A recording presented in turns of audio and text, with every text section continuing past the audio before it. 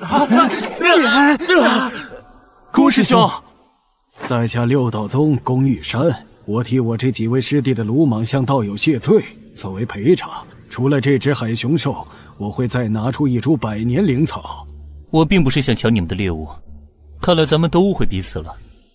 赔偿就免了，但我有件事情想问下道友。没问题，道友尽管问就好，在下知无不答。此地可是星罗万海？不错，正是。在下来自星罗内海，为了寻找一些灵物而来，不知道友能否提供一张附近的海图？可以，这张图描绘了星罗外海的大致情况，道友请收好。上面做了标注的地方是我们六道宗的专属海域，旁人不得私自进入。多谢道友提醒。道友如果还没有落脚点，不如先随我前往六道宗。你就听龚师兄的吧，在外海若是没有宗门庇护，会被其他宗门的人杀人夺宝的。师弟，休要胡言乱语。会有人杀人夺宝？啊，道友见笑了。数月前，我们几人曾抓到过一只海熊兽，结果却被古剑门的人给抢走了。好在无人伤亡。我们六道宗是由六位灵丹境界的外海修士共同创立的。随着前辈们隐遁，六个宗门开始各自为政，导致实力被削弱。其实我邀请道友也是有私心的。道友若是能够加入我们灵草门，就可以增强我们的实力。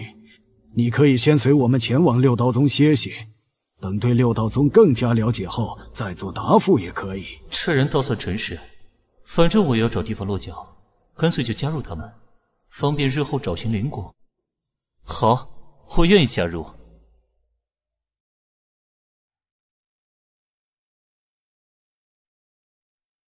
古道友能够加入我们灵草门，真是件大喜事。宫师弟会为你安排一间最好的修炼室。等过段时间，我亲自给你登记造册。袁门主客气了，我还有一些要紧事情，就先让宫师弟招待你了。这个灵棒是我的见面礼，运气好的话能够开出灵珠。告辞了。这东西上边居然有着神力，空道友，这灵棒是从哪儿来的呀？应该是在百宝楼购买来的。怎么了？居然能够开出灵珠？哦。有没有灵珠，还是得看个人机缘。道友不要过分着迷。这百宝楼也是我们六道宗的产业，道友感兴趣的话，可以自己去看看。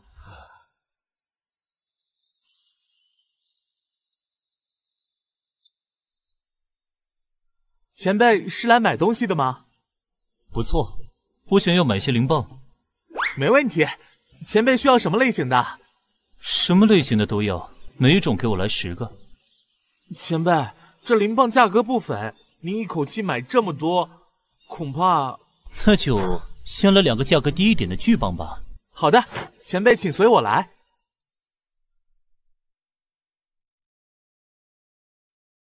就是这里了。前辈先看看这两只巨棒怎么样吧。这两只分别是紫明蚌和黄金蚌，品质一般，价格也比较低。行。这两个我要了，再给我装一些小一点的灵蚌。另外，海外盛产的灵草，每种都要来一株。好嘞，前辈，您要的东西都在里面了，总共五十万灵石。虽然花了不少灵石，但换取的神力绝对是值得的。说来，为何这株海草上也隐约有着一丝神力？难道说这些东西全部产自六道宗附近的一处特殊海域？还是先把那两个巨棒打开看看吧。哇，哼，运气不错，这黄金棒不仅蕴含神力，还有一颗极品灵珠。之后要将那些巨棒全都买下来，要是能开出五个蕴含刚才那种神力的，我就能够塑造第二次神体。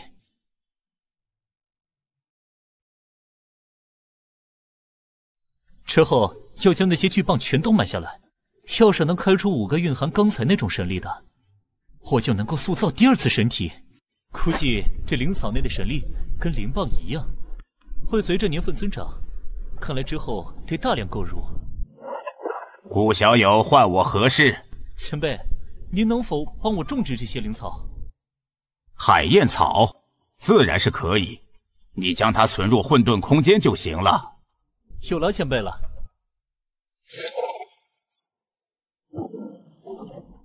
这灵豹肉对我来说没什么用，喂给这冰虫宝宝吧。古道友，你现在可有空？凭证已经为你办妥了。空道友，请进。古道友，从现在开始，你正式成为我们灵草门的长老。多谢空道友相助，我这就去拜见元门主，以表谢意。元门主去捕杀海兽了，在咱们六道宗，灵师境界以上的修士需要服从门派安排，定期参加捕猎大型海兽的行动。多谢公道友提醒。话说，周围海域的灵草都是属于咱们灵草门的财产吧？以前是这样，但现在咱们灵草门的实力太弱，导致其他门派的人也会前来采摘。前些年曾有弟子发现一枚未成熟的灵象果，这片海域竟然会有灵象果出现。唉，古剑门的弟子见到灵象果后，便打伤了我们的弟子，将这枚未成熟的灵象果给摘走了。这么珍贵的灵果就这样被毁掉了，当真可惜啊！古道友有任何问题，可以随时来找我。这段时间我暂时不会出海了。知道了，多谢公道友。前辈，你怎么这么快又来了？你这儿还有多少巨型灵棒？什么？前辈还要买巨棒啊？我们这儿确实还有一些多年积存的巨棒，像这个火焰棒，价格就稍微贵一些，要八十万块灵石。只要这火焰棒之中蕴含足够的神力，那么八十万块灵石就是值得的。但风险太高了。前辈，每只巨棒的身上都记载着捕获的年份和日期，出售之后，这些灵石就会交给巨棒的主人。其中有不少巨棒都是门派的前辈和老祖寄存在这里的。哦，像这只黑玉棒，就是灵草门的一位前辈寄存在这儿的，品种极为特殊，售价六十万块灵石。这么多灵石赌一颗极品灵珠，的确十分奢侈。六道宗所有的海域，到底哪片更容易出现神力灵棒？将超过五十万块灵石的灵棒以及重复海域的灵棒先剔除，大概还需要……这些都是我感兴趣的灵棒，你计算一下总体的价格。这这种数量的话，应该需要百万以上的灵石了。前辈，我算了一下，总共是三百二十万块灵石。嗯，您是直接付还是用灵宝抵扣啊？三百二十五万块灵石，这种数量的话，应该需要抵扣一部分了。道友估算一下这枚灵珠的价格吧，看看能够抵偿多少灵石。这这是极品金灵珠，前辈，这宝物晚辈不敢轻易定价，不如作价一百万块灵石。等灵珠出售之后，我再将多余的灵石退还给前辈。行，这是剩余的二百二十万块灵石，请收好。前辈，这块传心令牌乃是咱们六道宗的通用宝物，但凡出现什么珍宝，都会通过传信的方式告知您。那就有了，道友了。这珠子倘若能够卖个好价钱，我定会重重酬谢你。这位前辈真是身家丰厚啊！看来日后需要将他当做贵客来对待了。什么？百宝楼内出现了极品金灵珠，竟然有人有这么好的运气啊！这枚极品金灵珠我必须要得到。郭长友，极品金灵珠我要了。郭长友，三年前我就跟你说过，若是得到什么极品灵珠，要立刻通知我。你干嘛要广布天下？行了，都别为难他了。莫师兄，这枚极品精灵珠我必须要得到。郭长友，极品精灵珠我要了。郭长友，三年前我就跟你说过，若是得到什么极品灵珠，要立刻通知我。你干嘛要广布天下？行了，都别为难他了。莫师兄，拜见莫师兄。莫师兄，你不是闭关修炼去了吗？怎么会来这里啊？郭长友，这枚极品金灵珠从哪儿来的？莫非是从我之前看中的那枚黄金棒中开出来的？禀前辈，这枚极品金灵珠的确出自那只黄金棒。究竟是哪位道友？这位前辈是刚刚来到咱们六道宗灵草门的古前辈，他买了两枚巨棒和一些小灵棒，没想到运气会这么好。郭长友，给我拿两个巨棒，我也要试试运气。巨棒倒是有，就是价格太过昂贵了。怎么还怕我赖账不成？我刘某人是买不起巨棒的人吗？前辈莫恼，您看这枚青棒售价六十万块灵石。前辈若要开启，先依照规矩缴纳灵石，之后就可以随意处置了。国长友，你是在戏弄我吗？你是没理解刘道友的话吧？赶紧去拿一些便宜的巨棒出来。诸位前辈，这的确是最便宜的巨棒了。莫师兄，像他这种不懂事的，就该逐出六道宗。宗内给他一个小小的权利，他还真把自己当回事儿了。哎，刘前辈，你这话是什么意思啊？你自己买不起，跟我有什么关系啊？你，好了好了，据我所知，巨棒很少人会购买，不可能只剩下这种六十多万的呀。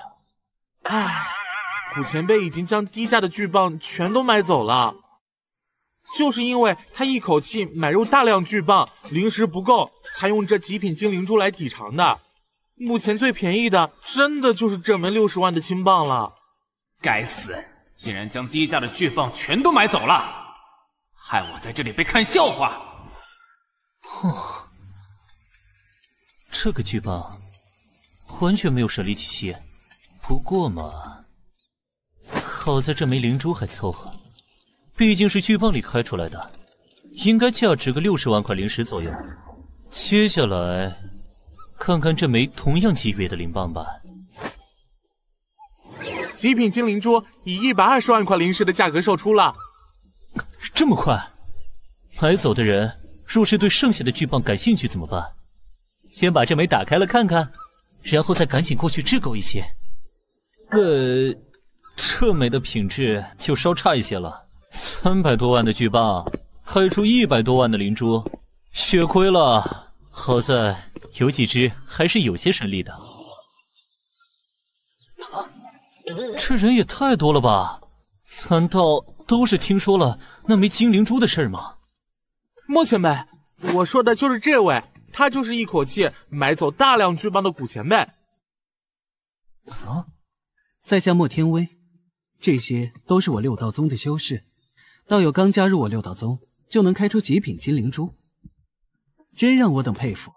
拜见古道友，在下古云，拜见莫师兄和诸位道友。其实我还得多谢古道友的极品金灵珠，这东西对我很有用。运气而已，运气而已。你这儿还有没有巨棒了？当然有，当然有。不是吧？还要买？啊，古道友，莫非你又有收获？若是有不错的灵珠，我愿意用高价购买。啊！诸位太高看我了。这次我只是开到了两枚普通灵珠，价值比较低，恐怕也就一百多万灵石。古道友，这开蚌之事，偶尔玩玩也就算了，毕竟不是长久之计。多谢莫师兄关心，但我还是想再尝试一下，再拿几个巨蚌出来吧。得要，昨天刚到了一枚硬货。若不是为了吸收神力，我才不当这冤大头呢。啊！这巨棒，没错，是一枚巨型火焰棒。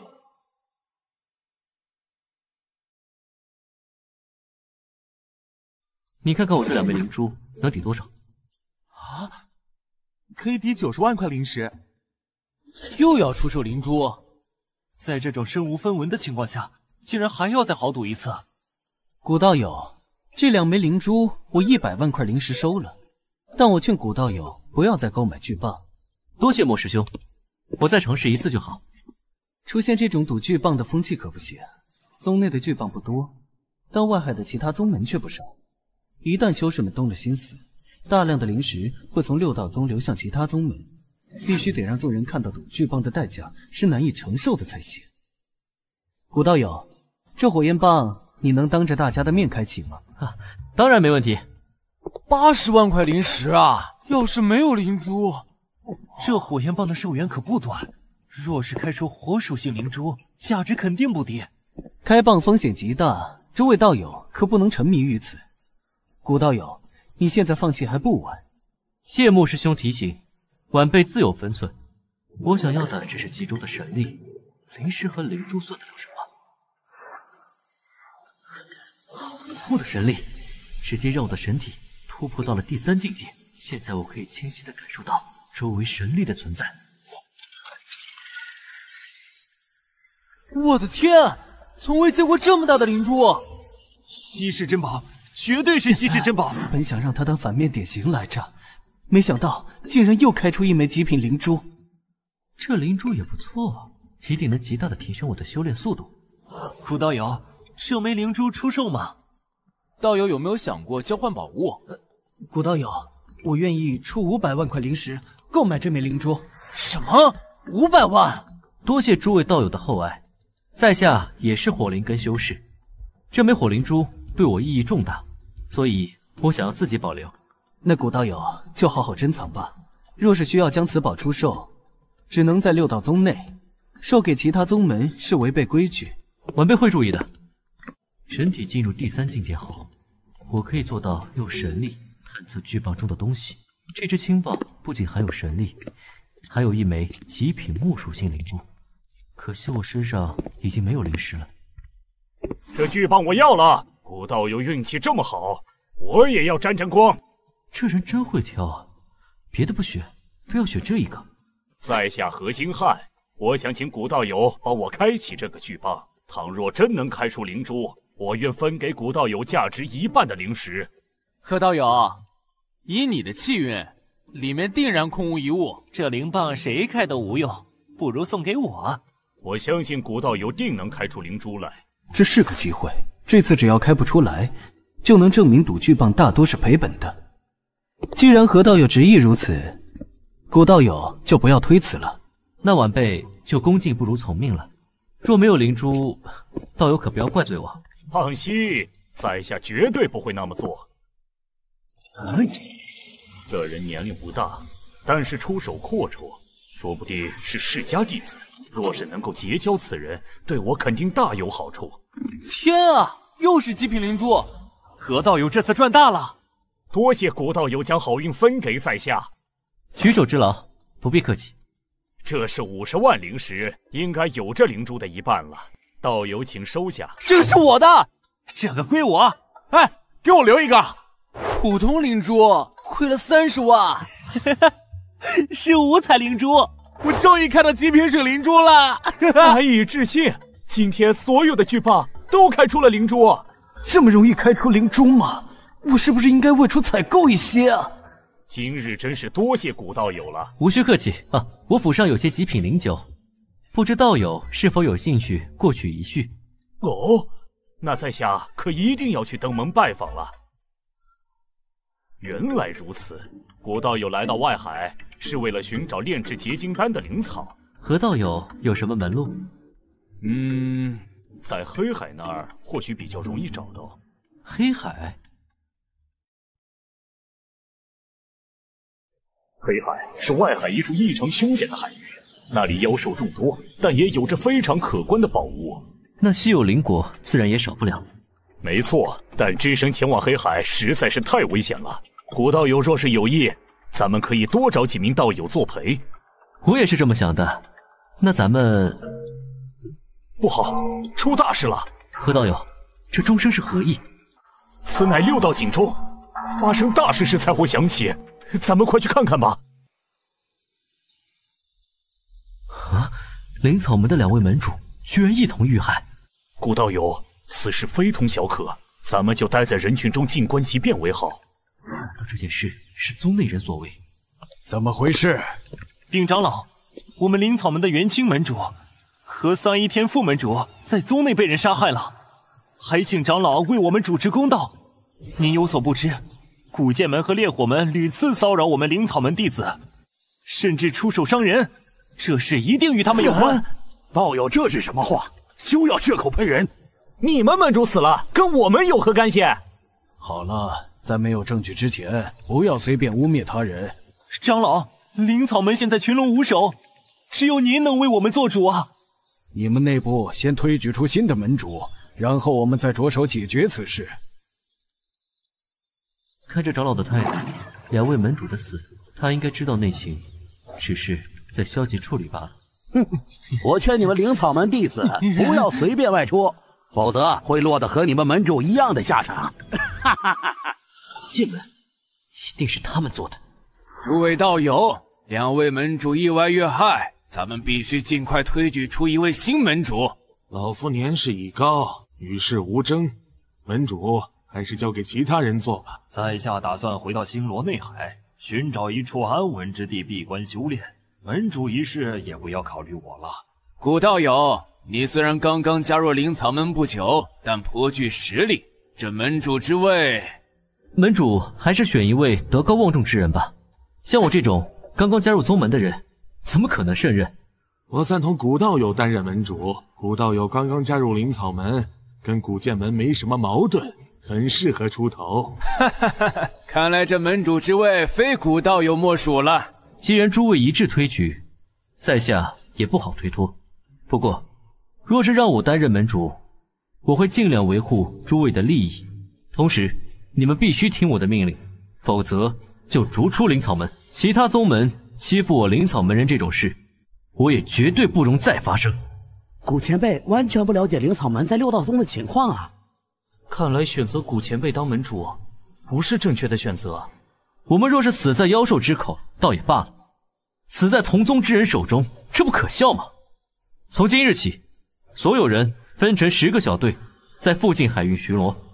一旦发现外门弟子进犯，立刻将其击杀。灵草门所有修士必须团结起来，同仇敌忾，一致对外。古道友，此言不妥啊！你可知？宗门规矩只允许击杀私自采宝的外宗人，其他修士进入灵草门不是为了采集宝物，还能是为了什么？倘若他们身上还没有采集到宝物，大家也可以给他们储物袋里放上几株灵草，这不是栽赃嫁祸吗？看来门主是真的要和其他宗门决裂了。古云，你这是要把整个灵草门往火坑里推呀？我这不也是依照规矩办事，有什么问题吗？畏惧的人现在就可以离开，但若是选择留下，就必须按照我说的来，否则我绝不轻饶。我与灵草门共存亡，我不怕。为了宗门的名誉，和那些小人拼了！门主，我们两人实在不想参与到这场争斗之中，就此拜别了。那就预祝两位道友一路顺风。有三十多名弟子选择离开，灵草门人数本来就不多。这下更少了，你们爱怎么做就怎么做吧，跟我没有任何关系。但灵草门是我的故居，我不会离开。我刚说过，不服从灵草门规矩的就立刻离开。你享受宗门的资源却不付出，留你何用？你好大的胆子，竟敢用这种口气跟我说话！就算你现在是门主，你也管不着我。我再说一次，立刻搬离灵草门，以逼我将你逐出门派。来啊！我倒想看看你有几分本事！我以门主之名将你逐出门派，宗门有权要求被逐修士将储物袋留下作为宗门之用。想活命的话，就把东西留下，然后赶紧滚！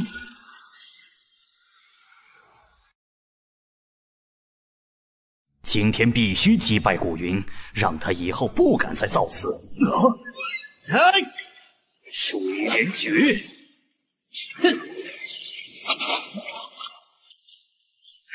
他还真有两下子，居然只用一道火焰就击破了我的水云诀。这个古云绝非徒有虚名之人，随手一击的威力就如此恐怖。古云，你竟然真敢对我出手，老夫今日非要让你尝尝教训不可！啊啊啊！道友饶命啊！我把东西都给你。去店铺内把所有的宝物都卖掉。换成各种资源，发放给门内弟子。是从现在开始，但凡成功阻挡其他宗门进入我灵草门海域者，赏赐灵草灵石；若能击杀入侵者，额外赏赐丹药。之后我会张贴告示，告知所有的门外修士，让他们约束好门内弟子的行为。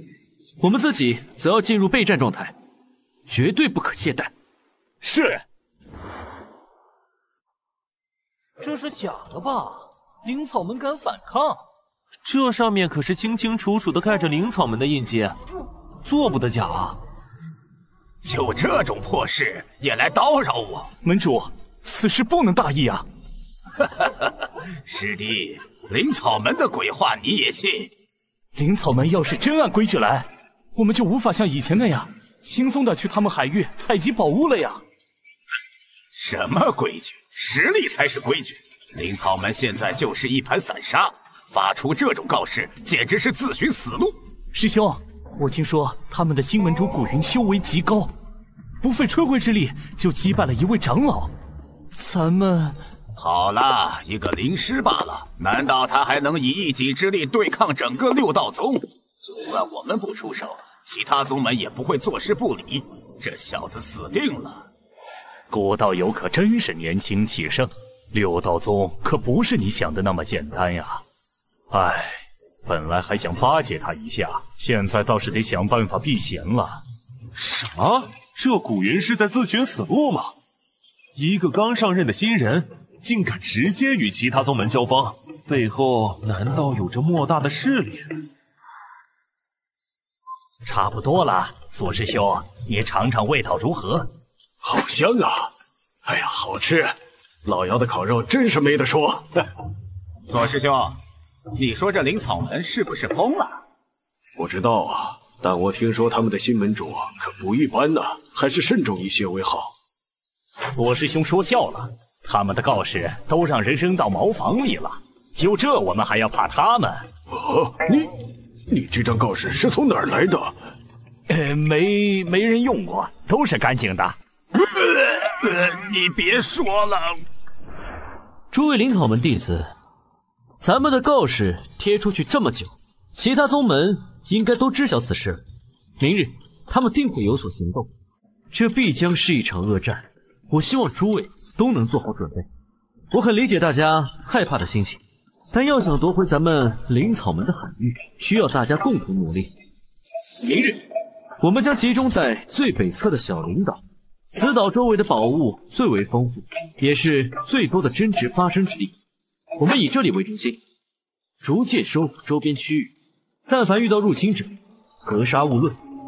遇到处理不了的情况，立即用传讯令牌告知我，我将以最快速度赶到，绝不会让大家白白送死。门主，不如我们先行进行驱逐，若是对方不听，咱们再出手，这样可以减少双方的伤亡。嗯。公道友言之有理，就按你说的办吧。为了明日能够大获全胜，诸位都先来我这里拿取一些灵宝。我这里有些恢复用的丹药，大家也都来拿取一些吧。诸位，我作为门主再次承诺，明日战后，所有人都会获得灵魄丹作为奖励。门主万岁！门主万岁！门主万岁！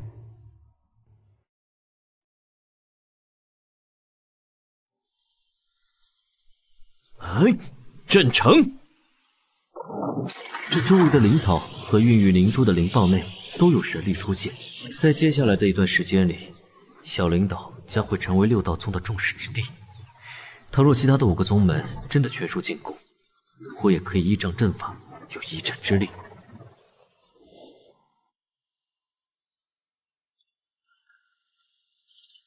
该准备的全部都准备好了，成败的关键。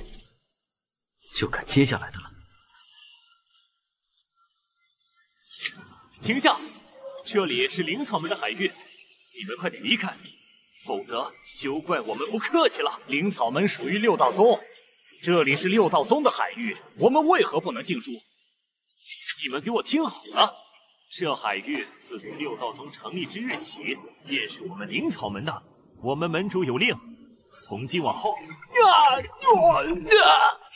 你们门主不过是区区一名灵师后期的修士，岂能与我们古剑门的门主相比？既然你们如此不识抬举，那我就给你们一点教训吧。一群废物，就凭你们也敢跟我们古剑门对抗？你们灵草门的人通通都是废物！左师兄，这是那些废物的储物袋，这些废物身上的宝物真不少啊，灵草丹药都有。左师兄，这些家伙怎么处理？不能就这么带着吧？杀了陈海就行。你不要过来啊！嘿嘿，放心，我的剑很快的，你们不会感到一丁点痛苦。住手！什么人？师叔，你来救我们了！古剑门的道友，你们私自来我们灵草门的海域盗取灵宝，还妄图对我们的门人下杀手。看来古门主说的没错，你们从未把我们当做同宗之人看待。你这家伙居然暗中传讯，说你一共叫了多少人过来？关你什么事？这家伙突然变得底气这么足，看来是叫了不少高手前来支援呢。不行，一定不能露怯。哼，说的好像就你们有人似的。我们古剑门的前辈很快就会来，在那之前，就让我陪你过几招，看看你有几分本事。我只是一名炼丹师，想要在古剑门的灵师修士到来前带走这些灵草门弟子，绝非易事，只能想办法撑到门主过来了。不过你们灵草门出手反抗的事，的确让我感到有些意外。真是胆大包天！今天必须让他们知道灵草门在六道宗的地位。聒噪！啊！易师叔、冯师叔，你们来了。灵草门的道友，你竟然欺负小辈！你们古剑门私闯我灵草门海域，伤我灵草门弟子，还要让我对此视若无睹？冯道友，速战速决！灵草门的修士可都聚集在这片海域。一道友说笑了，区区灵草门修士，哪怕再多来几人，也不可能打得过咱们兄弟二人。门主，你。你就是灵草门的新门主古云，是门主，门主终于来救我们了。私闯我灵草门海域，打伤我灵草门弟子，你们该当何罪？当上盟主就真把自己当做大人物了？你也不打听打听，这灵草门在宗内是什么地位？若是你肆意妄为，门清的下场便是你的下场。你这些话是你们门主的意思，还是你自己的意思？是谁的意思不重要，重要的是收回你之前的所有成命，否则你有什么资格在这跟我谈论这些？我所做的一切都是按照宗门规矩来处置的。冯道友，莫要跟他应战，他的修为的确不弱。好，跟我交手，恐怕不是你们想怎样就怎样。什么？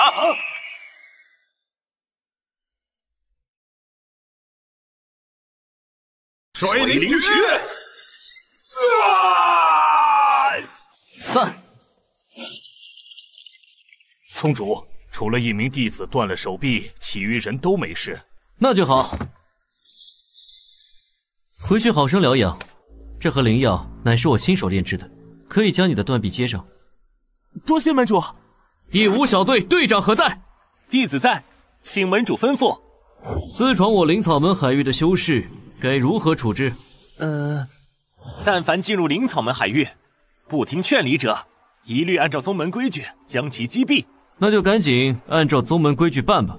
是，前辈饶命！哎，前辈饶命啊！古门主，我们不该乱闯的，我们已经知道错了。求您大人大量，放过我们这一次吧。我可以给你们一次机会，但你们要发誓，永远不再踏入这片海域。多谢古门主，多谢古门主。诸位，今日我们总算守住了方圆两百里的海域。从明日起，我们要再扩展两百里海域，直到将所有海域收复回来。好，驱逐出去，一个不留。门主，今日其他宗门只是试探而已，明日开始肯定会有大量的灵师进入，到时 别担心，我早有打算，后面的战斗肯定会愈发激烈，所以我也为大家准备了更多秘宝。龚道友，明白。这是傀儡，盒子里装的是什么？盒子里是一种名为血爆丹的丹药，可以短时间内强行将修为提升一个境界。这傀儡则是自爆傀儡，近身时的威力极强。有了这两样宝物，灵帝弟子也有击杀灵师修士的机会，并且我在此许诺，击杀灵师的灵力弟子，除了那个灵师的宝物都归你所有外，我还会额外赏赐十枚灵魄丹。门主威武，誓死追随门主，杀光那些入侵我们海域的家伙。今日古剑门损失灵师修士五名，灵力弟子数十名。这古云居然真的敢这么做！门主，他们太过分了！要不我立刻带人前往小灵岛将他们剿灭。住口！你还想带着更多的人去送死吗？难道咱们就任由这灵草门胡来？当然不是。今日他们得罪的还有其他宗门，肯定不止咱们要找灵草门报仇。可明日就是福岛出现的日子，这福岛每隔三个月才出现一次。现在灵草门这么做，弟子们根本进不去啊！我自有办法。福岛乃是咱们古剑门必夺之处，绝不能有任何闪失。是。福岛，福岛与寻常岛礁不一样，是有规律出现的岛屿。福岛每次出现都会带来大量的珍宝，可惜多年以来，福岛都被古剑门所占据，咱们灵草门根本无力争夺。若是这样，明天古剑门。更不会轻易罢休，我们必须奋力一战，让其他宗门不敢再抱有从我们灵草门海域搜寻宝物的幻想。门主，明天我们该怎么调度人手？放心吧，我已经安排好了。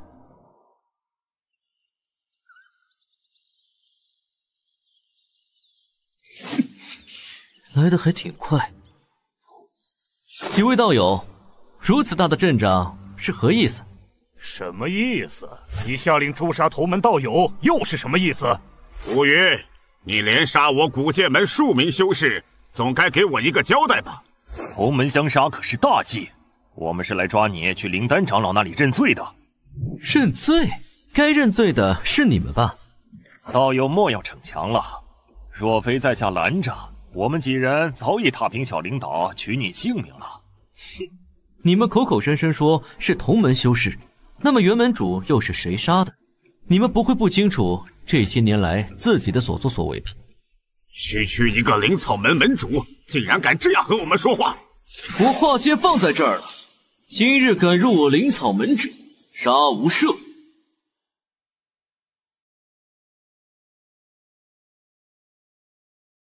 几日不见，你们这些灵草门弟子简直变得无法无天，居然敢挡我的去路！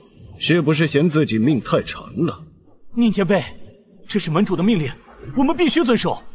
其实我们也不想与你起冲突，还望您……废话真多，你们还不如赶紧说两句遗言。宁前辈，我这里有一件珍贵的宝物，你若是能够放我们一条生路，我愿意将这件宝物交给你。哼，还跟我讲条件？我为什么要答应你？等我把你们全部杀光之后。这宝物不还是我的？宁前辈，您的确可以轻易杀死我们几人，但是我也可以在你动手之前就毁掉这件宝物。等等，你答应我们了？没错没错，赶紧把宝物拿上来给我看看吧。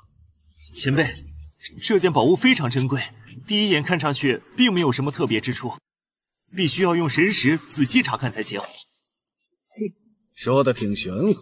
我倒要看看这东西究竟有没有那么稀罕。哦，一件傀儡，看上去也没什么嘛。前辈，您仔细看这傀儡的材质和核心，都是极为珍贵的宝物啊。哦，这陵墓的品质看起来一般呐，就算拆除下来也值不了几个灵石。至于内部嘛，你们敢诓我，找死！啊！这是啊！死了，真的死了！门主给的傀儡真厉害！快看看他的储物袋里有什么宝贝！哇，这储物袋中竟然有这么多的灵石和珍宝，回去还能领到门主的十枚灵魄丹，这下咱们发达了！堂堂弟死了！哼，我不是说过了吗？今日入我灵草门地盘者。死！我劝你还是赶紧回去，别落得和你堂弟同样的下场。好，很好，古云，今日我定要让你付出代价，立刻交出杀死我堂弟的人，否则我先取了你的性命。哦，想要取我性命，你有这个实力吗？如此大言不惭，就让我看看你究竟有何等实力吧！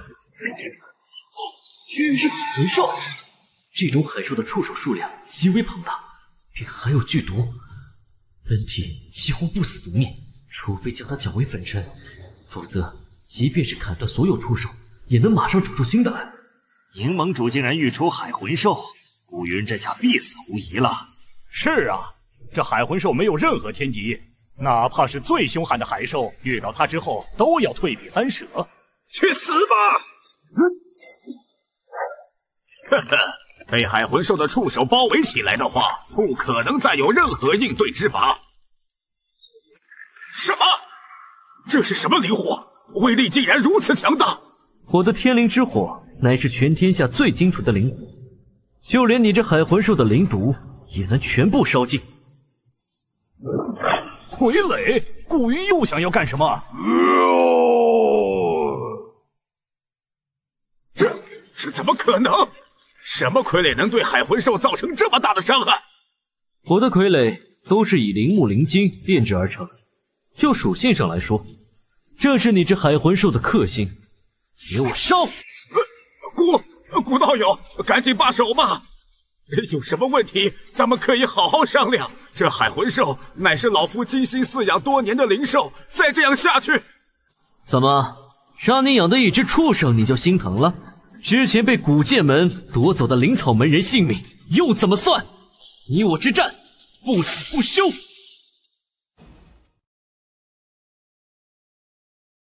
怎么杀你养的一只畜生你就心疼了？之前被古剑门夺走的灵草门人性命又怎么算？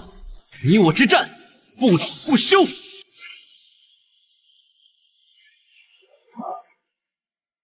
这里毒有极强的腐蚀作用，赶紧逃！呃，呃，古门主，饶我一命，饶我一命！倘若我能够活着出去，定然听从你的命令，不敢有丝毫违背。当你放出海魂兽的时候，已经想置我于死地了吧？嗯，宁宁国明就这么死了？哎，收！看来咱们六道宗要变天了。呼，总算把所有的海魂兽残肢和毒海水收掉了，不然这里将会成为一片死地。嘿嘿，想不到我们居然杀死了四个灵师，而且这些储物袋里的宝物是真多呀！不愧是灵师的储物袋。什么？真的吗？怎么了？古云门主将古剑门的柠檬主杀死了。你说什么？真的？当然是真的了。队长刚刚给我们下的通知。太强了！门主万岁！好耶！听说黑海岛附近有许多巨蚌，也许我可以去收集一些碰碰运气。怎么？莫师兄，古剑门与灵草门发生了剧烈冲突，修士死伤无数，其中还包括不少灵师修士。什么？我刚离开一天，宗内居然发生了这种大事！我现在就回去。宁国明啊，宁国明，你怎么如此沉不住气？古剑门在六道宗内是什么地位？为何要跟灵草门这种小宗门以死相搏呢？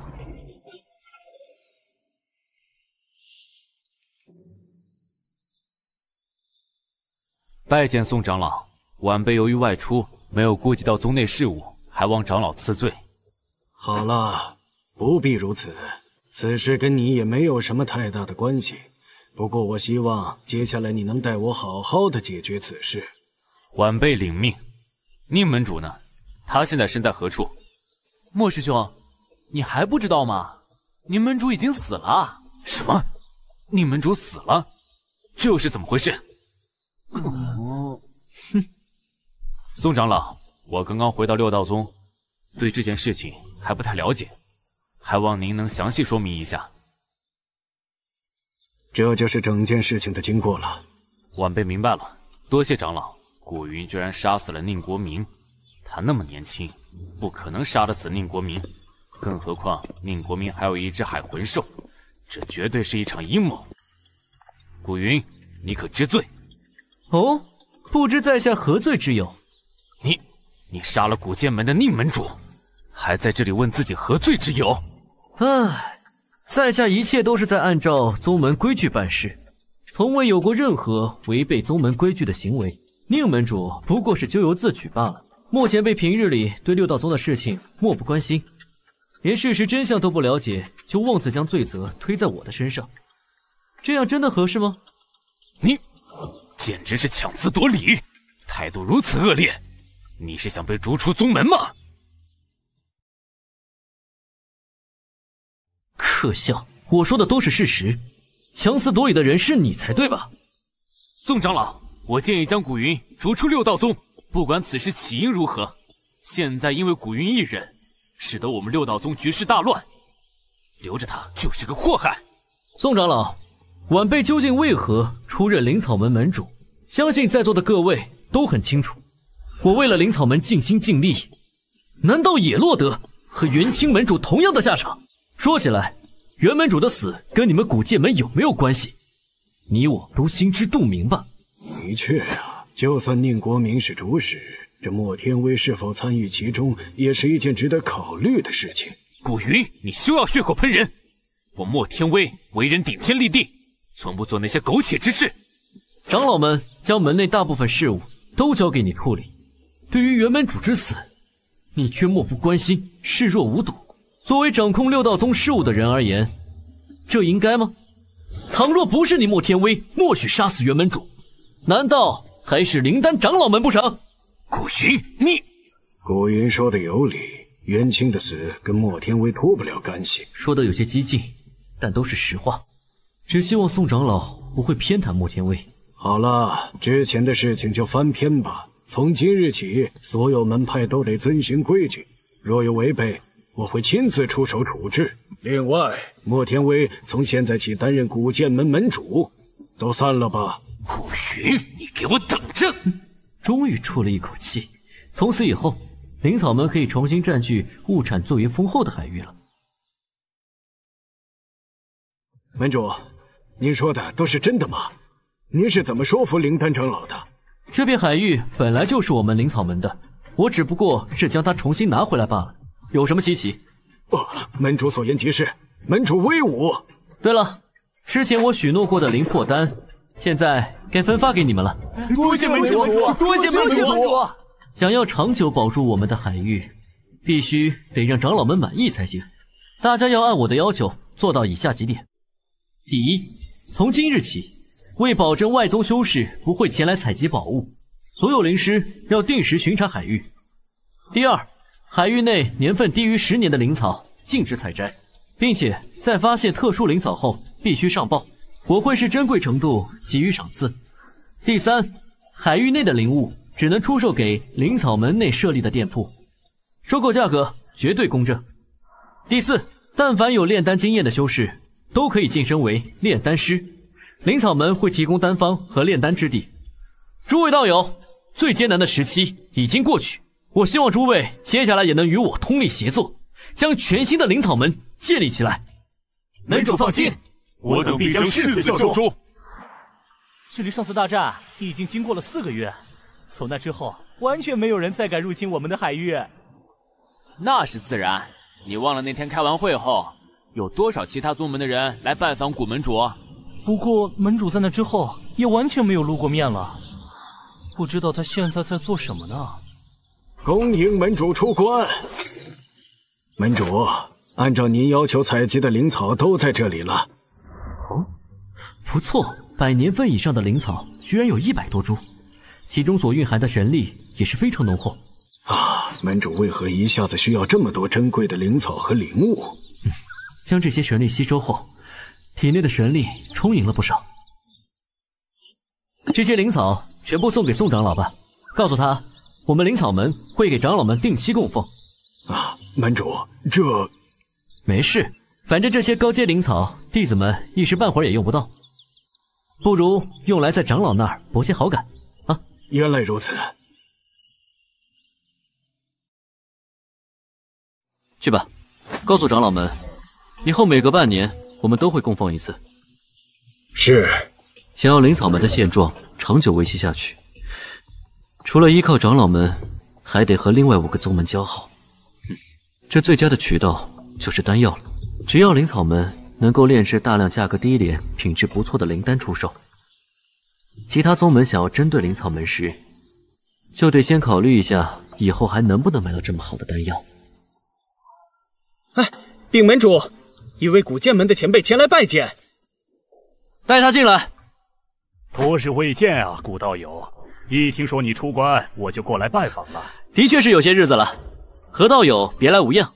还好还好，古道友真是让人震惊啊！短短几个月便坐上门主宝座，将灵草门的地位拔高了一大截，真是年轻有为啊！你我之间讲这些客套话干嘛？道友此次前来有何贵干？那我就直说了，此次我是来邀请你前往黑海岛的。黑海岛，不错。我之所以邀请古道友去，是有些私心的。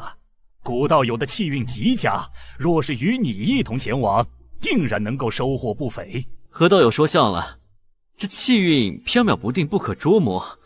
单凭我开启几个极品灵珠，就说气运极佳，恐怕有些太草率了。唉，气运之事就是如此。这世间宝物数量有限。为何有的人可以得到，有些人却得不到呢？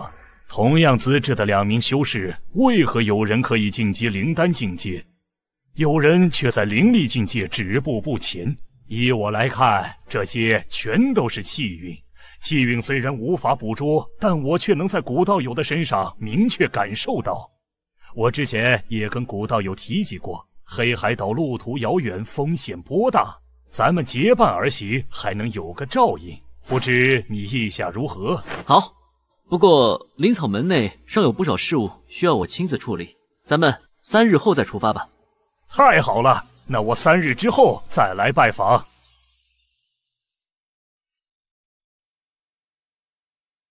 古道友，其实咱们所说的星罗外海，只是属于内海的边缘地带。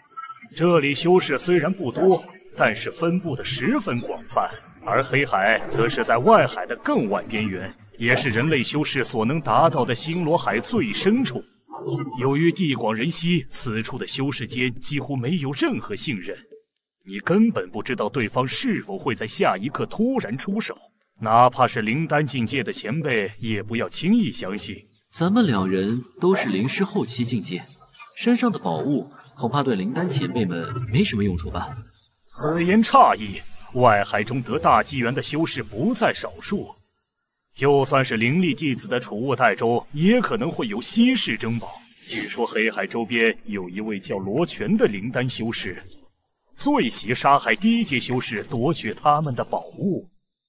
此人行踪诡秘，咱们还是小心为妙。这地方真是混乱，修士们仅仅是为了储物袋中的宝物，就会对他人痛下杀手。对了。此处已经是黑海海域了，咱们一定要尽可能离海面远一些。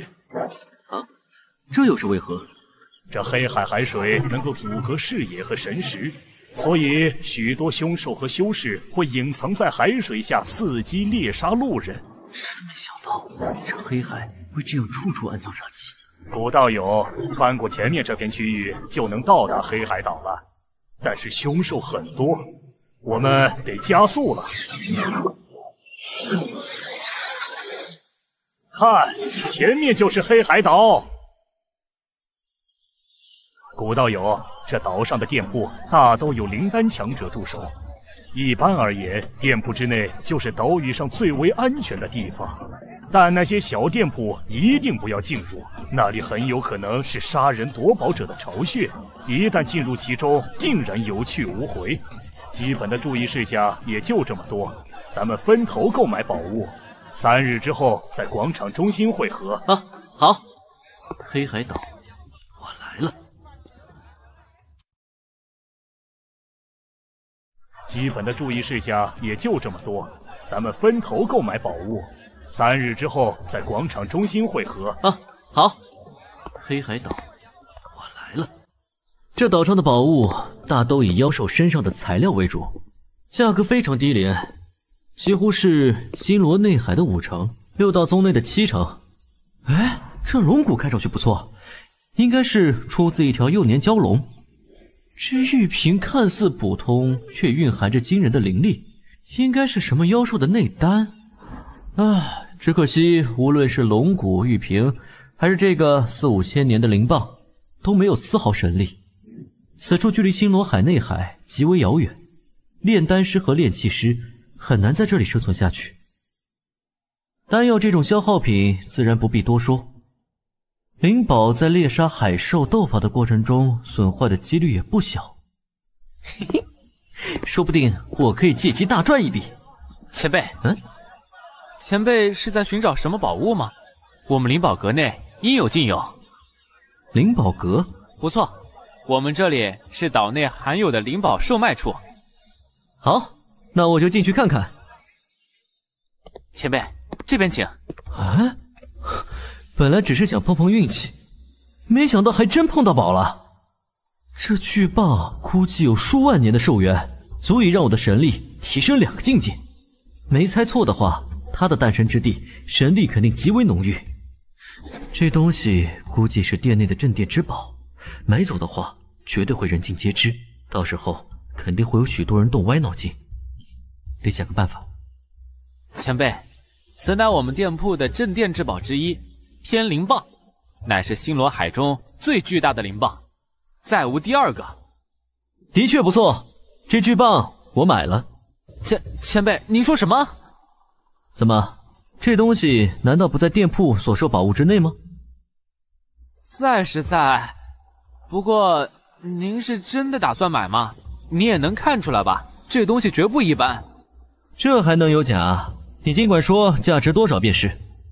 前辈，我无权做主出售这件镇店之宝，您稍等，我这就去叫我们阁主过来。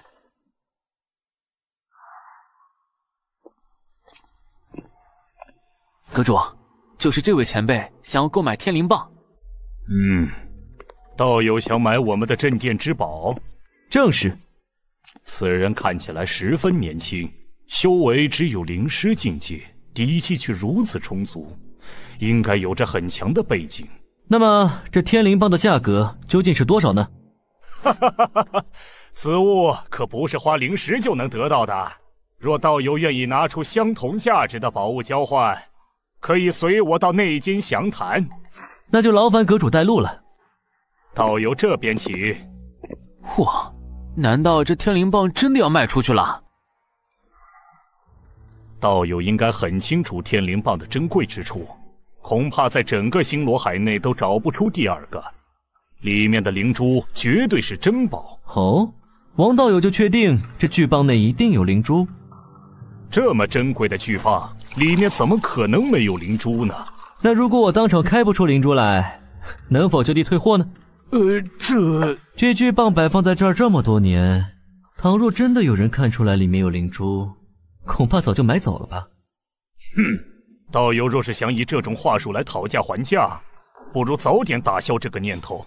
我的确是带着诚意来的，身上的宝物也绝对会让你满意，只是单纯的希望道友不要漫天要价而已。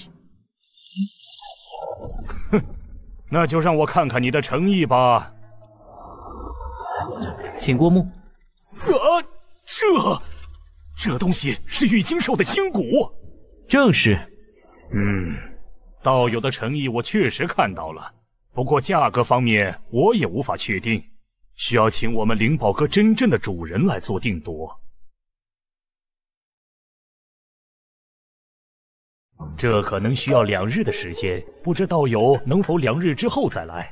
那就依道友所言吧。希望两日之后你可以信守承诺。道友放心，以我的估算，这巨棒在两千万灵石上下，和您的玉晶兽心骨价格相当。当然，若是我家主人要更高的价格，在下也只能听从。好，两日后见。道友走好。你在这里看好店，我上去一趟。是，阁主。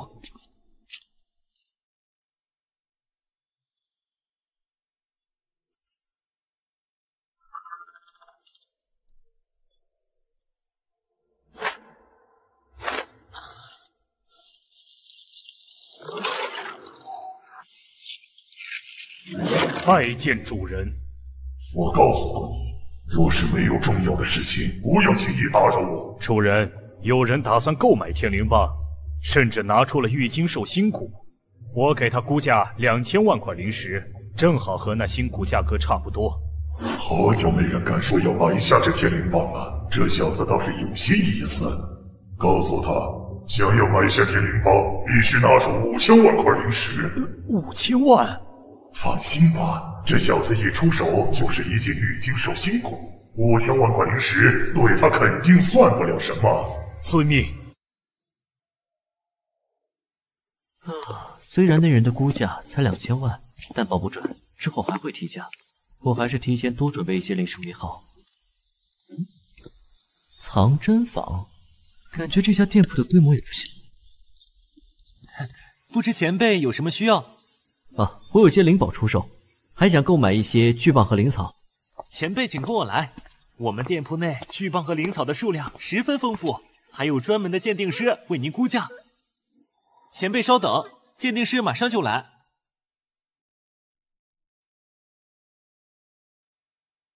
在下是藏珍坊的鉴定师陆峰，见过道友。你好，听说道友打算出售一些优质灵宝。啊，是的，您给估一下价吧。哦，这些灵宝品质虽不错，但都是灵师修士所用，所以价格并不会太高。我估价所有的宝物加起来为八百万块灵石，不知道有意下如何？呃，才八百万，这些宝物。即便是在星罗海内海，也不止这个数啊！特别是这柄飞云剑，完全由地火熔金打造，更是所有灵宝之中的极品。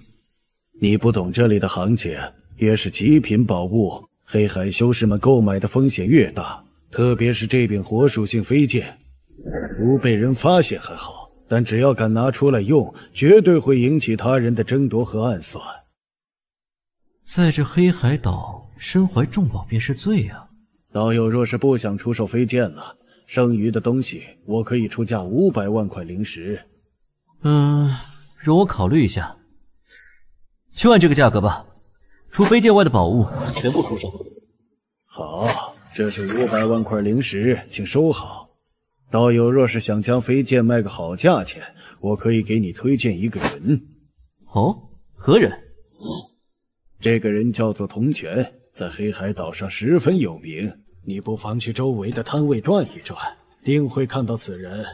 相信我，他不仅会买，还会出一个让你满意的价格。呃，道友，你不描述一下此人的容貌，哪怕是见到了，我也未必能够认出来啊。啊，此人乃是童前辈的嫡孙，你随便打听一下就知道了。哦，原来是名门出身的公子啊。不错。虽然这位铜泉道友只是灵师中期，但因为他是铜前辈的唯一血脉，所以极受恩宠。多谢道友告知。看来那位童前辈在岛内地位不凡啊。无妨无妨，道友还需要灵棒和灵草是吧？快看看老夫拿来的货品吧。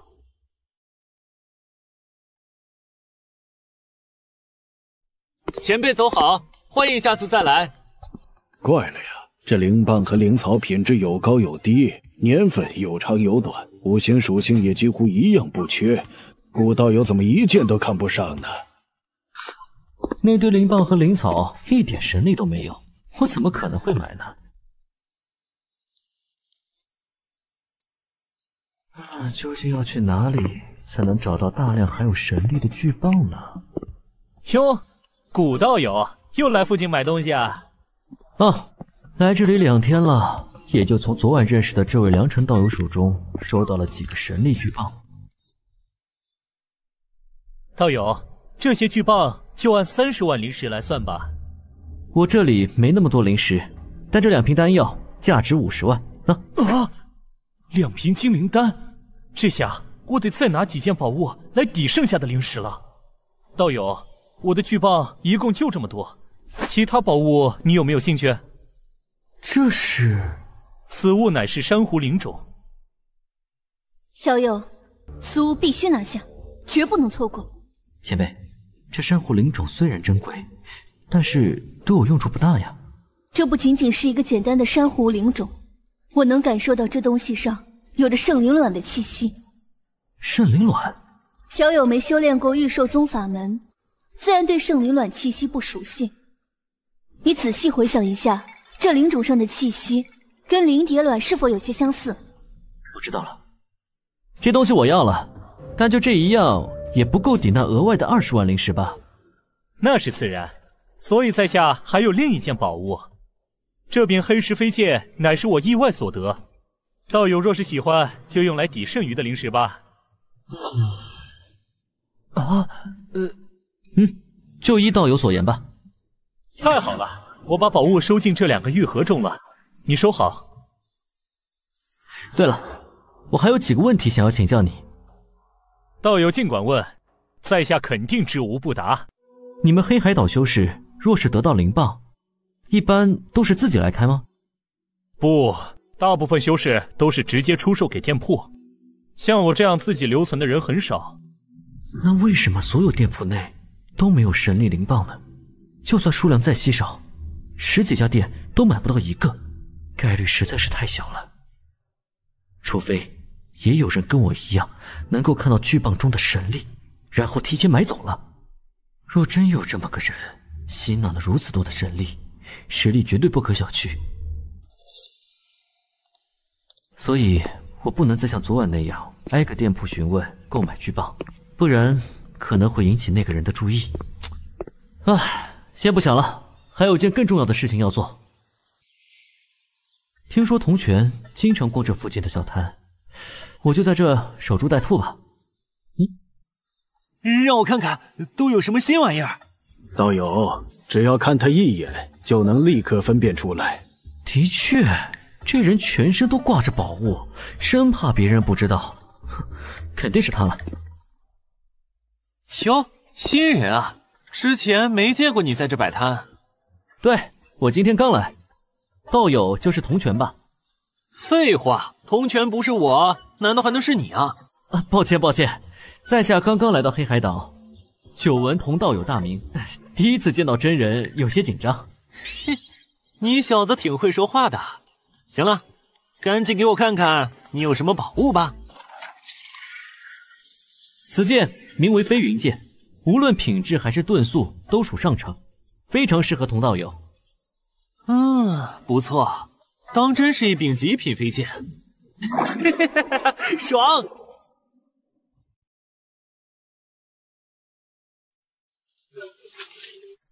这飞剑确实不错，我要了，你开个价吧。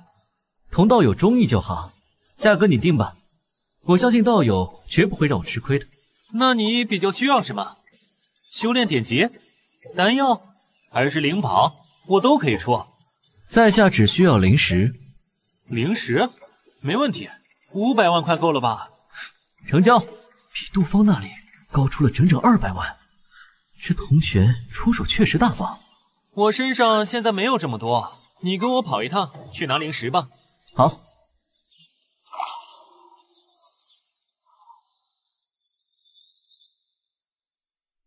对了，还不知道该怎么称呼道友呢。在下古云，是外海六道宗灵草门的门主。幸会幸会，这里是五百万灵石，你清点一下吧。你刚才明明说过自己没带灵石，现在却直接从身上拿出来。原来是找了个借口将我引到此地，道友不必紧张，我只是想请道友前来一叙，又怕道友拒绝，便使了点小伎俩，还请见谅。道友和那些黑海岛修士不一样，看似对我恭敬，实际上是惧怕我家老祖而已。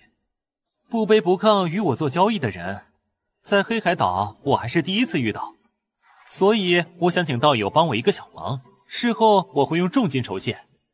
陈蒙同道友看重，不过我应该很快就会返回六道宗，不会在黑海岛耽搁太久。道友不必担心，我让你帮的忙很简单，只是在明天参加一场小型拍卖会，帮我拍几件宝物罢了。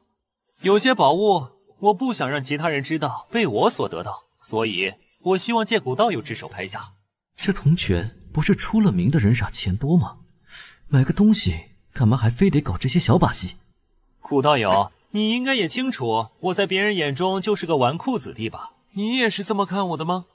这这些年来，外人对我的误解颇多，但说实话，我并不觉得这是什么坏事。他们越误会我，我就越会顺着他们的想法做。穿的这么惹眼，就是为了让其他人一眼就认出我来，在外人眼中塑造一个人傻钱多的形象，会让他们放下对我的戒心，方便我去收集各种灵宝。我的资质并不高，唯有依仗宝物。不知古道友听到这些话后，是否还会像之前一样看待我呢？在下眼拙，未能看出童道友的本意，误会了你，深感羞愧。古道友不必如此，只是现在你能否考虑一下我的提议呢？既然童道友都这么说了，我也不好拒绝。不知这拍卖会何时举行？明日上午就在灵宝阁内，会上的最后一件重宝，古道友无论如何都要帮我出手拍下。红泉玉锅的价格竟然达到一千枚珊瑚，这最后一件重宝绝对不凡。那明日就有劳古道友了。放心吧。对了，我还有另外几件宝物打算出售，不知你是否感兴趣？好，宝物，在下对于宝物可是来者不拒。好，好，好，就是这把由冰兽脊骨炼制而成的灵弓。哦，这种宝物当真可遇不可求，我要了。一百块珊瑚怎么样？成交。你再看看这件吧。这是这颗珠子有何妙用？童道友，且看好了。啊啊！道友刚才施展的可是灵尊强者才能施展的瞬移之法，这珠子居然能够施展出瞬移之法。对，你想试试吗？当然。嘿嘿嘿。爽，实在是太爽了！嘿嘿嘿让我再玩一次。道友且慢。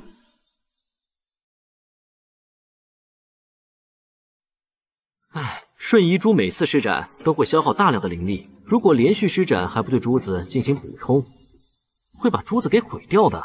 呃，难怪小了一圈，我还没有玩够呢。对了，这种瞬移珠你有多少？就这一颗，也对，这瞬移珠子可是极为罕见的至宝，能买到一颗已经是撞大运了。那么这颗珠子，道友愿意出多少来买下呢？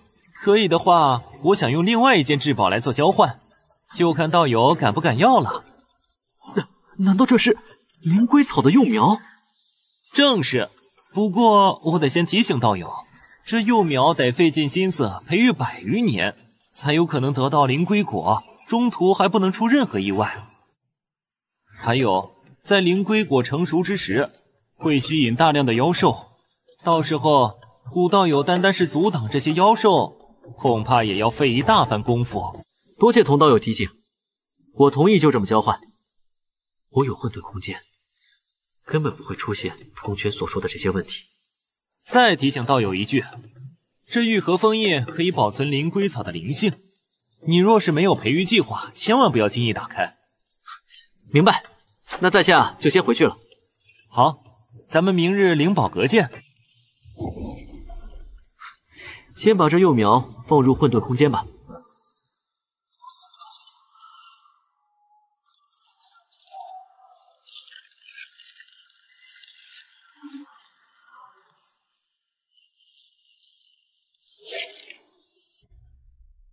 哟，灵龟草，小友竟然能够得到这种灵物，当真气运极佳。前辈，接下来我该怎么让这株灵草结果呢？哼，正如其名，灵龟果需要灵龟的寿丹才能结果。灵龟这东西肉质好，又有寿丹，曾遭到星罗海修士大量捕获，现在数量十分稀少，难得一见。小友想要得到灵龟果，可没那么容易呀。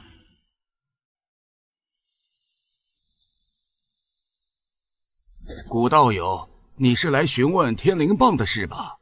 今日我来此，主要是参加拍卖会的，还请王道友引路。这，这场拍卖会乃是黑海岛最顶级的拍卖会，只有身份极高者才有机会被邀请参加。这古云背后的势力果然不容小觑。好，道友，请跟我来，参加完拍卖会，咱们再谈天灵棒的事。欢迎诸位道友来参加此次的拍卖会。此次我们也为大家准备了许多珍稀宝物，希望诸位可以遵守规矩进行拍卖。好了，接下来我们便正式开始今天的拍卖。第一件宝物是来自深海的龙鳞草，虽然只有五十年份，但是却保存的十分完好。若是能够找到合适的地方，还是可以继续培育的。起价十块珊瑚。每次加价不得低于十块，二十块珊瑚，三十，我出五十，五十块一次，两次成交。第二件宝物应该比较受灵师晚辈们喜爱，由黑海岛一位炼丹大师亲手炼制的金灵丹，品质绝佳。这枚灵丹上有清晰的丹月，灵香醇厚，是不可多得的珍贵丹药。起拍价十枚珊瑚。这不就是我炼制的金灵丹吗？梁晨那家伙真是会做生意。二十块珊瑚，三十块，三十块一次，两次成交。居然拍到三十块一枚，早知如此值钱，就不用那么低廉的价格抵销出去了。呵呵，接下来这件宝物依旧是一枚灵丹，不过这枚灵丹可不一般，这是一枚妖族灵丹。妖族，没想到黑海岛的修士竟然有这么大的本事。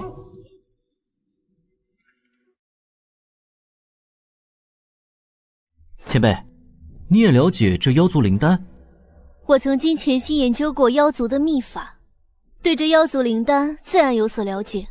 妖族灵丹跟人类灵丹可不一样，人类修士一旦服用，必死无疑。就算是灵丹境修士也不可避免。什么？但在场的这些修士可不会那么不谨慎，他们不会轻易服用不认识的宝物，所以这枚妖族灵丹十之八九无人问津。这东西我是能服用的，应该可以进一步提升我的实力。明白。妖族灵丹的起拍价格是二十块珊瑚，每次加价不得低于十块珊瑚。价格不算太贵，我建议小友将此物拍下。我出二十枚珊瑚。啊，成交！既然无人出价，妖族灵丹就归这位小友所有了。接下来的这件宝物，啊！哇，一块牌匾，这东西似乎有股神秘的力量。啊！发生了什么？这牌匾出自外海极深处的一个密地，以在下的修为还不能参透这东西的真正功效。起拍价格为两百枚珊瑚，每次加价不得低于十枚。这牌匾上应该布置了某种特殊阵法，能在如此狭小的地方布置威力强大的阵法，着实让人震惊。神月洞府，单单一个牌匾就有如此效果。这洞府究竟是何等强者的居所？唉，可惜我对阵法之道也只是略懂而已。我出两百二十枚珊瑚，三百枚珊瑚。可恶，我出五百，六百枚珊瑚。什么？童泉对这东西这么感兴趣？顾小友，你身上的珊瑚能否购买这件宝物？啊，前辈难道知道这牌匾的特殊之处？神月洞府是一处圣地。其中藏匿了许多宝物，根据这牌匾，能够找到神月洞府的所在处。我的修为尚不足灵丹境界，就算得到这牌匾，恐怕也未必能够前往吧。这神月洞府乃是人类修士神月真人所建，他修为通天，洞府内的宝物定然不凡。虽然现在对小友无用，但是小友不能只看眼前啊。原来如此。那我七百枚什么？孙前辈，在下恳请动用一次临时出售宝物的资格。你确定？一旦动用了这次机会，却无人购买你的宝物，你需要支付一百枚珊瑚的费用。在下确定使用这次机会。诸位道友，在下想要出售非洲一艘，此非洲遁速极快，上面还有多种阵法庇护，它可以深入八百丈的深海中，寻常海兽完全无法察觉其踪迹。现在售价四百枚珊瑚。原来还有这一手，通过出售其他珍宝来增加自己的灵石，减少竞争对手的灵石。不过，他真的能够如愿吗？啊！那么我们继续拍卖牌匾。八百枚珊瑚，九百枚。不是吧？他们都疯了吗？我出一千枚。什么？一千枚珊瑚第三次成交，恭喜这位道友。前辈，这价格太高，我实在是无能为力了。可惜了，没关系，此物也并非必须之物。说不定还有其他方式能找到那洞府呢。接下来的这件宝物来自一位炼丹大师，这枚丹药据说是在某个上古修士的洞府内发现的，有着奇特的功效。哇，这股丹香！这枚丹药的品质之高，是在下平生所见所有丹药的第一位。起拍价三百枚珊瑚。嗯，这玩意儿不就是我的超级幻灵丹吗？怎么还流传到黑海岛上了？四百枚珊瑚，五百枚。孙前辈，我家老祖在这里存放了珊瑚千枚，不知我能否代替他进行竞拍？嗯，可以是可以。很好，六百枚珊瑚，我出七百。八百枚，八百五十枚。我好像明白他在打什么算盘了。他是想在最后一件宝物出现前。营造出已经把所有珊瑚都花光的假象。九百枚珊瑚，太昂贵了吧，根本不值得。童泉这是把家底都掏空了吗？恭喜童小友以九百枚珊瑚的价格获得这枚丹药。多谢各位道友承让，再抬价，童某可真就拍不起了。哎呀，这超级幻灵丹能拍出这种价格，赚翻了！等会儿完全可以用几枚丹药换取那只天灵棒。呵呵，下面是本次拍卖会的压轴宝物。压轴宝物究竟是啥呀？这段黑藤来自灵果红滴子的产生之所，一位灵丹后期修士意外发现了那处宝地，并将位置刻在了一段藤蔓之上。藤蔓上有着特殊封印，所以目前除了他之外，没有第二个人知晓那个位置。这东西和我当初在兰陵国得到的黑色藤条一模一样。原来这就是红滴子的灵藤，不过红滴子灵藤极难萌发，看来得想办法去看看这个位置。红滴子灵藤起拍价三百枚珊瑚，每次加价不得低于十枚。四百枚珊瑚，五百枚珊瑚，五百五十枚，六百枚。我这里还有铜泉的一千枚珊瑚，应该足够拿下了。七百枚，八百枚。八百五十枚，九百枚，九百五十枚。什么？是刚刚那位灵师修士？看起来那么年轻，身家竟然如此阔绰。哎，你们玩吧，我放弃。九百八十枚珊瑚，一千枚。好，好，好，我放弃。恭喜这位小友竞拍到最后一件宝物，拍卖会至此圆满结束。到手了。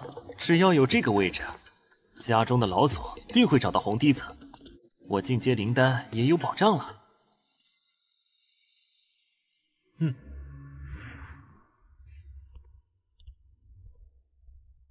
道友，拍卖会已结束，我们可以讨论一下天灵棒的事了吧？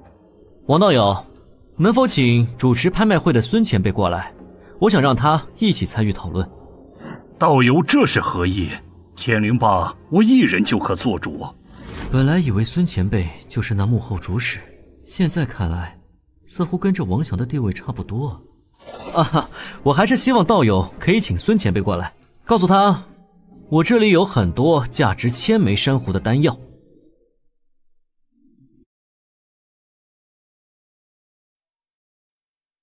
小友特意请我来此，听说是想出售珍贵丹药。前辈，请看。哦，居然是拍卖会上的那种丹药！小友从何处得来这么多？这个暂且一放，不知前辈认为我的定价如何？一颗一千枚珊瑚，可以。呃，这东西真值这么多？小友，这丹药究竟是何来历啊？这东西名叫超级幻灵丹，来自星罗内海。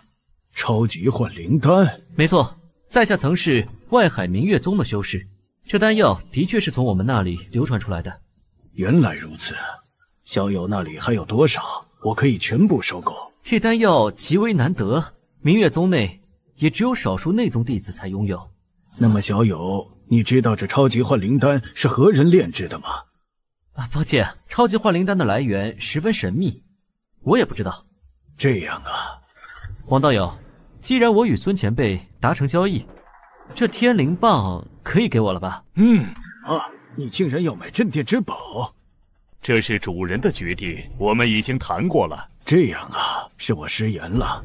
连这孙前辈都感到忌惮，看来王翔口中的主人来头不小啊。道友收好，现在这天灵八正式归道友所有了。谢过王道友，那在下就告辞了。何道友，我打算在这里再待几日，你自己先回去吧。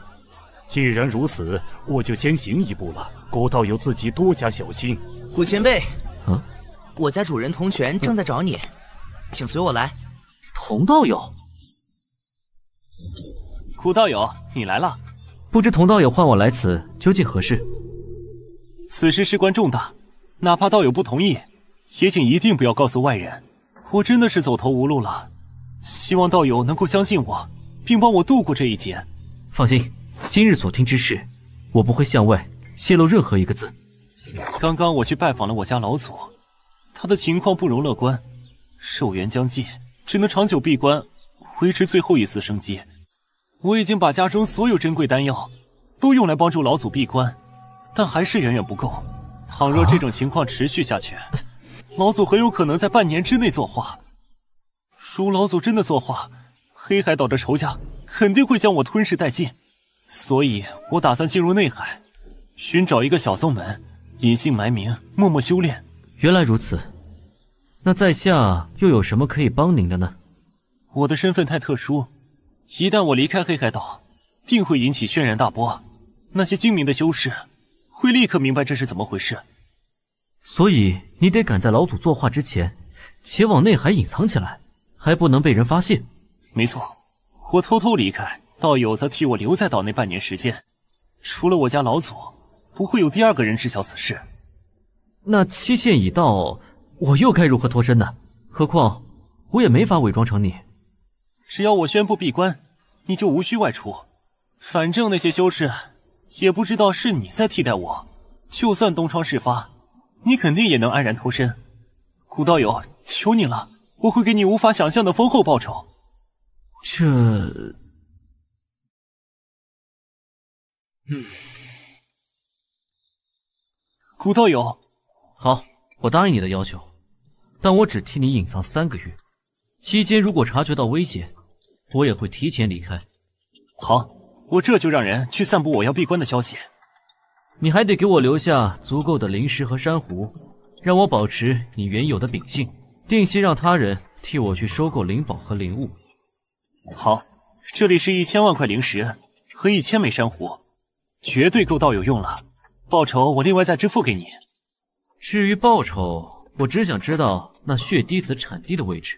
并不需要其他东西，这道友将这位置告诉我，又不会有任何损失，我也不会到处乱说。好，那就交给古道友了。既然如此，现在就把我带到密室内吧。从今日开始，我便在密室中闭关。好了，不出意外的话，接下来得在这里待上三个月。哼。本来还打算找一处安全的地方开启灵棒，没想到这么快就实现了。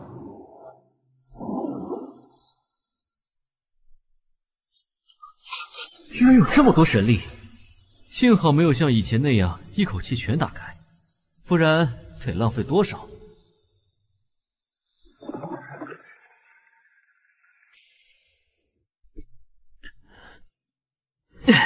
用了三天，终于把这巨棒里的神力吸收光了，不仅肉身更强，五感也比之前更加敏锐了。更重要的是，神力达到了八阶，还差两个境界就可以凝聚神体了。接下来，让我看看这巨棒中的宝物吧。童师兄，我们来了。你们去给我买几件稀罕宝物，让我高兴高兴。里面的一半零食当跑腿费吧。这这下赚翻了，童师兄大气。你们有时间一定要多来帮我买东西，好处少不了你们的。童师兄放心，我们定会经常来给你请安的。那我们就先为你搜集宝物去了。哎，你听说了吗？童泉被童家长老禁足了。怎么可能不知道？我刚找到一件奇特的宝物。原本还想在铜泉身上赚一笔呢，哎！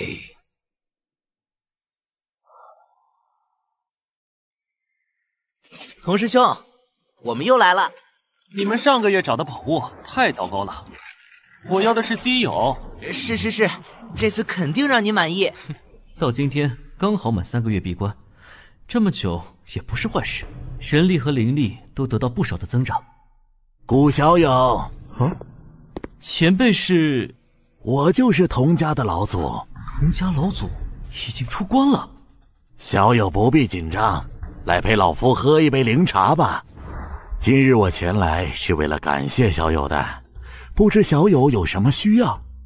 若是老夫能够帮上，一定尽力而为。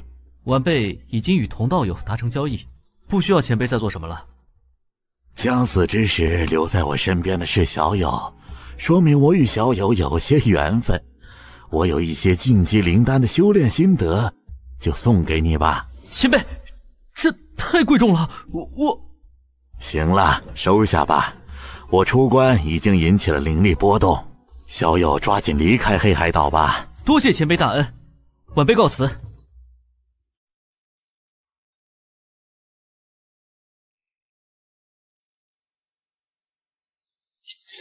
深夜危机重重，不宜久留。当务之急还是赶紧回到六道宗里面隐匿起来，消除自己与童家那边的联系。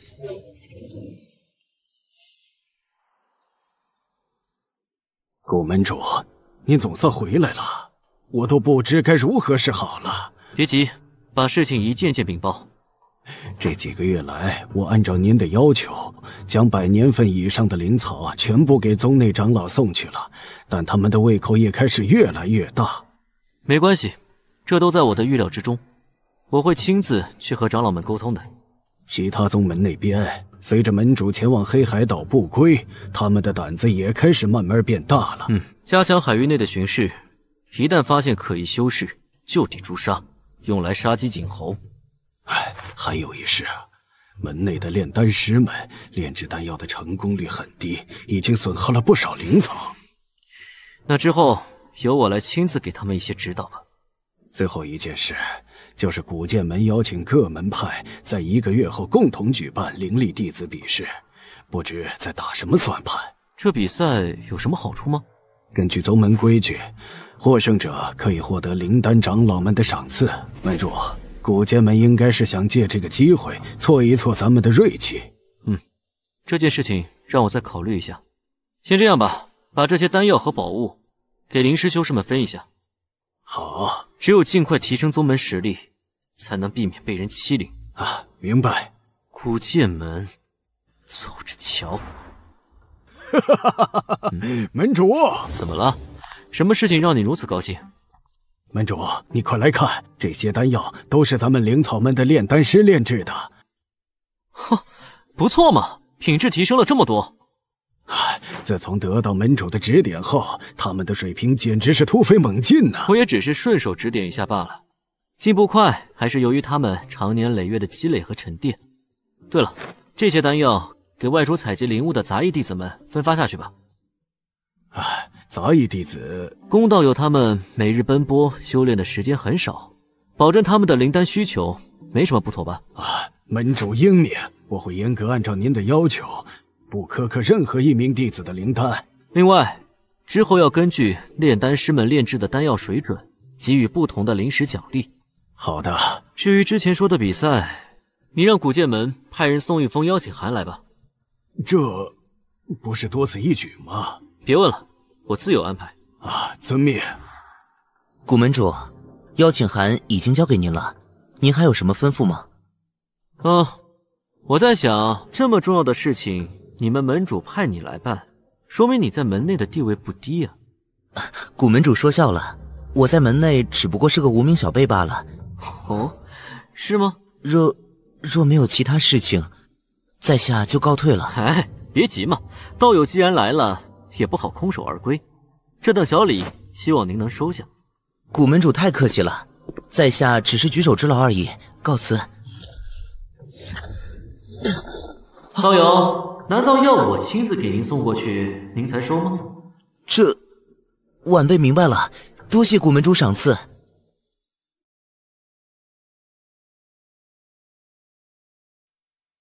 啊，怎么了，吕道友？没，没什么。吕道友手中的玉盒很是别致，看起来非同一般呢。这，这是能给我看看吗？好吧，你可别弄坏了。放心，放心。入手温润，似乎不是什么灵物，这倒是有些意思。呃，这这是玉泽丹？什么？吕道友，你从何处得来的玉泽丹啊？我卡在灵石中期瓶颈两年之久了，卖给我一颗吧，价格好商量。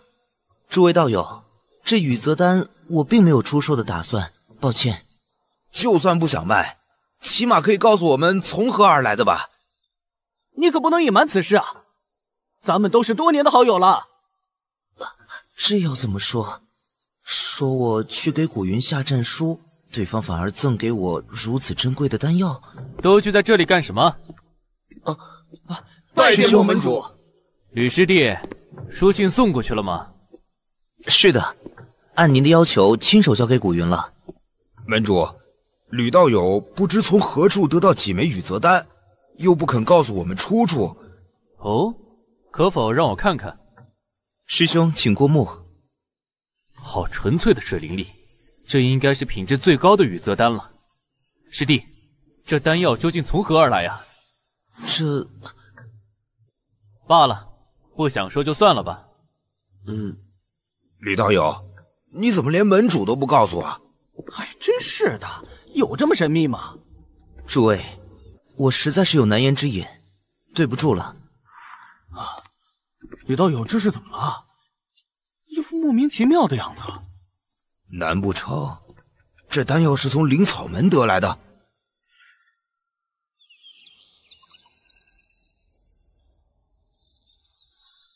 拜见莫门主，诸位不必客气，是在下该感谢诸位如此捧场。咱们六道宗一直兴盛至今，都是因为诸位为了各自宗门的发展殚精竭虑，在下十分敬佩。诸位也知道，当年六道宗划分门派海域的时候，便是让六个宗门的弟子相互比试，根据实力分配。此次举办的灵力弟子比试，对于我们六道宗海域的重新划分。有着很重要的参考价值。关于此事，我已经向灵丹长老们禀报过了，长老们也赞同我的想法。下面我便要宣布关于此次比试的规则。以上便是所有规则。三日后的灵力弟子比试就有劳诸位了。莫师兄，听闻你们古剑门出现了雨泽丹，不知是从何而来？可以的话。我想购买一枚，还有我，哎，我被困在瓶颈已久，也想购买一枚。诸位说笑了，古剑门又不炼丹，这恐怕是哪里的谣传吧？莫师兄，你可是咱们六道宗第一的灵师修士，别对我们撒谎啊！我是真的不知情。诸位若是没其他事，就回去准备比试吧。等等，哦，古刀友有何贵干？是对比赛规则不满意？不不不。莫师兄对这次比试之事颇费心思，我们灵草门定会按时参加。多谢古道友支持。那道友是有其他问题吗？其实我是想借这个机会赠给诸位道友一份小小的礼物。哦，在下身家还算丰厚，就不需要古道友的礼物了。诸位道友随意。先别急嘛，可以看看再说。这是雨泽丹。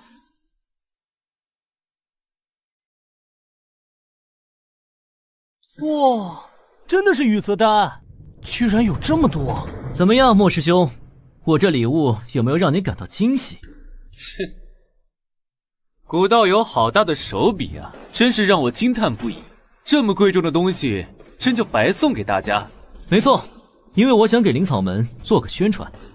从今日起，灵草门会出售各种珍贵丹药，包括雨泽丹。什么？而且价格还会比市场上低一成。所以诸位道友，不要忘了帮我宣传一下。没问题，好说好说。那就多谢诸位了。我得提醒一下大家，珍贵丹药的数量不会太多，大家先到先得。古门主，你们灵草门的店铺在何处啊？呃，有金丹吗？能否用其他宝物交换丹药？店铺就在小灵岛，各类丹药应有尽有，也支持以物换物。但是由于价格很低。所以每名道友最多只能购买三种丹药，而且总数不能超过二十枚。古门主，那店铺何时开业啊？就是今天，我们店铺已经在出售丹药了。什么？什么？莫前辈，我突然想起还有要事，先告辞了。我也是。我的肚子好像有点痛，我我我妈喊我回家吃饭了。那在下也先回去了。哦，对了，那个比试。我们灵草门还是不参与了吧，告辞。混蛋，你们几个，给我滚！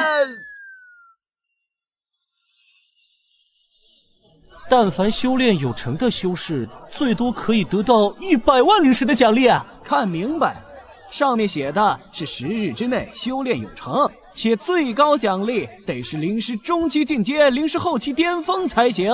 那我若进阶下一个境界？可以得到五百灵石，这是真的吗？这可是灵草门门主的手谕啊，怎么会有假？让我看看！哎，别急，别急！灵草门这次真的是下了血本了。这六个宗门加起来只来了二十名弟子，这是怎么回事？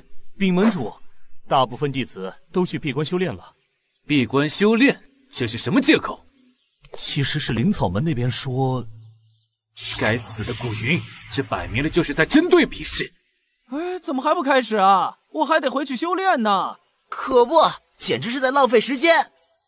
师兄，你修为不低，此次肯定有机会拔得头筹。哎，这儿的奖励哪有灵草门的实在？若不是宗内前辈非要我来，我才不来呢。好了好了，赶紧开始吧。第一场比试开始。我认输。什么？他竟然和我一个想法？他也想赶紧认输，然后回去修炼。道友，是我先说的认输，你可以参加下一轮比试了。明明是我先认输的，你的修为明显比我更高。若真的比试，我必输无疑。不不不，你才是实力明显在我之上。好主意呀！等会儿我也直接认输。都别比了，这届比试到此结束。好耶！终于可以回去修炼了。宋长老，古云此事做的太过分了，他现在几乎掌控了整个六道宗。莫天威，依我看，是你的心境发生了变化。古云所做的一切都有利于宗门，没有任何不妥。可是，宋长老，古云他……好了，我让你担任古剑门门主。是想让你带领古剑门踏上新的道路，而不是继续打压其他宗门。你太让我失望了。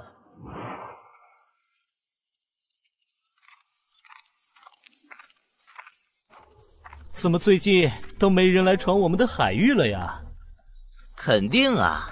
现在还敢闯我们海域的人，会被门派立刻拉入黑名单，永远不得购买丹药。现在谁还敢惹我们？哎。我听说还有很多其他门派弟子想要加入我们灵草门呢。哎，古门主，我们灵草门这十日收获了五百多万块灵石啊！除了奖励那些进阶修士的，还剩下三百多万。这么多，能不多吗？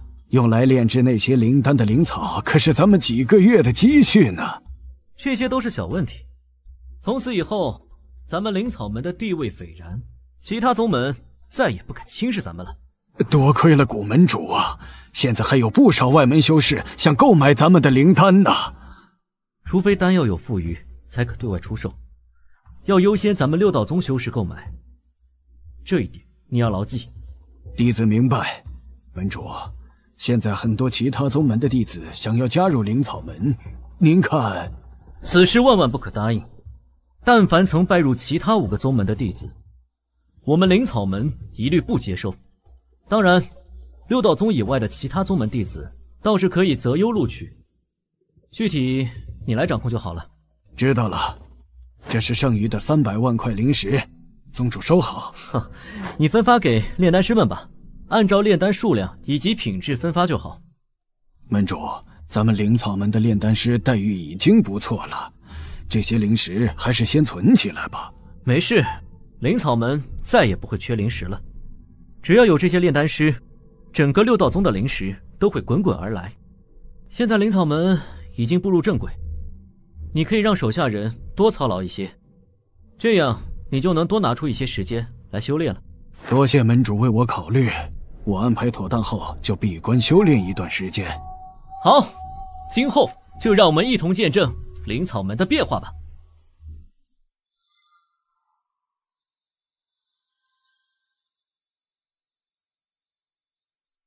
真快啊！短短十个月，小领导就已经有些大宗门的样子了。恭迎门主出关，俗礼就免了。这段时间，宗内有什么要紧事情吗？一切顺利，现在丹药也开始有所富余。上月开始就已经卖给其他宗的修士了，这是这段时间结余的灵石。宗内的弟子已经拿到了足够的份额，这些是真正积存下来的。居然有这么多！你拿一半交给长老们吧，剩下的我先留着。遵命。接下来我需要外出一段时间，寻找一样宝物。外出。门主这次会离开多久啊？最多一个月吧。放心，现在的灵草门用不着我一直驻守了。明白了，祝门主一帆风顺。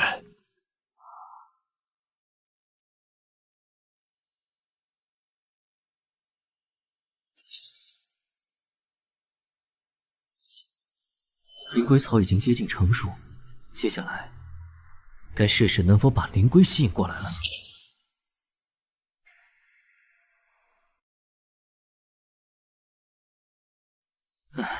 这已经是第五天了，期间各种各样的妖兽都来了不少，但是为什么连一头灵龟都没有出现？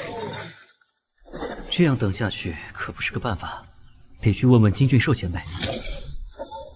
哦，顾小友，前辈，我都已经等了好几天了，为什么这灵龟草叶片连一头灵龟都吸引不过来？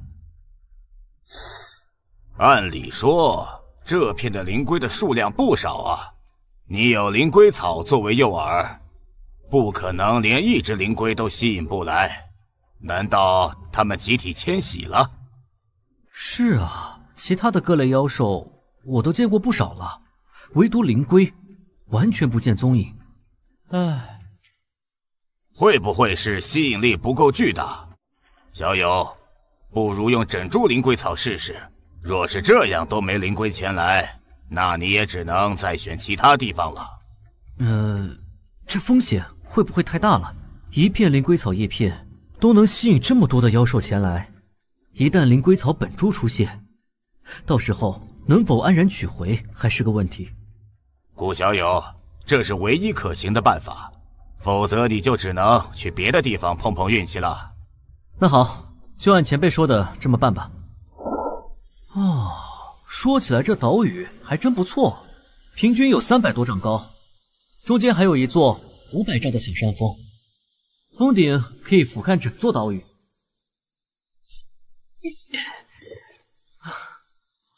嘿，之后我在身边额外布置一个隐匿阵法，那些妖兽就不会发现我藏在顶峰了。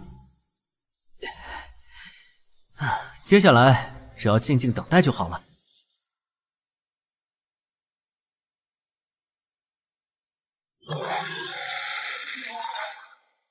啊，这么多的妖兽，果然是冲着灵龟草而来的。是灵龟，灵龟终于出现了，居然还是灵龟群。哎，这些妖兽居然会主动给灵龟让路，这模样，怎么感觉他们在举行什么特殊的仪式一样？这些灵龟究竟会对这株灵龟草做些什么呢？算了，静观其变吧。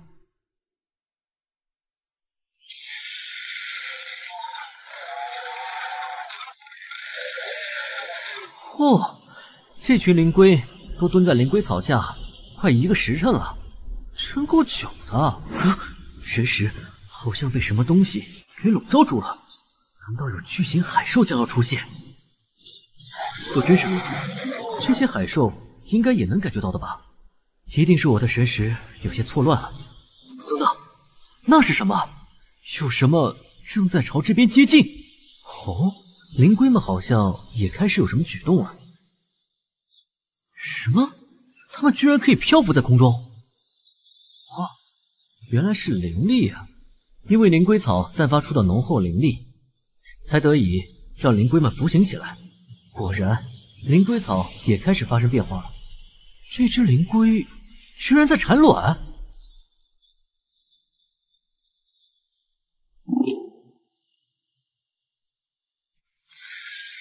真是壮观！若不是今日亲眼所见，谁能想到灵龟果竟然是这么产生的？而且灵龟果这个名字也是因此而来的吧？现在该怎么办呢？这些海兽都不离开，要怎么采摘灵果？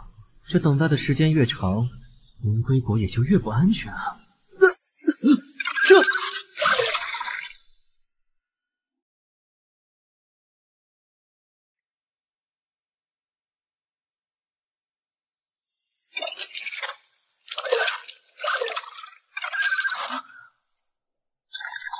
究竟是什么妖兽？体型如此渺小，居然可以猎杀大型海兽！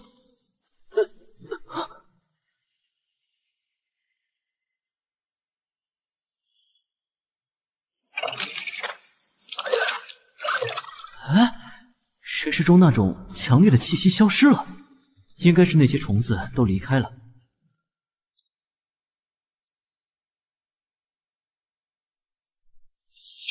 结果后的灵龟草彻底枯萎，毫无灵力了。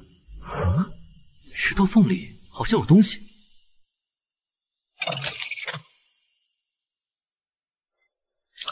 这海虫身体异常坚固，恐怕普通的灵剑也无法伤其分毫。有趣。前辈，你见过这种海虫吗？海蚁，顾小友，这东西是从何而来的？啊事情是这样，哈哈哈哈哈！你的运气也太好了，若非海兽群让海蚁们饱餐了一顿，恐怕你现在已经连渣都不剩了。前辈，这海蚁究竟是何物？有这么可怕吗？海蚁群是星罗海内最为可怕的妖兽，所到之处寸草不生，就算是灵丹强者也未必能够生还。但海蚁对灵草林木并不感兴趣。倘若发现某个地方资源丰富，却没有任何海兽，你就得多加小心了。难道就没有任何方法对付这东西吗？起码在星罗海内，没有生灵可以与海蚁抗衡。啊？呃，按前辈的说法，星罗海的生灵岂不是早都死于海蚁口中了？这跟海蚁的本能有关。每当族群扩张到一定数量时，海蚁们会开始互相残杀，最终只剩下一小部分，然后再重新开始繁衍。居然是这样！你遇到的这群海蚁在饱餐之后将会大肆繁衍，数量能够达到此前的数倍，所以你得赶紧离开此地，返回宗内。那这群海蚁有没有可能向外海迁移？并不是没有可能，人类修士最爱聚集在一起。很容易吸引海蚁，这种情况以前也不是没有出现过。这些海蚁也有可能前往六道宗吗？小友，快把这东西杀死！他打算开始分裂了。萤火诀！糟了，已经分裂成功了。这海蚁竟然是以这种方式繁衍的啊！看来接下来的这段时间，我有事情做了。嘿嘿，呃，前辈，此处的海蚁就靠你了。小友放心吧，海蚁离开海水后不太容易生存，他们总不至于把我给吃了吧？留给我的时间不多了，必须马上返回六道宗。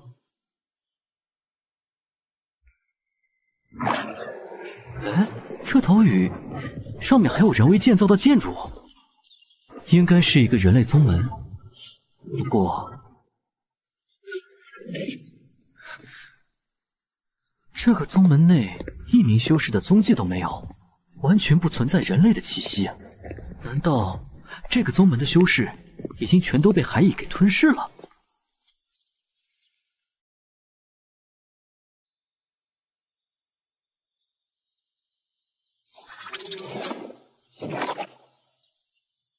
这洞府内所住的应该是一名灵丹强者，没想到他也没逃过海蚁的魔掌。去里面的密室看一下吧。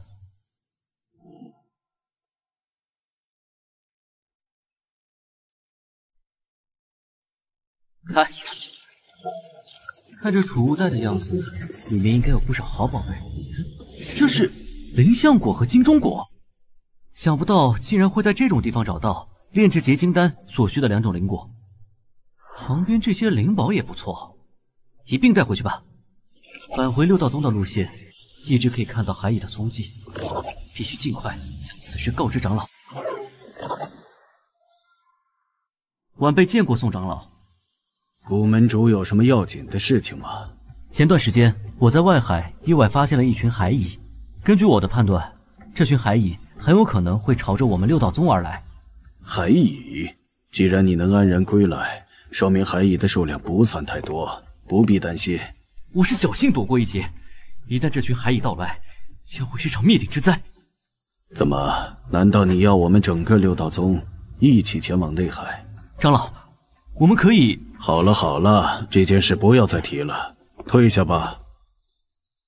难道我只能靠自己了吗？门主。您终于回来了，龚道友，这阵子宗内的丹药卖的怎么样？啊，销量非常好，净利润现在大概有七百万块灵石呢。这是账单，请过目。很好，将所有的灵石都用来收购海兽躯体，无论品质好坏都要。海兽躯体，买那个干嘛？照做就好。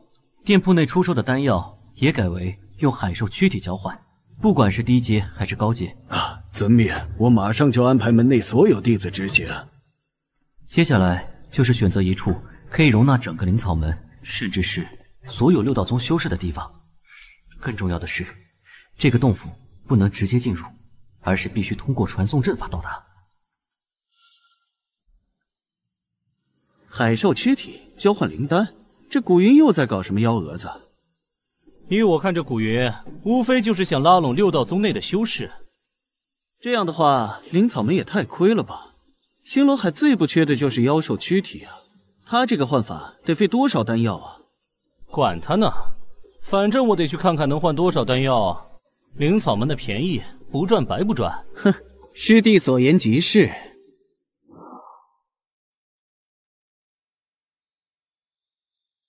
拜见古门主。听说灵草门现在可以用妖兽躯体交换丹药，不知是真是假？当然是真的。道友们想要兑换丹药，尽管去小领导的店铺即可。您确定吗？我这里的妖兽躯体数量可是十分之多。古门主既然下了命令，肯定是早有准备。若是朝令夕改，会让整个六道宗不耻。只要道友们能够拿出妖兽躯体，我自然会按照比例给你们合适的丹药。很好，那古门主，您看看这具躯体可以交换多少丹药？龙晶。很好，那古门主，您看看这具躯体可以交换多少丹药？龙晶。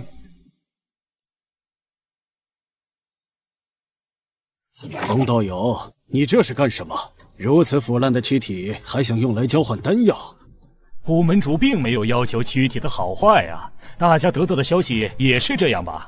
是啊，古门主的确说过了，不计较品质。没错，这龙晶我要，二十枚雨泽丹，钟道友清点一下吧。二十枚。诸位道友，你们不想知道我为什么要用丹药来交换妖兽躯体吗？古门主的奇思妙想，我们怎么会知道？我发现，在六道宗附近有海蚁活动的迹象，所以在灾难发生前，我必须做好万全之策。先是建造一个海蚁无法到达的海洞，让我们六道宗修士用于避难；同时准备大量的妖兽躯体，让海蚁们饱餐一顿。他们只要吃饱，就会返回内海，我们六道宗也就安全了。唉，六道宗自建宗来，从未出现过海蚁。古门主有些杞人忧天了吧？古门主高义，在下之前对您有所误解，深表歉意。我们会动员所有门派弟子，尽最大努力收集妖兽躯体，助古门主一臂之力。多谢道友支持。哼，门主，您说的都是真的吗？都这种关头了，你还当我开玩笑呢？我特意去研究了六道宗的典籍，很多迹象都表明。六道宗有可能是海蚁迁徙的经过地，以前出现的海蚁群都很小，等来到六道宗时已经所剩无几了。但是这次不同啊，明白了，我会按您的计划尽力而为的。嗯，那就交给你了。之后我需要外出观察蚁群的踪迹。门主一定要小心啊！嗯，嗯，这里居然有一只海蚁残骸。看起来刚死不久。这么说来，周围并没有海蚁的气息，但估计用不了多久，海蚁就会抵达六道宗了。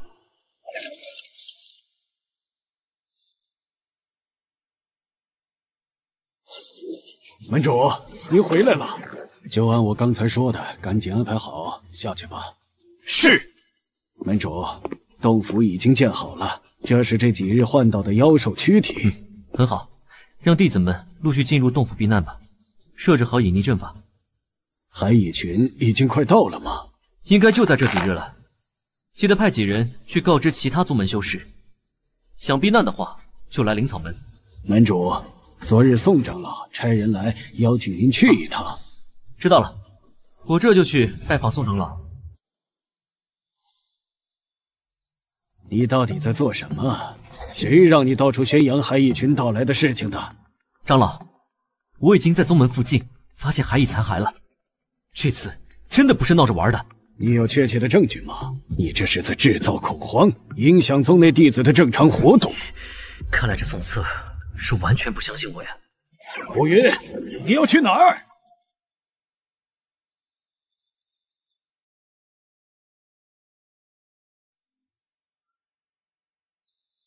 拜见门主。这段时间真是辛苦诸位了。进入洞府后，诸位就静下心来，好好修炼吧。等会儿，宫道友会将奖励你们的宝物和灵草分发下去的。多谢门主赏赐。门主，就在前面了。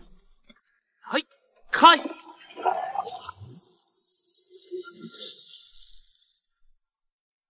和想象中的一模一样。这种深入海底的洞府，海蚁群应该很难察觉。门主，您看这洞府有没有什么地方需要改进一下？已经很好了，能够在这么短的时间内修建出这么宽敞的洞府，真是难为你们了。对了，我刚才去见过了宋长老，他认为我的猜测是无稽之谈。如此一来，想要将其他宗门的弟子引入此地，恐怕比较麻烦了。什么？都这样了，宋长老还是不相信吗？咱们也只能尽力劝说其他弟子了。门主，我们可以延缓妖兽肉兑换丹药的时间，让他们尽量多多留在小灵岛。好，就这么办吧。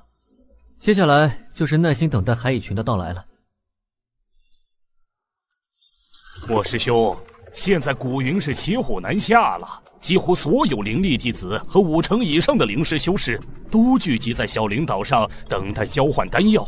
古云虽然答应兑换，但从前天起就一直在把时间往后延，恐怕灵草门目前的丹药量已经快撑不住了。哼，海口都夸下了，看他到时怎么收场。师兄，那海蚁群的事情究竟是真是假？咱们六道宗何时来过什么海蚁群？若真有海蚁群要来，宗内长老会不知道吗？古云这一次太过盲目自大了，这种不着边际的事情竟敢自作主张。等此事平息之后，看他还怎么在六道宗内立足。师兄所言极是，但古云的炼丹技艺非常不凡。等到风波过去，师兄不如给他求个情，免去他的门主之职，让他留在宗内安心炼丹。嗯，他的丹药的确不错，这事儿可以考虑考虑。哈哈，真是的，兑换几枚丹药这么慢，还得通过传送法阵进入灵草门的洞府才行。可不嘛。若非是同宗修士，谁敢随便进入其他人的洞府啊？哎，你说那海蚁群真的会来吗？来个锤子啊来！反正我要回宗内了。来了，海蚁群居然壮大到如此规模！那是什么？嗯，那那是海蚁群，海蚁群真来了！赶紧进入古门主的地底洞府，那里才是最佳的躲藏之地。快滚开！别挡着，我先进去。你小子！门主有令，任何人不得插队，违令者当场诛杀。啊！大家赶紧来这边排队，都能进得去的。之前我还嘲笑过古门主呢，现在看来古门主真是深谋远虑啊。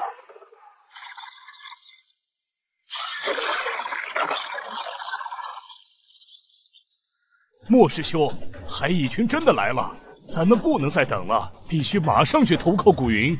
呃，好吧，我们现在立刻赶往小林岛。怎么会这样？古云说的居然都是真的。宋长老，咱们现在怎么办？快去小林岛，小林岛上应该有古云建造的地下洞府。那就劳烦宋长老带路了。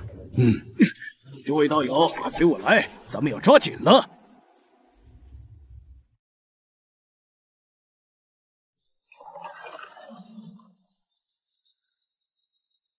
快！传送阵就在眼前了。糟糕，前面的路都被海蚁群给挡住了。可恶，灵光阻挡不了这东西多久。长老们无需惊慌。啊！快，趁现在，我们出！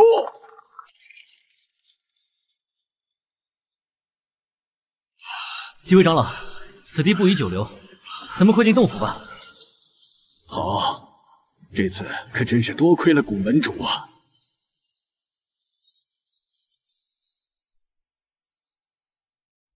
前面就是六道宗弟子们的聚集地了，大部分门派弟子都进来了。这就是传说中的海蚁群吗？好残暴！啊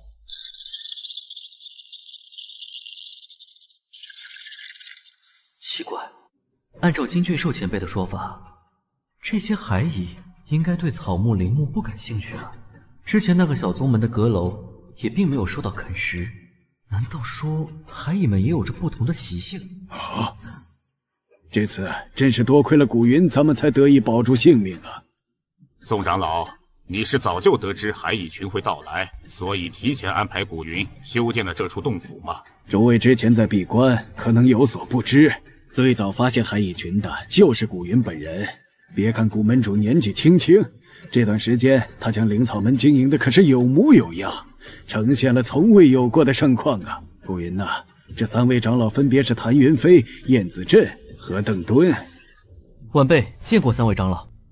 说来惭愧，古小友发现海蚁群后，数次向我禀报，都被我认为是无理取闹，还斥责了他一番。多亏古小友发动整个灵草门的力量，修建了这处洞府，才能保住咱们六道宗啊！多谢古小友救命之恩，这个恩情在下会记在心中。若是能够躲过这次劫难，老夫定有厚报。若是能够躲过这次劫难，老夫也有厚报。老夫也是。有了灵丹长老的许诺，古云这次恐怕要一飞冲天了。灵草门在六道宗的地位会变得更加不可动摇。前辈们谬赞了。其实我也不确定海蚁群是否真的会到来，只是出于稳妥起见，才修建了这处洞府。外面那些妖兽躯体恐怕花费了不少代价吧？放心，我们一定对你和灵草门有一个交代。唉，其实宋长老做的也没错，谁能想到会突然出现这么大一群海蚁呢？恐怕周围的几个宗门早已遭受灭顶之灾了。等我们这里安全之后。组织一下弟子们对周边进行援助吧，兴许还会有幸存者呢。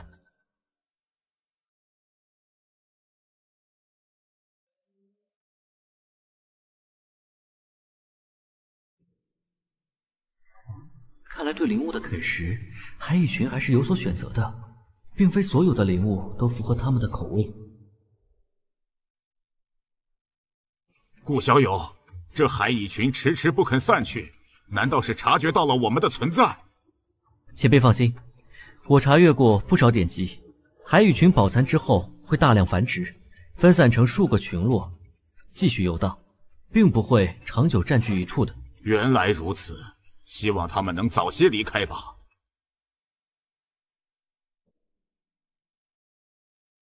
海海蚁群离开了，真的。哎，我们活下来了！活下来了！哎，我们活下来了！活下来了！诸位，咱们可以回修炼岛屿看一看了，顺便找寻一下张道友的下落。好，就依谭长老说的办吧。古小友，我们能安全度过这一劫，整个六道宗都应该感谢你。前辈谬赞了，这是我作为门主该做的。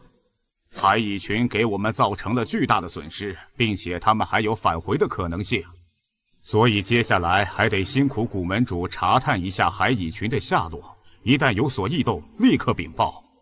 长老放心，我绝不会掉以轻心的。古门主，这些是我换走的雨泽丹，都还给您。钟某愧疚至极，钟道友太客气了。您提供了大量的妖兽躯体，做出了贡献，这些丹药您受之无愧。古门主的大义，钟某今日才算是明白。钟某之前多有得罪，往后我绝对会用行动来证明自己的。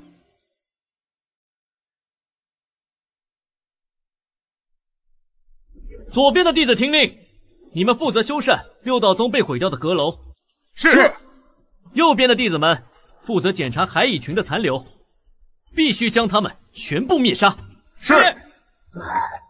刚遭遇大劫，希望大家能够打起精神，齐心协力吧。龚道友，收集妖兽躯体不能停止，当然，现在也无需再用丹药来交换了。弟子明白。事情都吩咐好了，终于有时间回混沌空间看一看了。这，这是什么情况？金俊寿前辈，你在哪儿？哎，顾小友，你总算来了。呃，前辈，究竟发生什么事了？小友，你可把老夫给害惨了！你带进来的海蚁大量繁衍，我差点就葬身在他们的口中了。海蚁？就之前那么点海蚁，以前辈的实力，完全可以轻松灭杀呀。其实也怪我，小友离开后，我很快就将海蚁抓住了。但我在这里颇为无聊，所以就培育了一下海蚁。培育海蚁？我培育的海蚁不同于普通海蚁，我发现它们可以分为两种，一种嗜好血肉，另外一种则可以食用灵蜂蜜以及灵草等素食。所以我只留下这些可以食用灵草灵果的海蚁，还专门炼制了丹药来饲养它们。嗯，我也发现了，的确存在海蚁啃食灵草灵木的现象。服用丹药后，这群海蚁的繁衍速度变得更快，但我一直将数量控制在千只以下。只是没想到，海蚁群竟趁我炼丹时逃了出去，大量繁衍，现在恐怕已经有数万以上了。既然这群海蚁只是吞噬灵草灵木，前辈为什么要躲起来？小友有所不知，他们虽然不再啃食血肉，却对灵力有着极强的执念。我身上灵力充裕，海蚁们在脱离控制之后，我立刻成为了他们攻击的目标。什么？不再吞食血肉，反而吞食灵力的海蚁群更加恐怖了。它们不会再被低阶海兽的躯体所吸引，而是会主动搜寻灵力浓厚的高阶修士。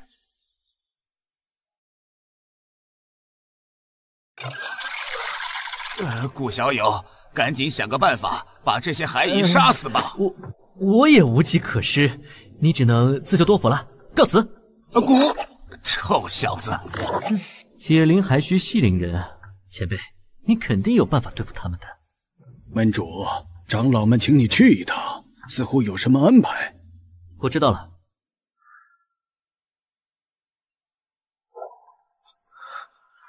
这座岛屿。几乎都被海蚁群毁掉了，恢复到原来的样子，不知要花多少功夫。那就按之前说的。吴小友，快些过来！拜见诸位长老。我着急唤小友来，是有事情要交代给你。六道宗此次损失惨重，恐怕短时间内无法恢复元气，所以我有意让古小友掌管整个宗门，来帮助复兴。不知小友意下如何？这……这些年来，六道宗如同一盘散沙。小友来后，灵草门却在你的带领下愈发强大。加上这次躲避海蚁群，更加佐证了你有这个能力。另外五个宗门那边，小友不必担心，老夫早已跟各大门主打好招呼，其他几位长老也没有反对意见。嗯，没错，多谢长老信任，晚辈定会竭尽全力。那就劳烦小友了。之后，老夫定当送小友一场大机缘。多谢长老。对我来说，现在最大的机缘便是凝结金丹，莫非谭云飞手中就有？古小友，复兴六道宗就靠你了。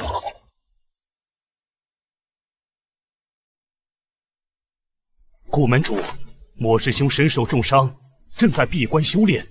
现在古剑门内所有事宜都交由我处理。我们古剑门愿意听从古门主的调遣。我明白了，莫天威应该感觉太过丢脸，不想现身吧？各位门主，谭长老的传信，想必大家都已经收到了。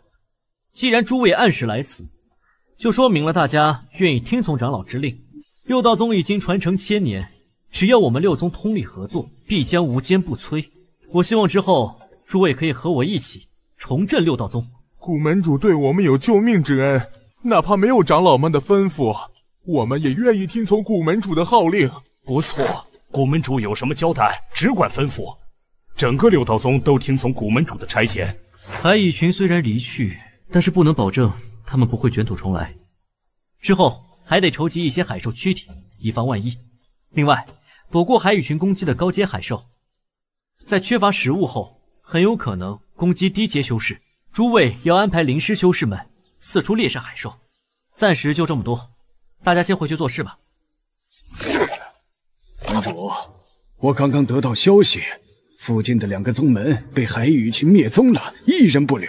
这两个宗门虽然距离六道宗不算太近，但是都在外海通往内海的关口上，很难逃过海蚁群的袭击。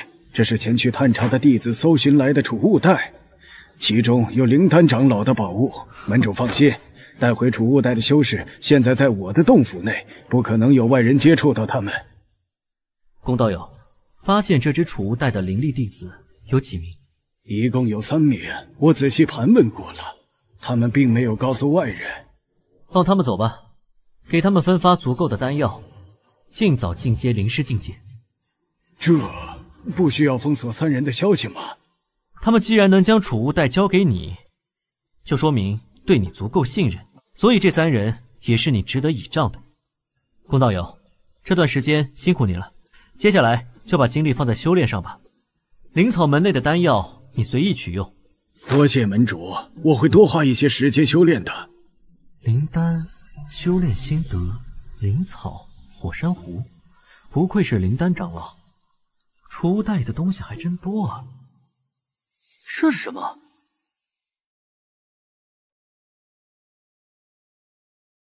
这令牌上似乎有某种强大妖兽的气息，去问问金俊寿前辈认不认识吧。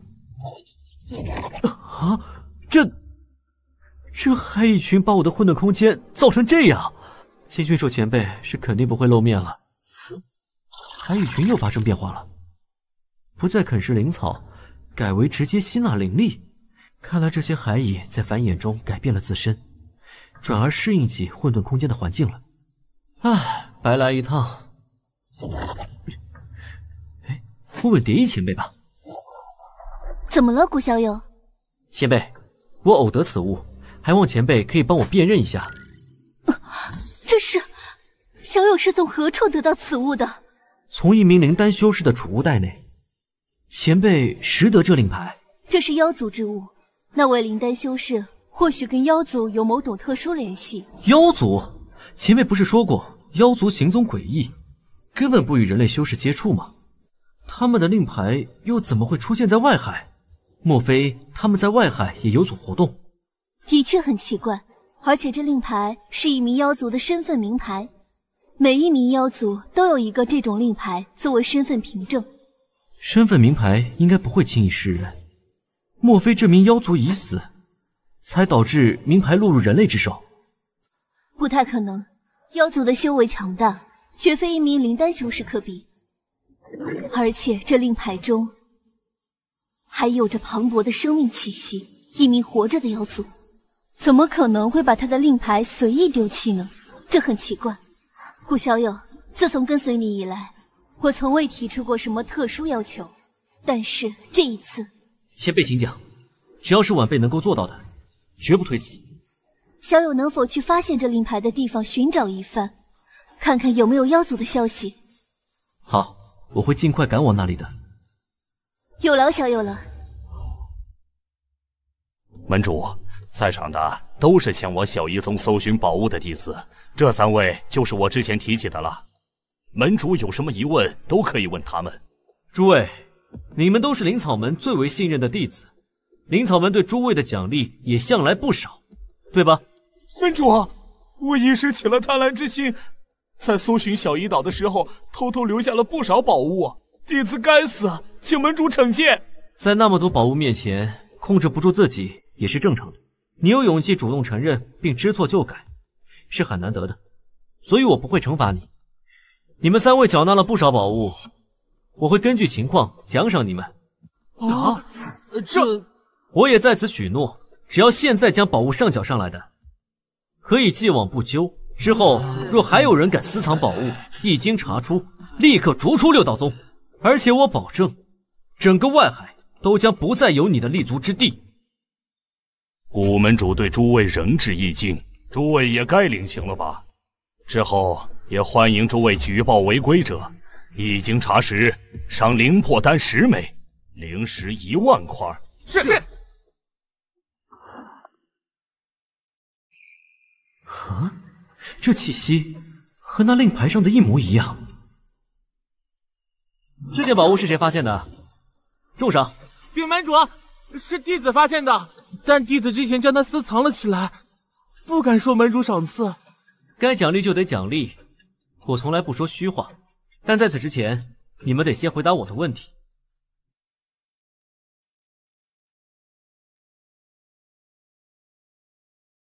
但弟子之前将它私藏了起来，不敢说门主赏赐。该奖励就得奖励，我从来不说虚话。但在此之前。你们得先回答我的问题。呃，问题？没错，有关你们找到的这几件宝物。呃，门主想问什么，尽管问吧，我们绝对不会有任何虚言。你们发现那只储物袋和这巨斧是在何处？禀门主，这储物袋是在小医岛的一处灵丹修士的洞府内发现的。我们三人进入洞府后，发现里面十分空旷，没有任何有用之物，只在一间密室内。发现了那只储物袋，发现巨斧的地方则在这里。这里应该是小医岛的执事堂，巨斧就放在执事堂的中心，看起来像是一个摆件。这巨斧竟然公然摆放在大厅之中。好了，我都清楚了，你们先下去吧。宫道友，你去把这几人的赏赐分发一下。是，多谢门主赏赐。看来我得尽快找个时间去那里看看了。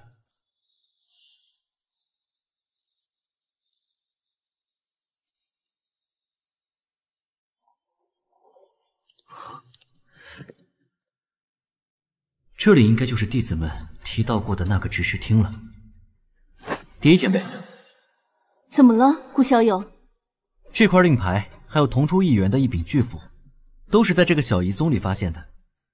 令牌在一名灵丹修士洞府中，而巨斧就被放在这里当成摆件。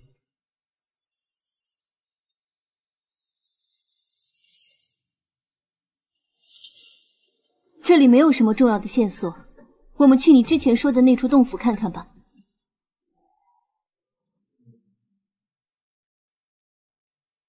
门派弟子之前说过，这里并没有什么有用之物，看来所言不虚。你说这名灵丹修士会不会在洞府内布置了什么隐秘阵法？在阵法后，其实还有一个洞府，我有一个洞府就是这么布置的。若是真有这种布置，那名修士完全可以藏入到这隐秘洞府中，又怎么会被海蚁群杀死？的确。不过，我在这间密室内感受到了一丝不太寻常的气息，只是十分微弱便是了。有吗？我怎么没发现任何异常？算了，也许是我想太多了吧。等等，怎么了？我有一个办法可以试试。前辈稍等。海蚁群的数量似乎没有太大的增长了，青俊兽前辈倒是还在躲着。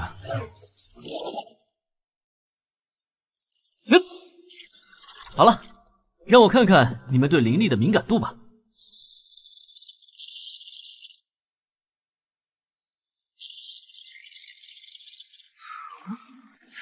莫非这地板下有什么特殊之处？这些海蚁怎么跟普通的海蚁不大一样？小友将它们进行了特殊培育吗？没错，它们对灵力的渴求极高，会疯狂寻找强大灵力的源头。他们疯狂攻击的地方，说不定就是前辈察觉到异样的地方。看来仅仅靠这几只还不太够。地板下到底有什么？快就能揭晓了。真的有一个阵法。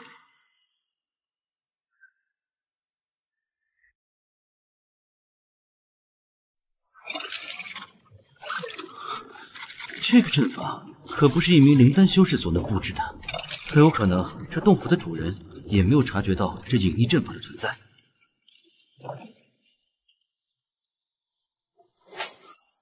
成功了！看样子下面还有一间密室，这些阵旗也是很珍贵的宝物，几乎还是完好无损的，只要稍稍修复一下，就能为我所用了。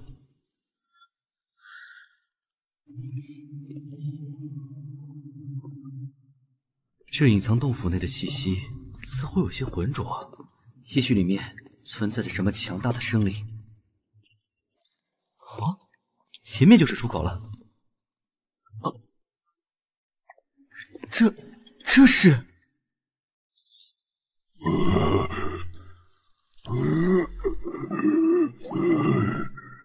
妖族强者。小友，帮帮我！我被歹人囚禁在了这里，只要你能够助我离开，我定有重谢。顾小友，切莫相信他，妖族的话不可信。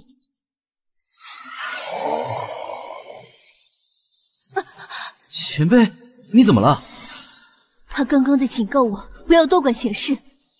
小友，这妖族强者绝非你可以抗衡的，赶紧离开这里。单单一阵低吼，居然能让蝶衣前辈昏死过去。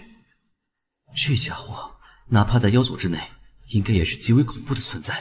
小友，帮帮我，我可以满足你的任何要求。这么多年的囚禁，我已快要油尽灯枯，不会有什么威胁的。敢问前辈是什么人？为何会出现在这里？倘若在下想要帮助前辈，应该怎么做？又有什么好处？看小友的样子，是知晓我们妖族存在的。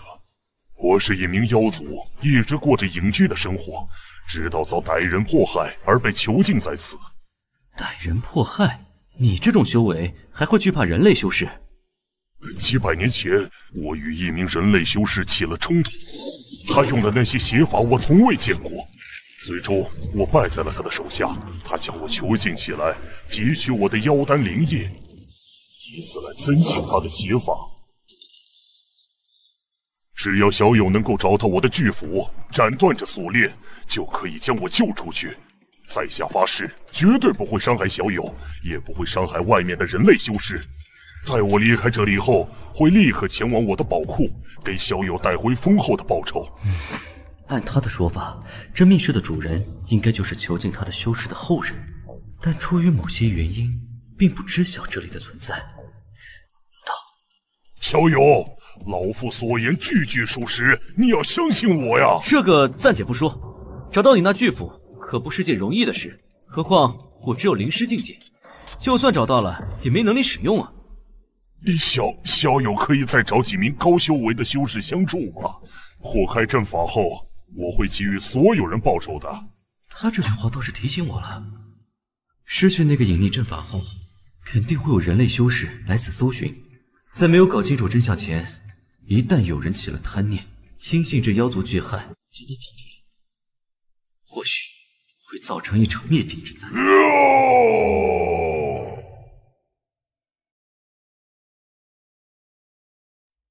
这件事必须得经过慎重考虑才行。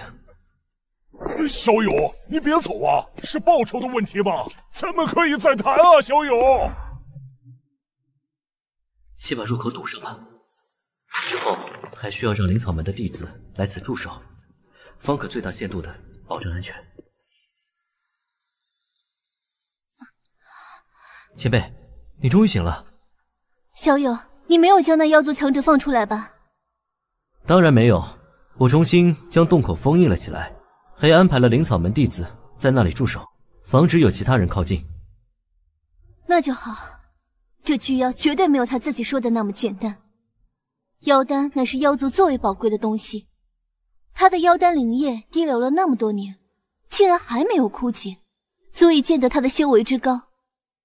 顾小友，既然你不想与那妖族合作，不如直接取了他的妖丹灵液，这东西对你的修炼可是有着诸多好处。这么珍贵的东西，若是贸然拿走，恐怕会引起那妖族强者的仇视。此事急不得，需要从长计议才行。门主，不好了！刚才小医岛的一名弟子来报，说他发现了海蚁。既然能够回来通风报信，说明海蚁的数量很少，不足以对修士们造成威胁。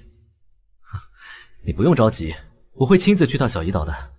啊，那就好，那就好。古门主来了，拜见古门主。是谁发现的海蚁？数量有多少？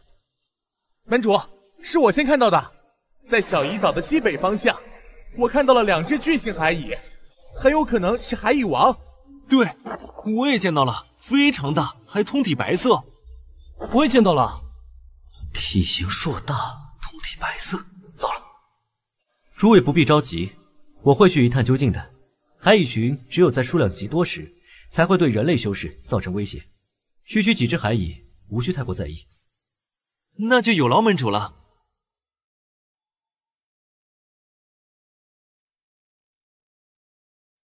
拜见古门主，我进洞府里面看看，你们不用管我。是是。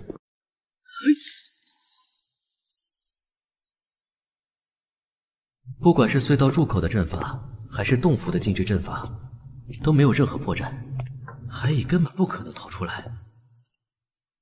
那巨型海蚁究竟是从何而来呢？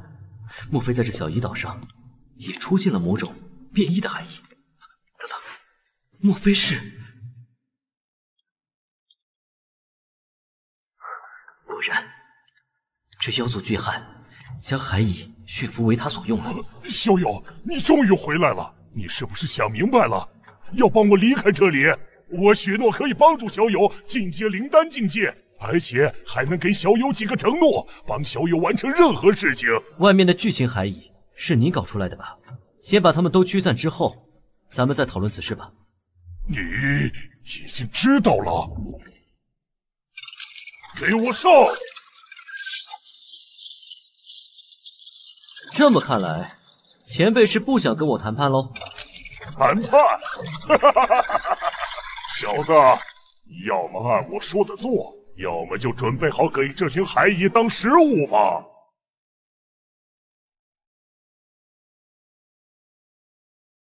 谈判，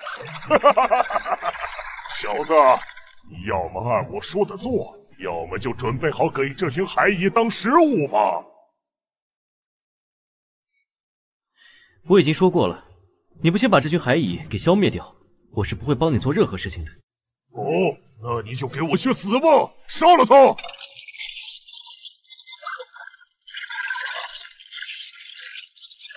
哈哈哈！我这好歹的家伙，现在明白了吧？这就是得罪我的下场。什么？会不会瞬移之法，也许我真就葬身在这群海蚁之中了。但你不会真的以为我会毫无防备的过来找你吧？为什么？为什么你会懂得瞬移之法？区区一名低阶人类修士，怎么可能掌握这种高级秘法？你自己慢慢想吧。总之，我是绝不会让这些海蚁逃脱的，否则会出大事。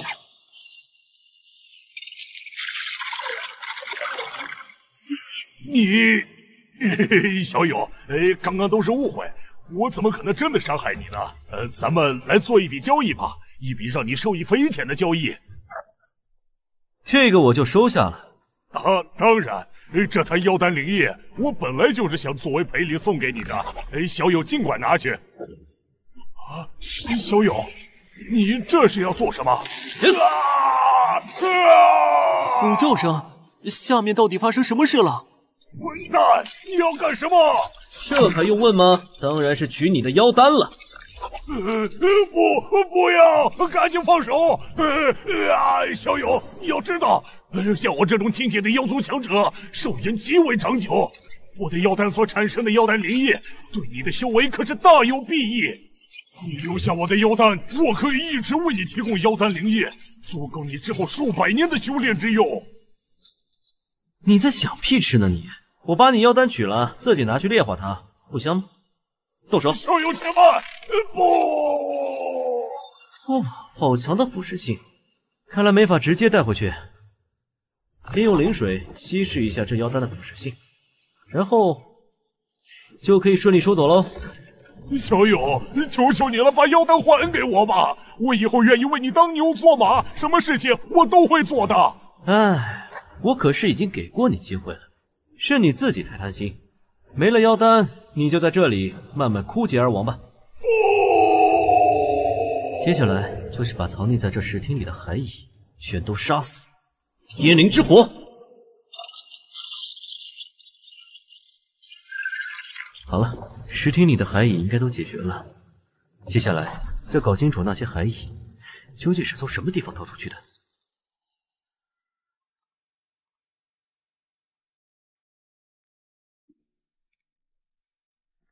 这个大厅十分干燥，周围都是岩石，根本没有接触到外面海域的可能性。难道有什么密道吗？这里居然有一个洞，不过这个洞太小了，洞内的水灵气息也不够浓厚。让我看看，里面是不是别有洞天？前面好像有一个出口。不是吧？这下面居然还有另外一间密室！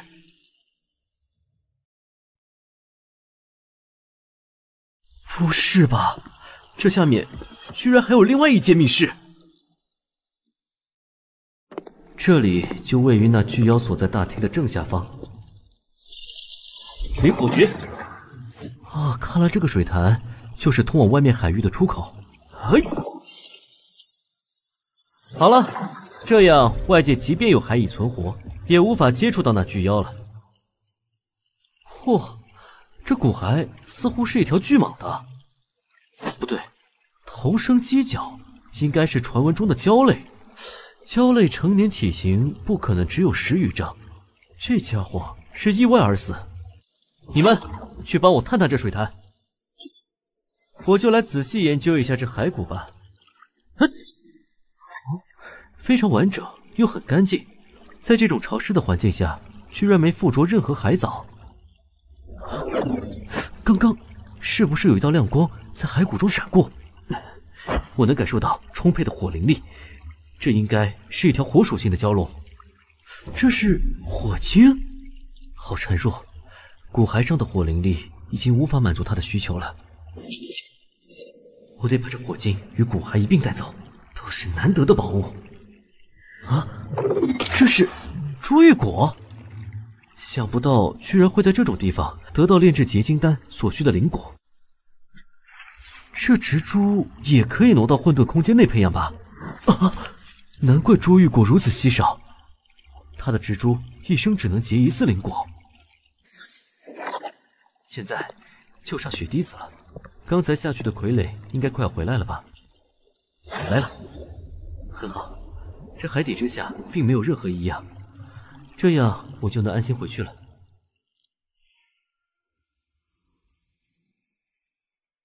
距离海蚁之难已经过去几个月了，灵草门和六道宗也逐渐步入正轨，我也应该开始做些准备了。门主深夜唤我来，是有什么要事吗？啊，宫道友，咱们灵草门正在蒸蒸日上。但你现在花费在宗门事务上的时间太多了，很难有进阶灵丹的机会。多谢门主关心，我清楚自己的资质，况且目前这样的状况对我而言也已经足够了。我们修炼之人还是要对修为有一些追求。你还有近百年的寿元，肯定有机会一拼的。这些灵草还有丹药是给你修炼所用的，不要放入店铺里出售。我明白了，弟子定会竭尽全力。不辜负门主的一片苦心。我今日唤你来，主要是想告诉你，我马上就要离开六道宗了。什么？这是为何？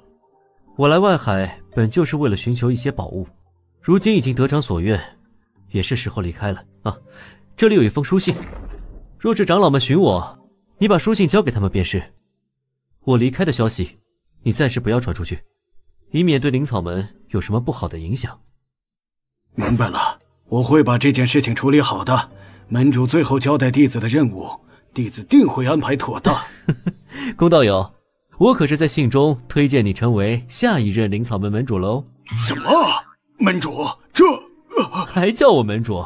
现在得我来叫你宫门主喽。门主，您别开玩笑了。哎呀，这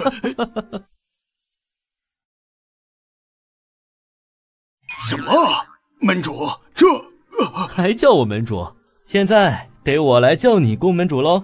门主，您别开玩笑了！哎呀，这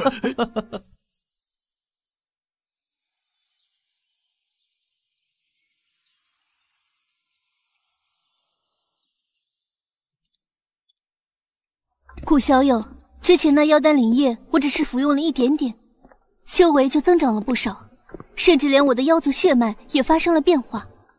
或许你不太了解妖族的血脉，其实目前存活于世间的妖族，都是在那场神魔浩劫中存活下来的大妖的后裔。正是因为有着这种血脉，致使妖族们生下来就是强者。有的妖族甚至刚出生就能达到灵尊境界。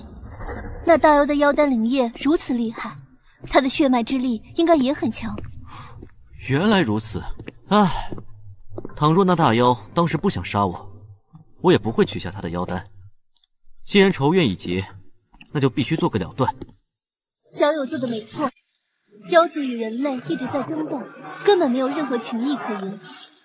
妖族肆意夺舍人类强者的肉身，人人得而诛之。倘若让他们壮大，人类将会失去所有立足之地。随着我的血脉之力增长，早晚会探寻到他那一脉妖族的底细。怎么会这样？那大妖居然不见了，这锁链毫无破损，就好像那妖族巨汉凭空消失了一样。古小友，你看那边，这是古简，果然上面是妖族的文字。前辈，之后你来帮我研究一下这古简吧。好。怪了，灵力阵法只是稍有破损，倘若那大妖想要从此地逃走，他的体型也无法穿过这里的隧道呀。如果我的推断没有错，那大妖应该来自上古龙族。上古龙族这种妖族可以吸纳天地灵气来为自身所用，还精通多种变换之道，可以幻化灵体。小友取走他的妖丹，虽然使他修为大减，但他之后又吸收了大量的天地灵气，获得了足以变换灵体的能量，这才得以挣脱锁链的束缚逃走。不过他现在的修为很弱，甚至连一名灵力修士都可以轻易杀死他，所以小友暂时不用担心。嗯，我还是有些放心不下。那这样。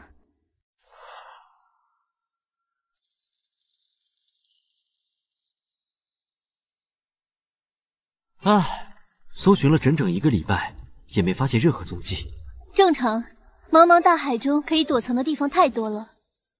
不过，你用得着做到这种程度吗？将所有驻守弟子赶走，然后毁掉整座岛屿？不想让人知道那大妖的存在，就得把所有痕迹消除干净才行。那石厅里的东西呢？能搬走的都在这儿，不能搬走的全毁了。够谨慎的吗！接下来准备去哪儿？黑海岛。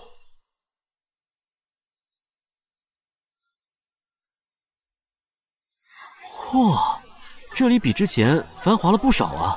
咱们先在这里休息一阵子，再考虑怎么前往黑海南侧深处的海域吧。嗯，怎么了，前辈？没什么，也许是我的错觉吧。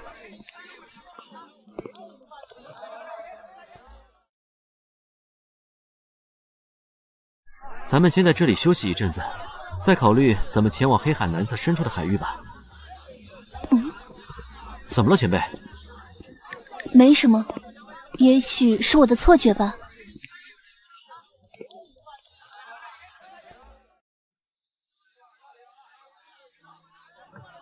顾小友，啊，你注意到前面那个黑色道袍的修士了吗？好像有点眼熟啊！你刚上岛那天怎么碰见过他？当时我以为是错觉，现在看来我的感应没错。这人怎么了？他身上好像有妖力，应该跟妖族有所关联。真的？十有八九，让我来试探一下吧。一共多少？两块灵石就成。啊！哎，客官，您的册还没拿呢。啊啊！前辈，您在哪儿啊？他能察觉到我身上妖族王者的气息，肯定没错了。嗯，你是谁？为何身上有着妖族的气息？晚辈是月华族低阶弟子，由于血脉不纯，被放逐在外。想不到居然在这里遇到了妖族王者。低阶妖族通常会选择追随妖族强者，倘若小友愿意。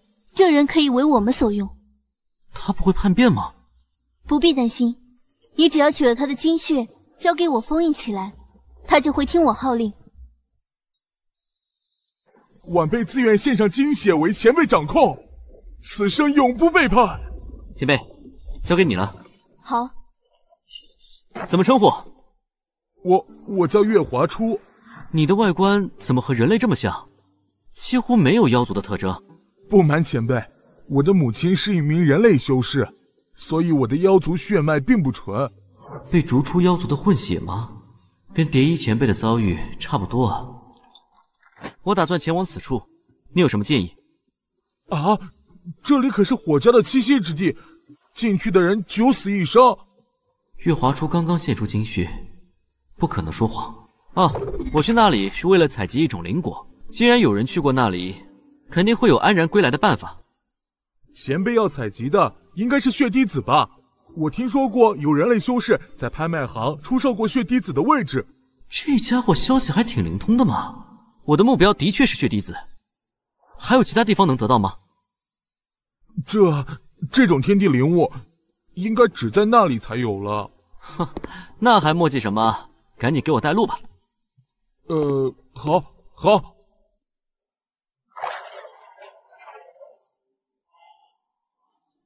就就在前面了。这家伙的隐匿神通可真厉害，居然规避了路上所有的海兽。喂，别在那儿发抖了。你若担心那火蛟，可以先在附近隐藏起来，等我拿到血滴子后再跟你会合。好的，前辈。你这家伙啊，这个你拿去用，可以迅速提升你的修为。多谢前辈。晚辈一定不负前辈的期待。前辈一路顺风。嘿嘿，前辈当真待我不薄，我这次总算是苦尽甘来了。让我瞧瞧这究竟是……妖妖族王者的妖丹灵液。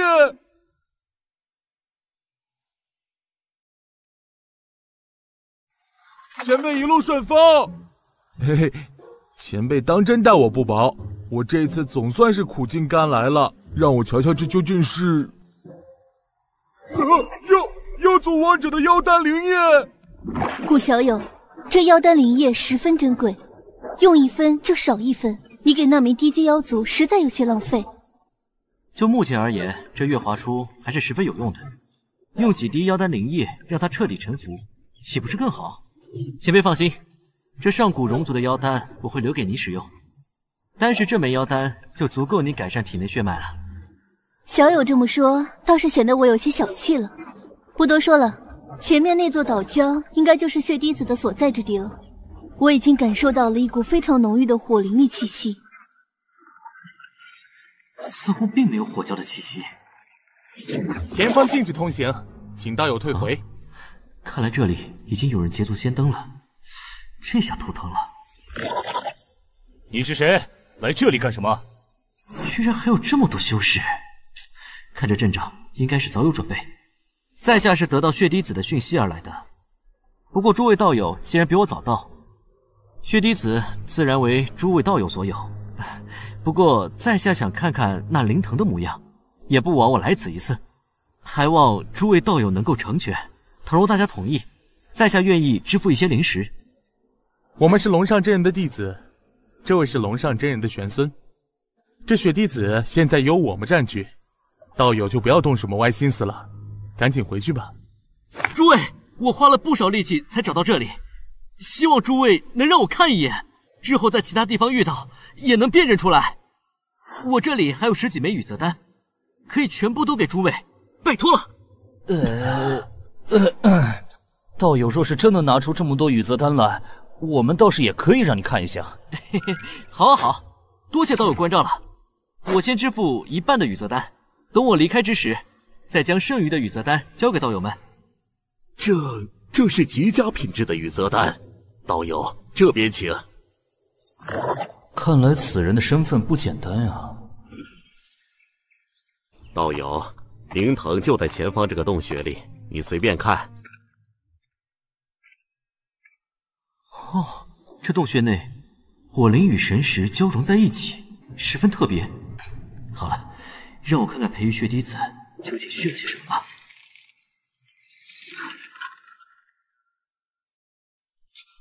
洞里不仅有浓郁的火灵，还有着丰富的水灵，此处还蔓延着一股灵魄之力，也许这也是培育血滴子所需要的。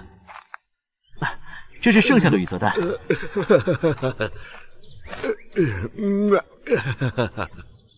希望道友能够遵守承诺。我们师尊龙上之人就在这附近，一旦惊动他老人家，可就不好了。道友多虑了，我怎么会做出出尔反尔之事呢？想走哪有那么容易？少主，此人应该没什么恶意。他刚才的确也只是感受下此地的灵力。我等理应遵循之前的约定。放他离开，宋泽，你真是迂腐！难道看不出我放他进来的本意吗？此人已经是灵师后期巅峰境界，恐怕正在想办法进阶灵丹境界，所以他身上肯定有着不少炼制结晶丹的灵草灵果。若是杀了此人，夺走这些宝物，岂不是免了我们诸多麻烦？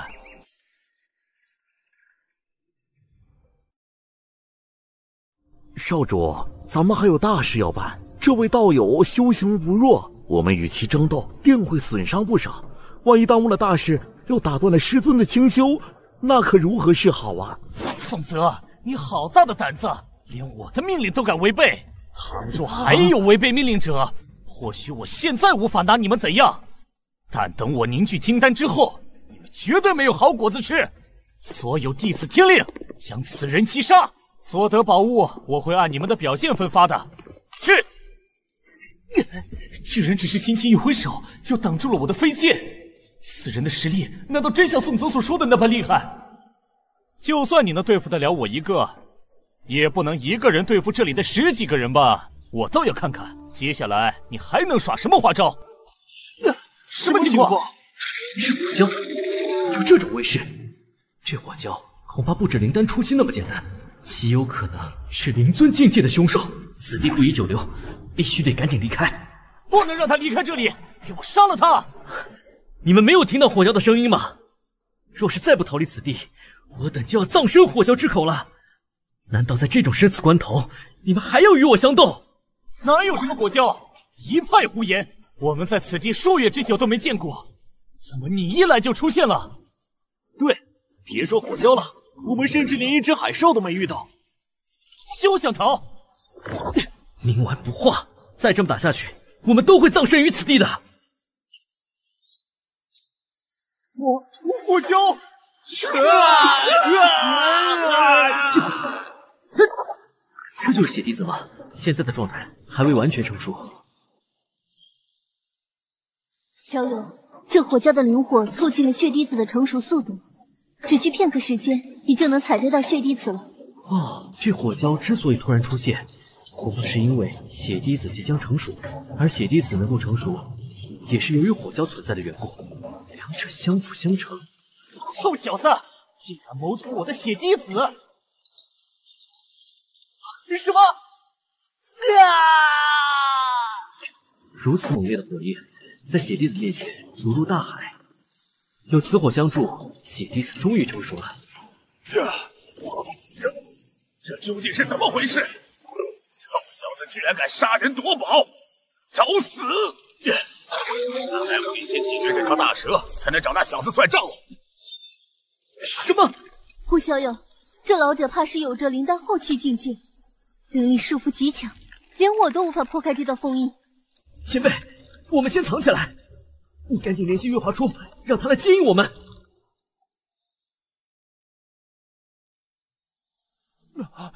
前辈，发生什么事了？你怎么被绑起来了？月华初，你的引力之法能躲过火蛟的查探吗？火蛟虽是极强的凶兽，但我的血脉引力阵法，就算是灵尊境界的修士也无法看破。之前我曾遭遇数次凶险，都是这么躲过来的。好，立刻将我们隐匿起来。只要能躲过这一劫，我必有重赏。好嘞，赶快！你的顿速有限，火蛟很快就会追上来的。放心，我之前发现了一条通往海底的水道。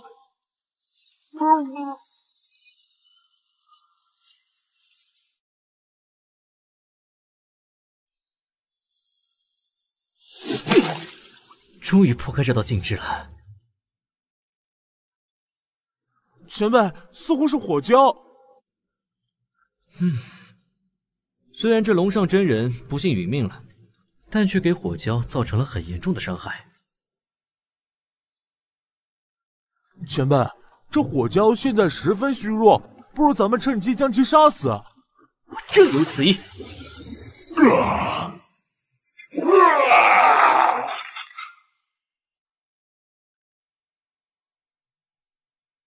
内丹，这个就奖赏给你吧。这这这这么贵重的内丹给我，晚辈多谢前辈赏赐。我打算寻一处闭关之地，必须要安全，无人打扰，距离又不能太远。你有什么推荐吗？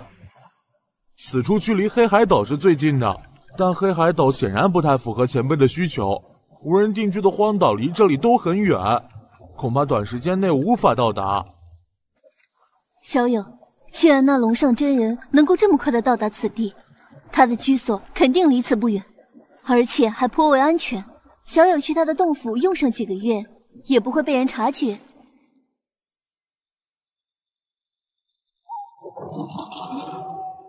唉，这下该怎么办？嗨，哈哈，我们又见面了。你果然是你。早知道这样，我们就不该让你进入海岛。按少主说的，早点把你……难道道友以为那火蛟是我换出来的？我有这本事，还拿雨泽丹给你们，岂不是多此一举？那火蛟原本就栖息在海底，只是你们没有发觉而已。的确，他只是一名灵师修士，不可能掌控这种凶兽。那他又是怎么活下来的？身上竟然还完好无损。我知道你在疑惑什么。你们师傅龙上真人与火蛟斗法，已经双双陨落。这岛礁上所有人都死了，唯独剩下你我二人。不可能！我师尊修为高强，乃是灵丹后期的强者，怎么可能陨落在此地？火蛟可是有着灵尊境界的修为，龙上真人能与其同归于尽，已经很厉害了。不信你看，师尊的储物袋。嗯，所以说，道友接下来有何打算？我在下宋丁文，道友来寻我，恐怕有什么目的吧？我打算前往龙上真人的居所，道友若是能够为我指路，我可以将道友的伤势治好，再给你一笔不菲的报酬。我相信道友，愿为道友引路。好，这枚内丹你先拿着。哦，想不到他竟然会将这么珍贵的内丹赏赐给我。走吧，我的人已经到了。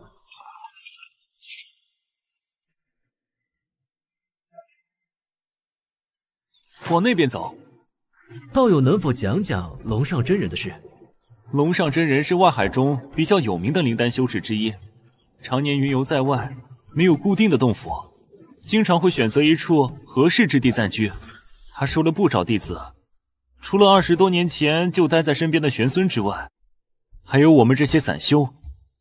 大家或是受过龙上真人的恩惠，或是被强行收为弟子，总共二十多人。前面那里就是了。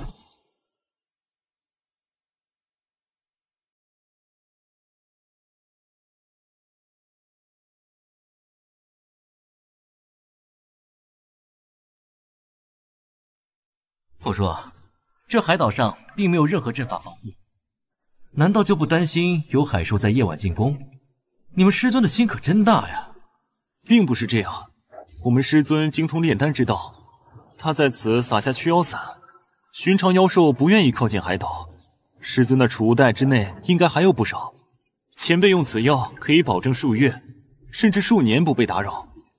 哎，哦，应该就是这个了。你记得定时撒药。好，宋道友，月华珠，在我出关之前，你们就安稳的待在洞府之内休养，不要外出，以免引起不必要的麻烦。知道了，前辈放心。晚辈定会遵照前辈嘱托。呃，哎，这真的是灵丹修士的储物袋吗？怎么会这么穷的呀？值钱的东西就只有一枚灵龟果和这顶丹炉了。嗯，没有什么珍贵的灵宝，甚至连一块灵石都没有。不过这顶丹炉嘛，的确非同一般，材质极为特殊，并非用常见的炼器材料炼制而成。而是用的某种火属性妖兽的头骨，看来我得花时间好好研究一下。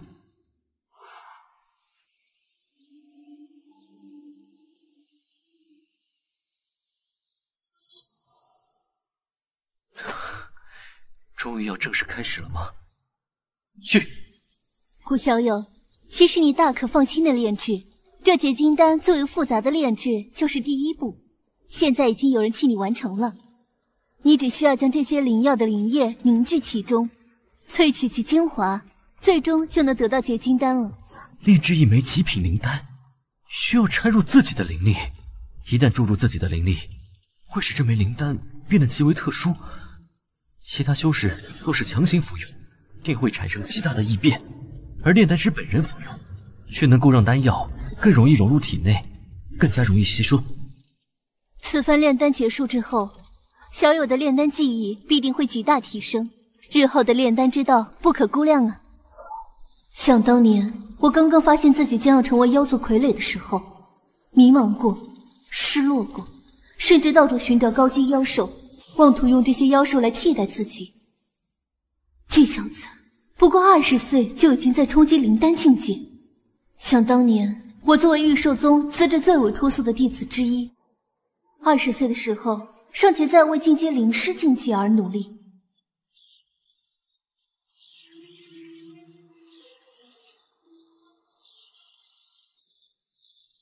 嘿，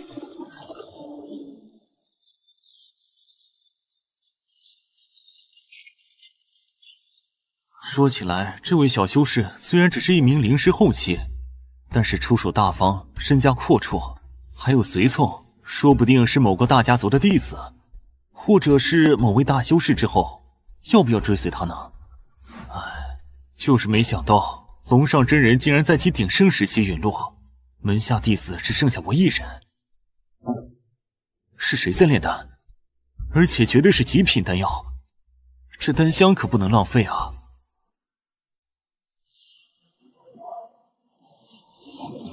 啊，连丹香都有如此磅礴的灵力，要是吃了那丹药，这个乌鸦难道是……啊，我的运气怎么这么背啊？最关键的时刻要来了，这就是血滴子吗？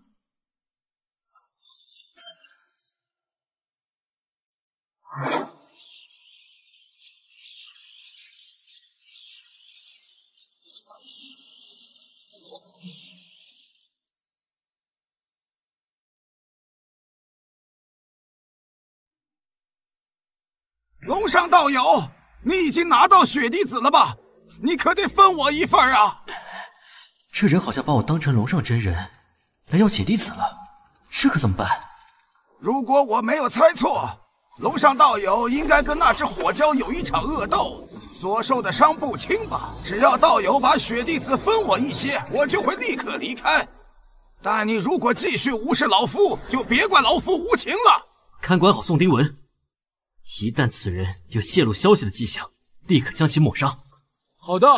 豪多的方法应该行不通，万不得已的情况下，只能施展神力将此人击溃了。龙上道友，老夫的耐心是有限的，最后再给你几个时辰。若是道友再不回应，老夫就强攻洞府了。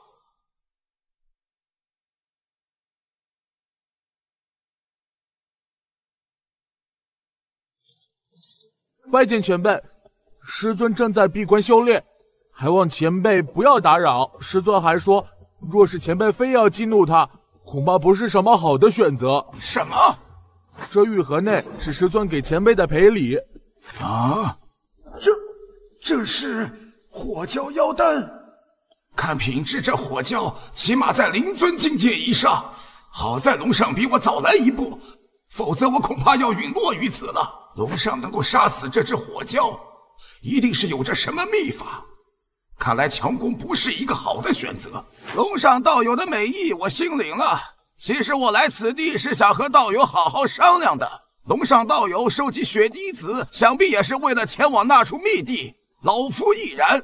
既然如此，道友不如就带着老夫一同前去探寻神族隐秘，如何？神族隐秘？这血滴子和秘地？又有什么关系？考虑一下老夫的建议吧。把你知道的秘地情况详细说说。这隐秘之地乃是一处古神族的陨落之处，那里有着无数神力宝物。要想进入其中，必须先用足够的神力打开入口。血滴子就是蕴含神力最多的宝物。此物可以帮助你进入神地。这珠子蕴含着神力。道友。你先去尝试一下，以老夫的名誉起誓，此事我绝不会欺骗你。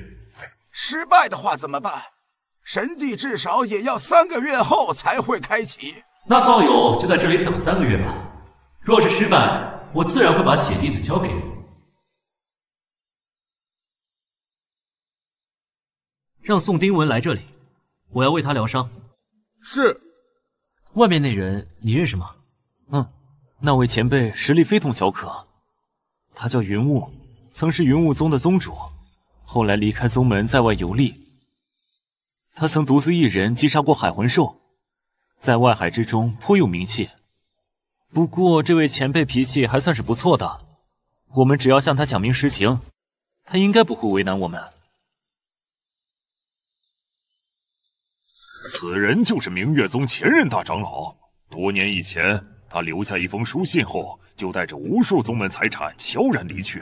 今日我召集诸位来此，就是要下达通缉令，追杀此人。是。传闻那处密地是神族的陨落之地，进入其中，有可能得到神族的传承，成为新的神族，不死不灭。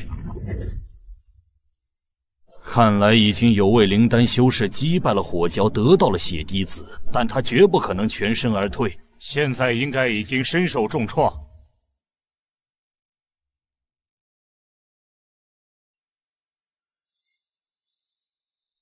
说不定龙上已经发现了古神的秘密，或者古神的遗物，而这灵球就是从古神遗物之上得到的。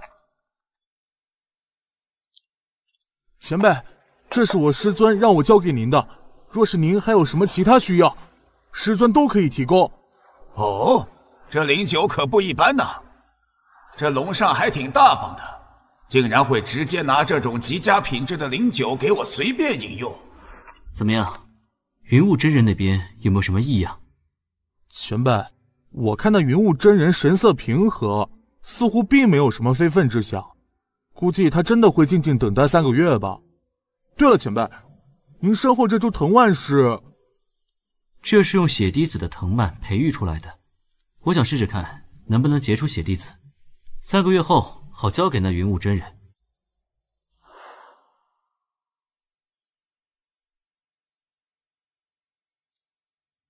仅仅三个月，这灵桃能借助天灵之火长这么大，真是出乎意料。三月之期已经要到了，云雾道友好雅兴，竟然在此品尝灵酒。阁下难道是明月宗的大长老？我曾经拜访过明月宗一次，作为一个流传数千年的大宗门，底蕴极为深厚。明月宗大长老随手可以驱使数十名灵丹修士，整个明月宗的资源都可以为他所用。他应该已经挤进灵尊境界了。难道他在故意隐匿身上的灵力？老夫现在的名号是云游散人。至于之前的那些事情，老夫已经彻底忘记了。原来是云游散人道友，幸会幸会。刚才是老夫认错人了，不知道友来此有何目的？在下是为神隐之地而来，进入神隐之地需要血滴子。我前去血滴子产生之地，却发现连守护的火蛟都不知所踪。不知道友是否对此有所了解？我在外海那么多年都没有得到血滴子的消息，为什么现在这么多灵丹修士同时得到消息？难道是有人刻意而为之吗？是龙上真人道友击杀了火蛟，如今正在此地闭关修炼呢。我们约定三个月之后一起进入神隐之地。倘若道友也有兴趣，不如同行。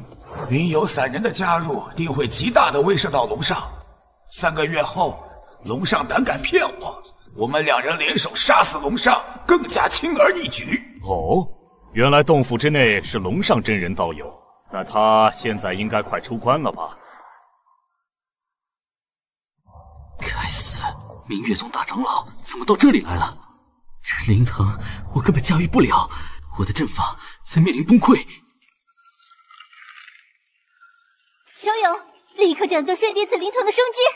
没用的，这灵藤根本无法斩断。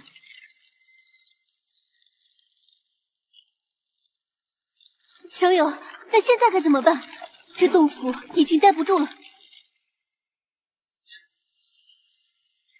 龙上真人的修为竟然强悍到这等程度，难道他已经进阶灵尊境界，可以掌控天地灵力的变化？还好没有贸然进攻洞府，现在的我恐怕不是他的对手。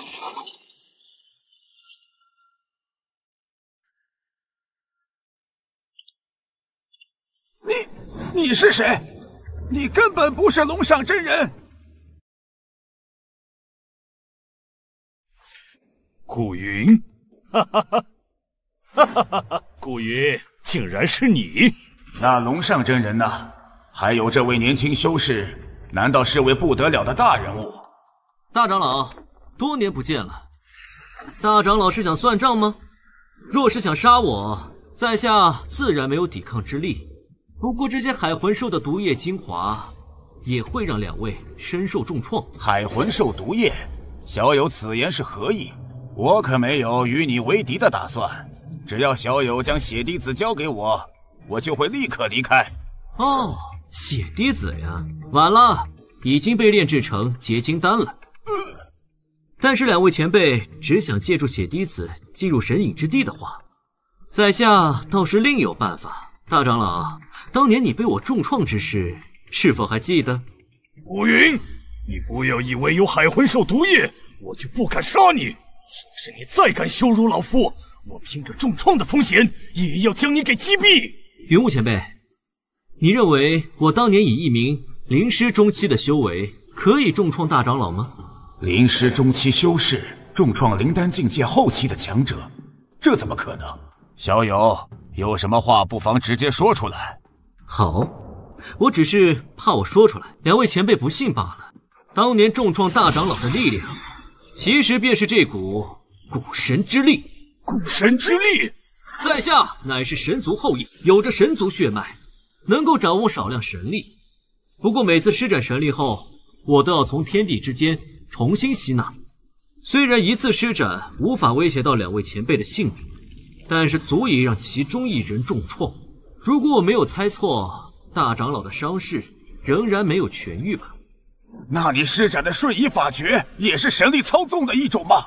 当然，经过这些年的修炼，晚辈的神力又增进了不少。什么？云雾前辈，我给你的那枚灵力珠子，其中蕴含的那股奇异力量。就是神力了。若是我们进入神隐之地，能否像你一样得到神族血脉，修炼神族法诀？不知两位前辈是否听说过神奴门？门主手下门人无数，为他抓捕神奴后裔，收集神奴印记，从而为修炼古神之法做准备。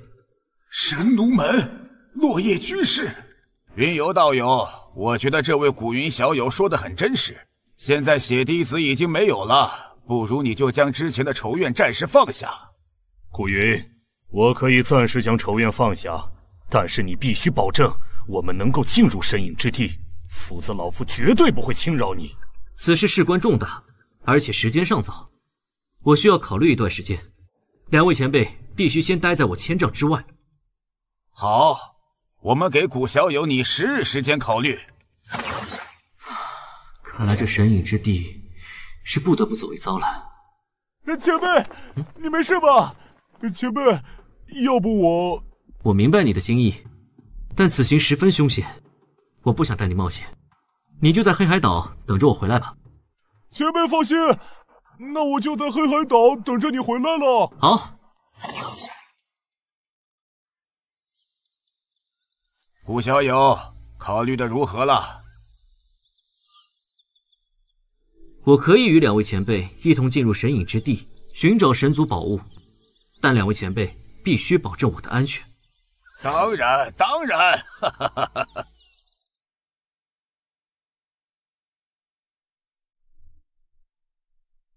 据我所知，神隐之地应该就是在这座岛屿之上了。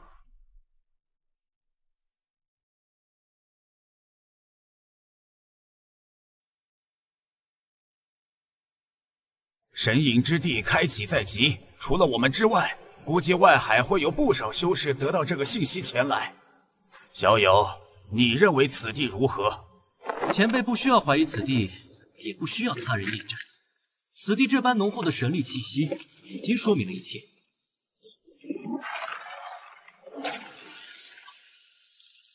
这些符文阵法全都蓄势待发，马上就要开启。我们究竟要打开哪个？居然会有这么多！前辈，这么多符文阵法，实在难以分辨。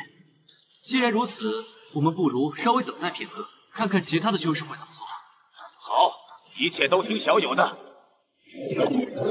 这人数好像还挺多的嘛。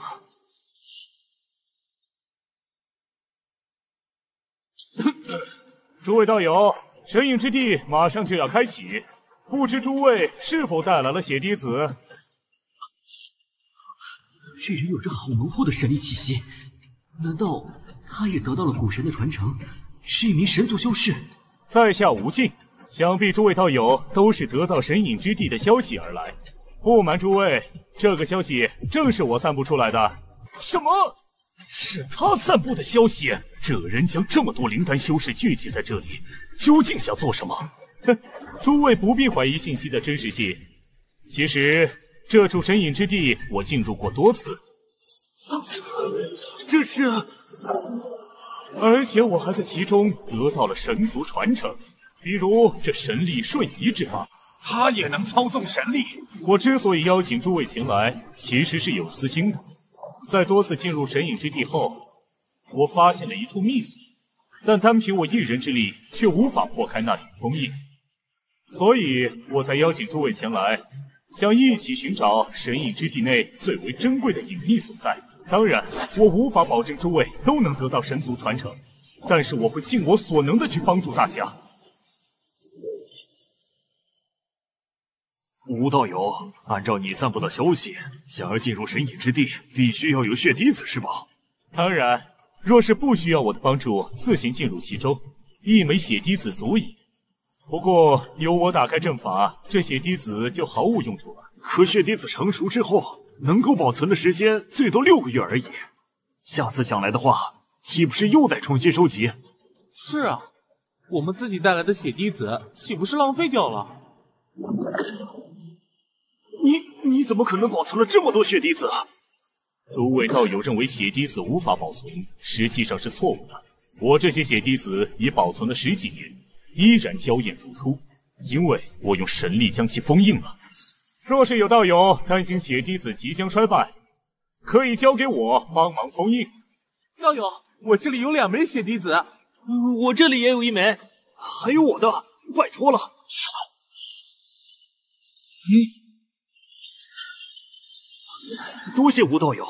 接下来我就要开启神隐之地的阵法了，诸位请站在我身后。吴道友，怎么了？这里好像有位灵师境界的小友，也让他进入神隐之地吗？晚晚辈愿意退出，诸位前辈不用管我了。没事，一名灵师的晚辈而已，对诸位也没什么影响。那就先让这位小辈进入，然后我们再进入吧。我先，看来这群家伙是非要我先去探路不可了。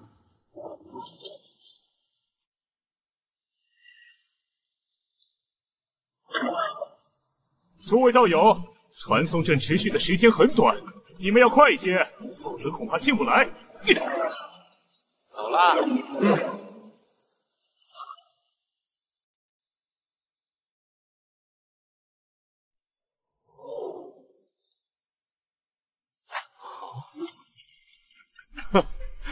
没想到仅仅是进入此地。小友就可以将神力提升至九阶，距离凝聚神体只差一步之遥。道友似乎已经知道了我身上的秘密，难道咱们以前见过？小友，你得感谢我。若是没有我留在灵宝阁的那枚神力巨棒，小友恐怕很难获取到这么多的神力吧？原来那枚神力巨棒是你卖给他们的。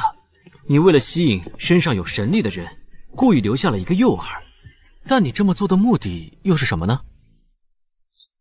小友不必担心，我对你没有任何恶意。毕竟我们都是真正获得了神族传承的人，跟那群凡人可不一样。前辈，我想问一下，这处神隐之地真的能够让那群修士获得神族传承吗？我也不瞒小友，他们想在这里获得神族传承，根本就是痴人说梦。神族传承的背后，意味着一名古神的陨落。可这世上哪来那么多陨落的古神让他们继承呢？小友应该很清楚这一点吧？此行我已经筹划了多年，望小友能够助我一臂之力。只要能够得到神族的好处，老夫是绝对不会亏待小友的。他能利用那些灵丹修士，当然也可以利用我。什么同是神族传承之人的鬼话，我怎么可能轻易相信？好，我会尽力帮助前辈。希望前辈不要忘了晚辈的好处。哼一定一定。就算我现在对这无尽心有怀疑，但是又能有什么办法呢？只能先走一步看一步了。快看，前方似乎有些异样。诸位道友，那处密锁的入口已经找到了，快些过来吧。哈哈哈哈吴道友的运气可真不错。居然在这么短的时间内就找到了入口！哎，呵，这个阵法必须让诸位道友先行进入，我得先留在外面使用神力维持阵法。那那谁先进去呢？顾小友，还是你第一个进去吧。好。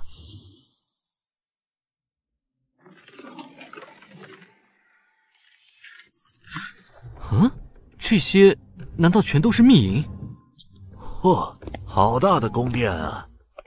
好了，诸位道友，先来我这里集合。接下来关系到诸位能否得到神族传承。在此之前，诸位先帮在下完成那个小小的要求，算是此次作为引路人的报酬吧。这阵法是……不瞒诸位，我在此处发现了一件神族秘宝。我曾尝试过多种方法。都无法得到那件秘宝，但这次有了诸位的帮助，或许我能够取得它。你，你的意思是，只要我们迈入这阵法，就能帮到你？正是如此，不会有什么问题吧？是啊，我可不敢先进去。顾小友，他们有些不放心，要不还是你先来吧。在下承诺，事成之后对你必有重谢。顾小友。此事对你没有任何风险，只要能够成功，我保证可以让你修炼到神力十阶，凝聚神体。好，我信你。是修是急，还是得试试才知道。好强的神力气息，这是怎么回事？这些都是神体，居然出现了这么多神体。那王座上巨大的神体又是什么？看来这阵法并无大碍，我们也进去吧。哦，这是没想到他们中修为最弱的竟然是云游散人，无尽的修为比我想象的还高，已经有了神体。诸位应该也注意到了，你们跟我的区别。在下之所以能够施展神力法诀，是因为有着神体的存在，也就是神族传承。诸位道友若想跟我一样。也得先凝聚自己的神体。吴道友的神力就是从我们面前这些神体上获取的吗？没错，诸位道友要想得到神族传承，只能从这些神体上获取。想当初，我的第一缕神力就是从王座上那具神体上得到的。那我们该怎么做？要想从神体上得到神族传承，一是机缘和运气，二是诸位道友自身的努力。至于这神体上究竟有什么神族传承？就需要诸位道友自己去探索了。古小友，你现在体内已经有了神力，看来你跟神族机缘颇多。只要你接近他，定会得到一缕神族传承。吴道友，这位小友事事在先，也该给其他人一些机会了。就是就是啊。不过我将神族传承的机会给各位也是有要求的，不管诸位道友能否得到神族传承，都要把这张符箓打入神体之内。机会只有一次。大家自己把握，不必担心，我会保证诸位可以安然离开此地的。好，我来做第一人。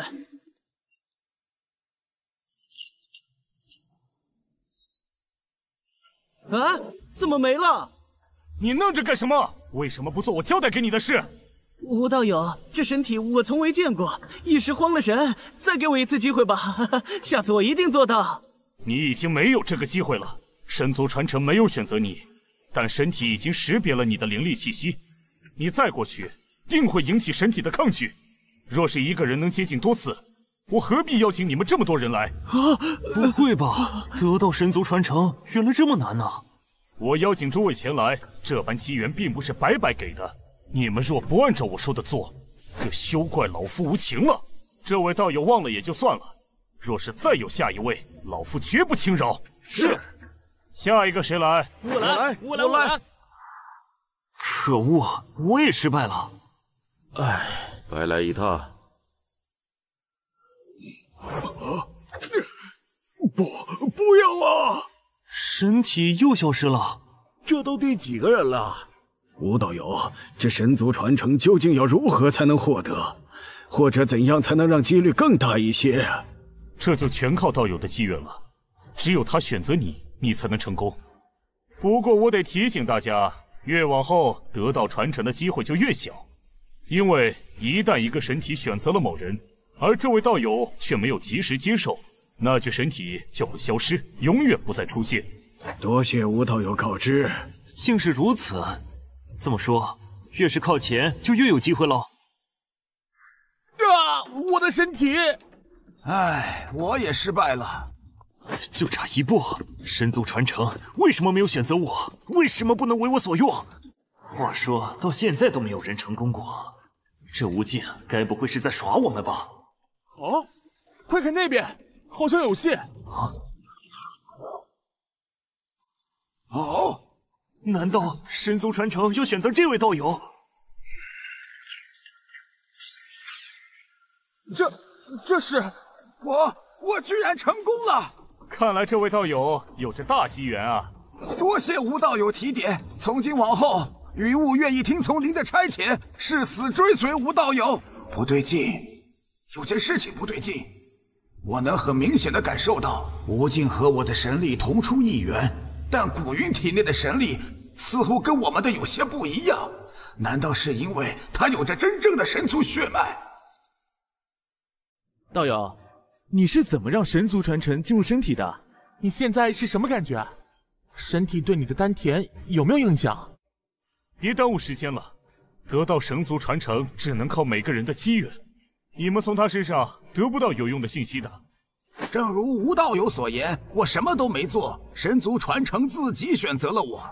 吴道友，你想要的那件宝物就是那具最大的神体吧？没错，我让诸位帮忙设下的符咒。有助于我提高成功率。在下还未能得到神族传承，能够给在下一试的机会。哦，可以啊，如果你不介意浪费掉你唯一的机会的话。他这语气好像非常肯定，我无法得到那神体。不管了，我必须一试。云游散人能成功吗？哈，失败了吧？我我还有机会吗？已经没了。不，我不信，肯定还有其他方法。我讲的已经很明白了。若是你再生是非，休怪我无情。顾小友，你体内的神力是从何而来的？告诉我方法吧。我不。可恶，那么大的神体，难道要被他独吞吗？哈哈哈哈！来了来了。吴道友此次定然可以收获这神体，咱们以后恐怕再也没有机会了。之前他说他每年都会来这里一次，不知道他已经尝试过多少回了。是啊，凭什么我们就只能有一次机会啊？对，我们也得每年来此地一次。就是就是啊！诸位道友莫要冲动，你已经得到了神族传承，还在那说什么风凉话？诸位，我们还在等什么？若是让吴尽掌控了那神体，咱们将一无所有。但只要我们拼赢了，就能走上一条新的长生大道。就算吴道友得到了那神体，你们也还会有其他机会啊！诸位莫再听此人胡言，他已经得到了神族传承，和我们不一样。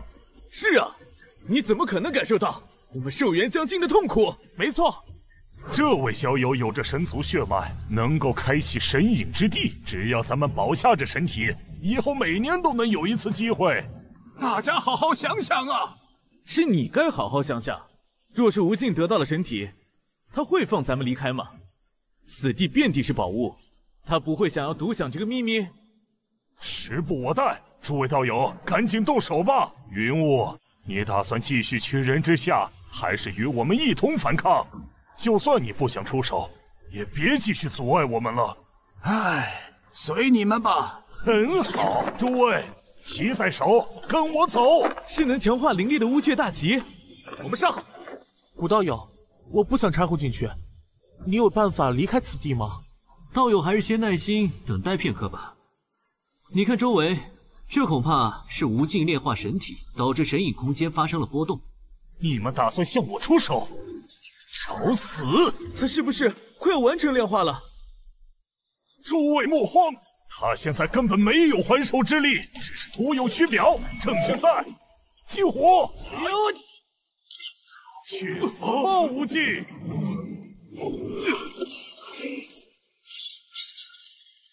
有意相邀，让你们得到神族传承，没想到你们却恩将仇报，好意相邀。你只是把我们当成利用完就扔掉的工具罢了。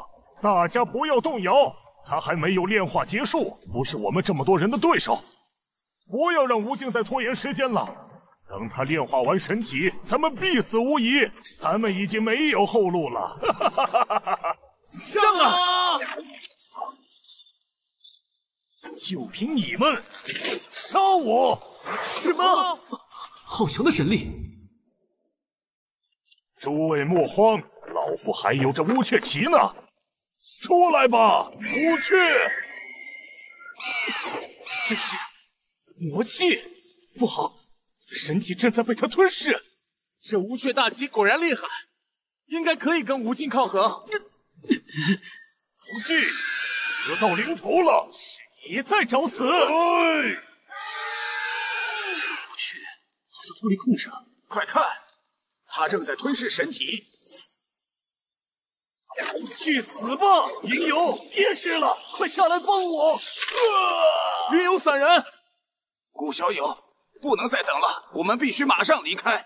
我虽然神力不多，但至少也算得到了神族传承。小友体内也有神力，只要咱们两人合作，肯定能够逃离此地。嗯，这巫曲威力甚大，若是能够为我所用，好强的灵啊！顾小友，这乌鹊还在这里，你们是跑不了的。你我通力合作，若是能够将其俘获，老夫绝对不会亏待你的。顾小友，我动不了。这妖如此厉害吗为何我什么都感觉不到？他的确变强了，难道？啊！仅仅一击，居然就把龙殿铺开这么大一个缺口。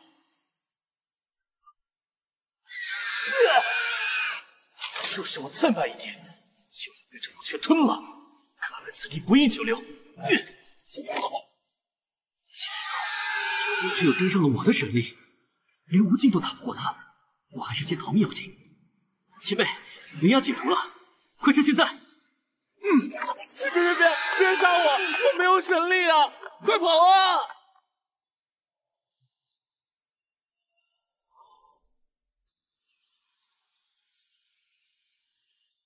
幸好那乌雀没有再追来。这神隐之地里只有这些石头，没有任何生灵。而且实在是太安静了，连风的声音都没有。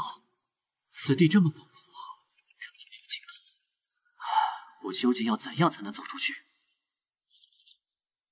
什么人？古云小友，那么多灵草散布在地上，原来是小友你留下的。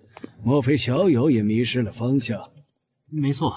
唉，在此地待了十天，古小友是我遇到的第一个人。不如咱们相互照应，一起寻找出口吧。小小年纪，修为竟然与我不相上下，而且身上还有着神力。跟着他，说不定我也能找到神族传承。老夫名号乌月老人，小友快要进阶灵丹境界了吧？这枚尚未完全炼制的凝金丹送给你，你只需再找几种灵果，便可将其炼制完成。前辈就是吴越老人。传闻此人炼丹技艺极为高超，但是性格古怪，行踪不定，如今却被我给遇上了。多谢前辈赏赐，小友听说过我。前辈的炼丹技艺可是名冠星罗海啊！唉，那又如何？如今我寿元无多，若是小友愿意，不如我收小友为徒，也好让我有个传承之人。原来前辈也是为了延续寿命而来。不过，据我所知，得到神族传承未必就能延长寿元。晚辈的确有着神族血脉，能够炼化神力，但是这少许的神力对我的寿元并没有太大的影响。小友，所言当真？神族不死不灭，得到神族传承，怎么可能不会增加寿元呢？不死不灭的能力不一定会随着神族传承而延续下来。当然，在这处神隐之地中，或许……真的有着增加寿元的神族传承？难道我真的没有机会延续寿元了吗？晚辈不知道，也许真像无尽所说的那样，只能看自己的机缘了吧。无所谓了，不管老夫是否能够得到神族传承，都必须尝试一下。反正已经活不了几年，不如趁此机会再拼一次。不管老夫是否能够得到神族传承，都必须尝试一下。反正已经活不了几年，不如趁此机会再拼一次。顾小友，你看这灵草，难道此处神力太过浓郁，连灵草都无法生长？小友，前方好像有些异样。哦，前辈也能看到那处神力洪流。原来那就是神力啊！快，随我去看看。这，此处的神力足以顶得上一只天灵棒所蕴含的神力了，而且应该还有很多这样的神力之眼。想不到吴越老人也掌握了炼化神力的方法，但他炼化的速度肯定远比不上我。顾小友，你知道我刚才做了什么吗？哈，前辈没有神族传承，但也能够炼化神力了。连我都没有想到，这到底是为什么呀？我猜是因为前辈在这神隐之地待得太久，神力不断涌入前辈的身体导致的。那如果我在这里再多待一段时间，能否成为神族呢？呃，这 晚辈也不清楚。我只知道前辈受到的神力越多，炼化神力的速度也就越快。那老夫可得继续加油了。这神隐之地果然玄妙，我们继续吸纳神力的话，说不定也能像吴静一样施展强大的神诀。怎么，我怎么一丝神力都吸纳不到了？难道古云，你已经凝练出神体了？清远古神，我不是已经用凤凰金魄将你彻底毁灭了吗？小友。放过我！放过我！我绝不能容许你还在我的身体里，永别了。很好，金丹凝聚成功了。恭喜小友修炼有成。以老夫来看，小友身上的神力已经与那无尽不相上下了。前辈，凝聚神体后，我找到离开此地的方法了，所以打算近日离开此地。你走吧。我想要继续留在这里修行，那就祝愿前辈早日如愿以偿了。这段时间，小友对我帮助颇多，老夫无以为报。这次丹方是老夫毕生心血，送给小友，希望对你有所帮助。多谢前辈。小友日后还会重回此地吗？老夫还期盼着能再次与小友一同修行呢。放心，晚辈日后肯定会再次回到这里来见前辈的。好。那就期待着咱们的重逢吧，古云，你已经凝聚出神体了，很好，很好。好奇怪，无尽这是制服了吴雀吗？不知前辈在此地做什么？你过来，我有些事情要告诉你。有什么事情就这么说吧。小友，快逃！违背我！去死吧！身体果然强大，即便被我控制住心神，还能强行抵抗。不知古小友是否有这般实力呢？这声音是大长老，他不仅没有死，还彻底控制住了乌雀。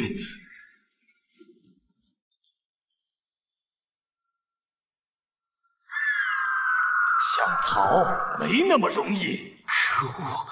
老夫在熔火之源错失了杀死你的机会，今日我绝对不会再重蹈覆辙了。周围的神力都被乌雀所掌控，现在的我根本打不过他，只能尽力跑了。古云，我要你求生不得，求死不能！不行，这样下去早晚会被乌雀抓到，得想个办法。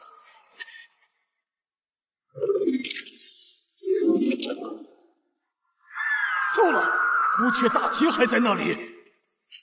顾云，就凭你也想操纵乌鹊大旗？哼，就这种程度的灵力，还奈何不了我？顾云，没想到啊，我也已经凝练成了神体。糟了，怎么又遇上这种意想不到的情况？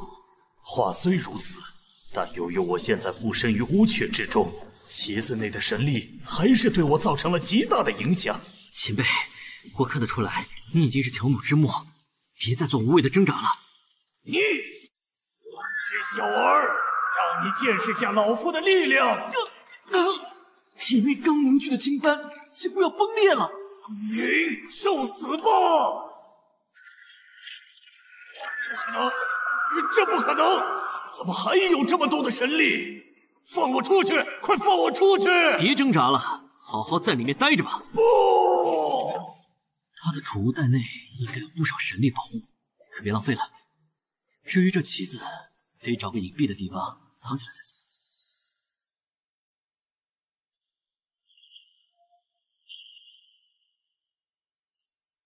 当初十几人进入神隐之地，现在只剩我一个了。好在我已经有了神体，就算没有月华出的引力之法，应该也能安全抵达黑海岛。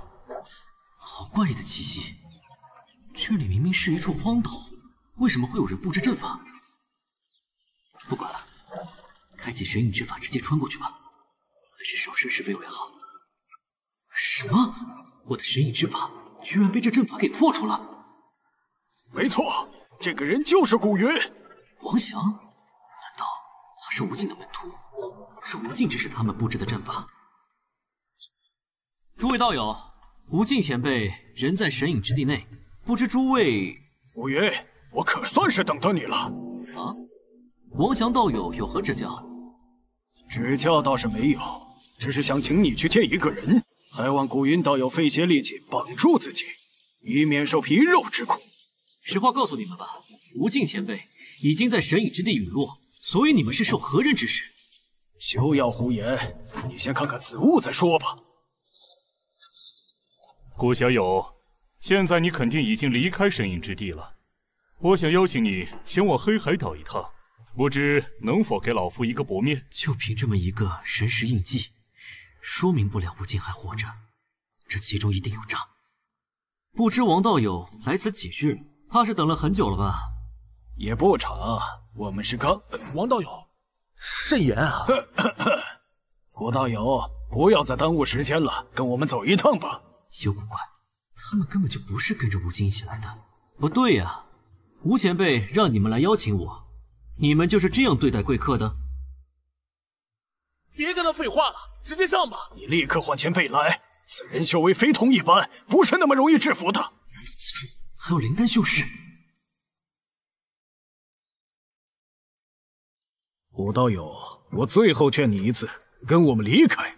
黑海岛海域之内已经布下天罗地网，你绝无逃脱可能。以无尽的实力，但他一人就可以抓住我，何必大张旗鼓？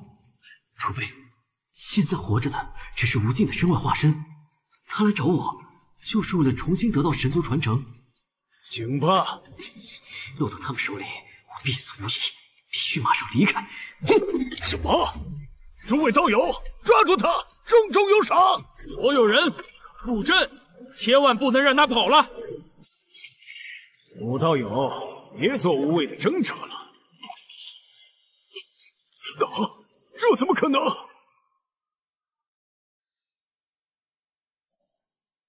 古云呢？古云他逃走了。逃走了？他怎么可能突破我们的阵法？前辈，这古云的确非同一般，他挥手间便破开了我们的大阵，遁速极快，几个呼吸的功夫就不见了踪影。你说什么？一名灵师修士，竟然能够施展出瞬移法诀来？哼，他往哪里去了？这小子身上肯定有着什么特殊宝物，等找到了他，拿到那些东西。对我来说，还不是囊中取物啊！看样子，他们应该不会追上来了。他们已经在黑海岛周围布下陷阱，内海我是回不去了，如今只能继续往外海走。居然这么快就到了黑海岛的边缘，继续往前走的话，不知道会遇上什么危险。若是月华出在的话，我就不用担心遇上高阶妖兽了。快走吧，耽搁越久越危险。啊，又是一处地图上没有记录的小岛，植被很茂密，岛屿上没有任何人类修饰的痕迹，不知道里面会不会有凶手，还是谨慎些为好。青俊寿前辈，此处是哪里啊？不知道，我从来没有来过这里。再走下去，什么时候是个头啊？但原路返回，恐怕风险更大。我该怎么办呢？这小子是不要命了吗？竟然跑到那种地方去！早知如此，我当初就该将他给囚禁起来。有一股奇怪的灵力在周围，绝不是妖兽的。是谁在借此窥探我？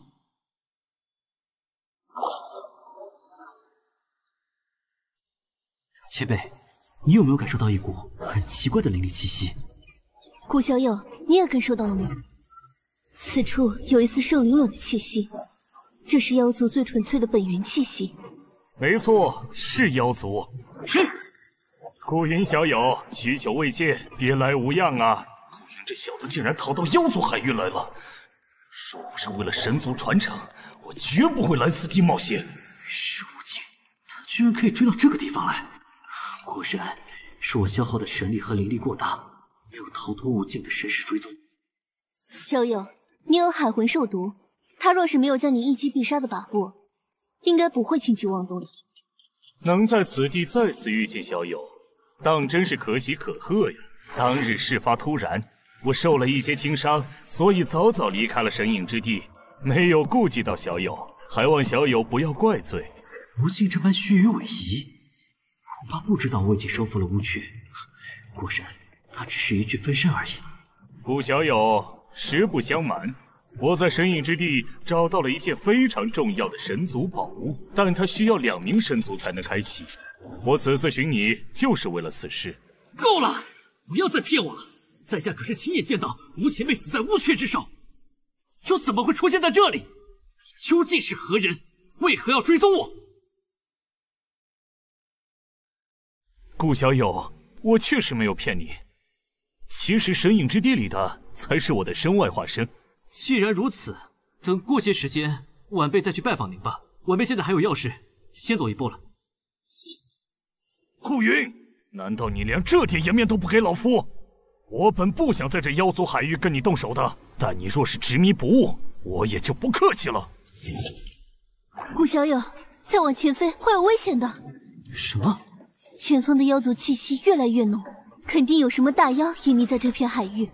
但如果我乖乖跟无尽回到黑海岛，恐怕性命不保啊！小友放心，我绝不会害你的。那你还追那么紧？前辈，我不往前飞了，就在此处跟无尽周旋。一旦我离开这片海域，他肯定会肆无忌惮的对我痛下杀手。好，无论你做出何种选择，我都愿意与你共同承担。顾小友。你这是考虑好了吗？别想了，我是不会跟你走的。你怎不是？是妖族强者的气息。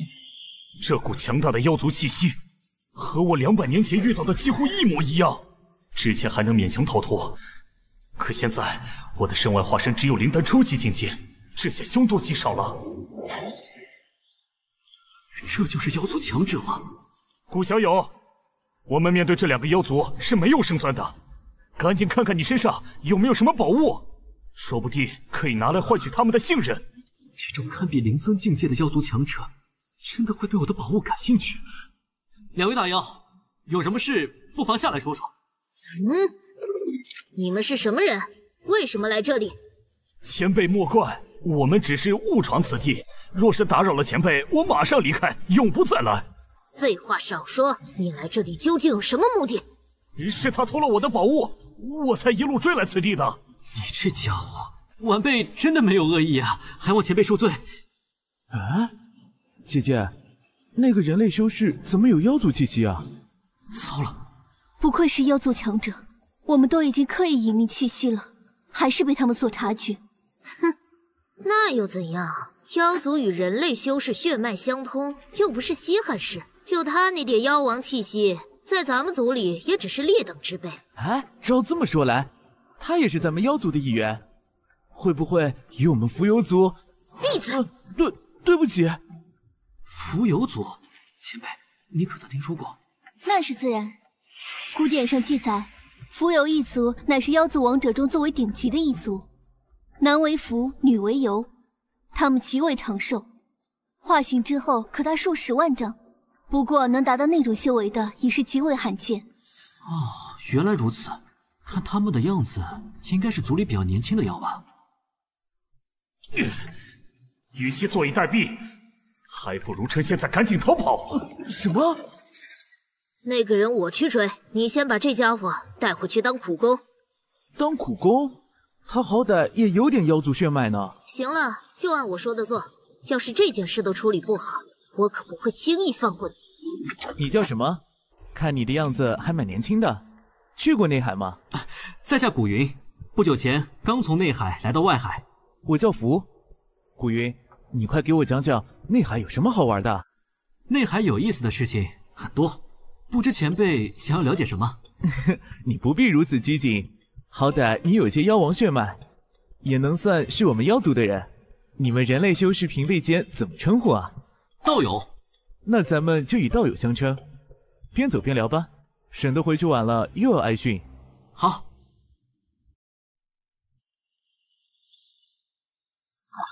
道友这副模样，让我想起了之前遇到的一个小胖子，他会用灵力烹饪灵兔，滋味那是一绝。甚妙，居然还有用灵力烹饪的。若我有机会，定要去他那里尝尝灵兔的滋味。内海的奇珍异宝可不少，味道比那灵兔好的食物也是有很多的。哦。看来古道友精通美食之道，不敢不敢，只是略懂一二罢了。我早年尝过一些人类修士制作的美食，但成年后就再也没有吃过了。好在今天又遇见了你。妖族里也有人类修士吗？那些修士都是像我这样被抓去做苦工的吗？道友，前面正好有个落脚之地，我们就在那里解决一下吃食吧。不对啊。怎么说着说着就要让我给你做菜了？嘿嘿，你不要一脸为难的样子嘛！只要你给我做一顿好吃的，等会儿去了大殿，我让他们给你一个小统领的位置。呃，怎么样？做也不是不行，但若是不合道友心意，可不要归罪于我啊！放心放心，我怎么会怪罪你呢？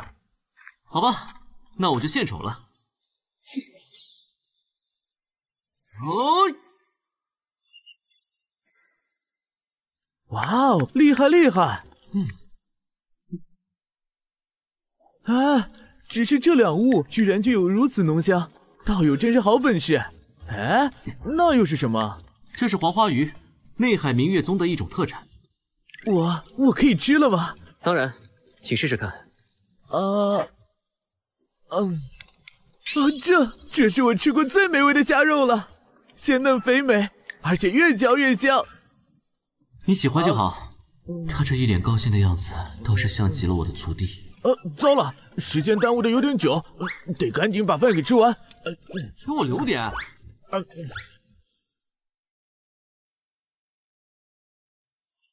道友，前面便是我们妖族的大殿了，我们快去吧。再晚一些的话，我又得被姐姐给责罚了。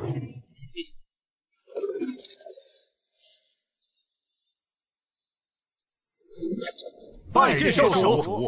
啊，还好赶上了，只是不知道姐姐回来了没有。主人刚刚离开不久，他让我们传信给少主，说是让少主回来之后自己领责罚。主人还说，少主要是迟到一个时辰以上的话，责罚得翻倍。啊，古道友，我还有要紧事情，不能再陪你了。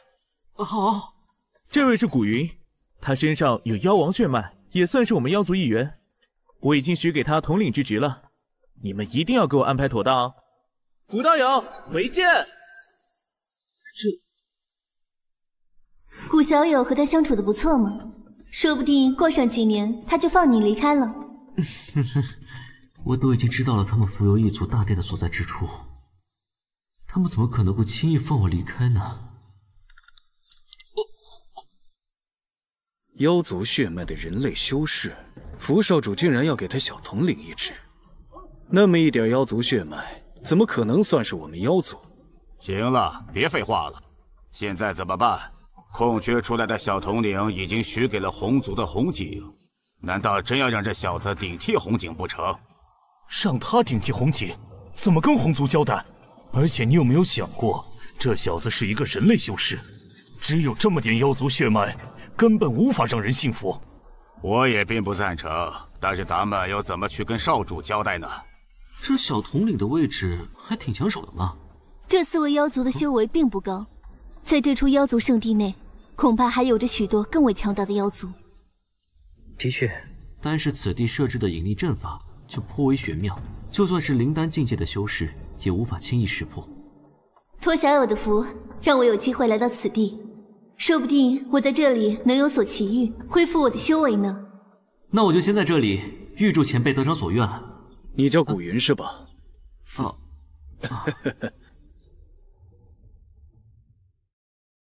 我们商议完了，你的修为太弱，能和你实力匹配的只有第十小统领，不知你是否愿意？第十小统领明明空缺着，他们却商议了那么久，还对这个职位语焉不详的，恐怕其中有诸多隐秘。小子，我已经给你台阶下了，不要敬酒不吃吃罚酒，我等可有的是办法。放心吧，我们并没有打算害你。若是不想去洞府的话，我们也可以给你安排一座岛屿供你修炼。多谢前辈。哼，算你聪明。这里是一千块珊瑚，算是见面礼。以后每个月你都可以来我这里领一百块珊瑚。啊，这是你的统领名牌，是你在这里的身份证明，切不可弄丢。几位，咱们不如把红警也叫到皇兄那里去，将第九小统领和第十小统领的位置确定下来吧。嗯，就这么办吧。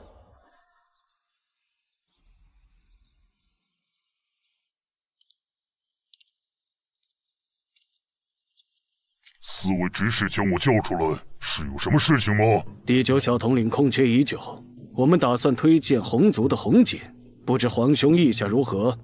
红锦还不错，既然四位执使推荐，那就允了他吧。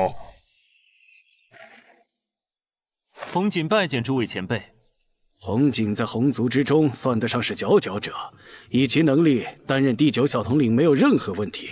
前辈过奖了。那就这么定了吧，我先回去了。皇兄，先别急着回去，我们这还有一个人呢。嗯，此人名为古云，福少主说他有着妖王血脉，所以打算让他担任第十小统领。哼，区区一个人类修士。拿来当苦力，我都不屑于理会。第十统领的位置，哪怕就这么空着，也绝不能让这种废物来担任。皇兄，他可是福少主亲自送来的，还让我一定给他安排个统领之位。若是皇兄有任何不满，可以自己去找少主理论。少拿福少主来邀我，这都是福少主的成命，我无权改变。几位前辈，以我的观察，此人身上有着上古龙族的气息。上古龙族，就算是那个福少主，也无法看出我身上究竟是什么妖族的血脉。怎么这红锦就能够分辨出来？红族最善掌控气息，既然红锦说你这小子身上有着上古龙族的血脉，那就是真有。啊！你小子居然能够抵挡住我千分之一的灵力冲击，的确不是泛泛之辈，也可以进入神月洞府了。这皇室越来越不像话了，对我们执事连起码的尊重都没有。他刚刚说我可以进入神月洞府了，原来那神月洞府就隐藏在此地。皇的确越来越嚣张了，据说他收获的大量宝物全部自留，连长老们都没有得到丝毫供奉。皇的修为早在咱们之上了，这些年来他们几个统领嚣张跋扈，连长老们都不敢开口，我们又能怎样？小子。这神月洞府可不是什么好地方，你先待上几日混个样子，之后再找到皇离开，切记不可久留。要是危及了性命，我们也救不了你。难道刚才那妖族统领进入的就是神月洞府？一个洞府真有那么凶险？典籍上只说神月洞府是一名人类修士建造的洞府，里面宝物众多。不过既然这些妖族执事都这么说，里面可能真有一些危险。那等我从神月洞府出来，就可以去一个无人岛屿上修炼，修为肯定可以更上一层楼。多谢前辈们提醒，晚辈一定速去速回。这个是神月洞府内的简图，里面有十个统领的分属位置，你自求多福吧。是。啊！啊！我绝对不要再试一遍了。这哪是什么神月洞府？这根本就是一个石厅嘛！确实如他们所言，若是灵力修士，恐怕用不了多久就会冻僵在这里了。啊，就这么个小地方，看来这地石统领不是那么好当的。哎，前辈，这神月洞府为何是这般模样？顾小友，我在想，此处是否与真正的神月洞府重名？啊，不能吧？还有这么久的事？哦，对了，此处冰寒之力浓厚，正适合培育冰虫。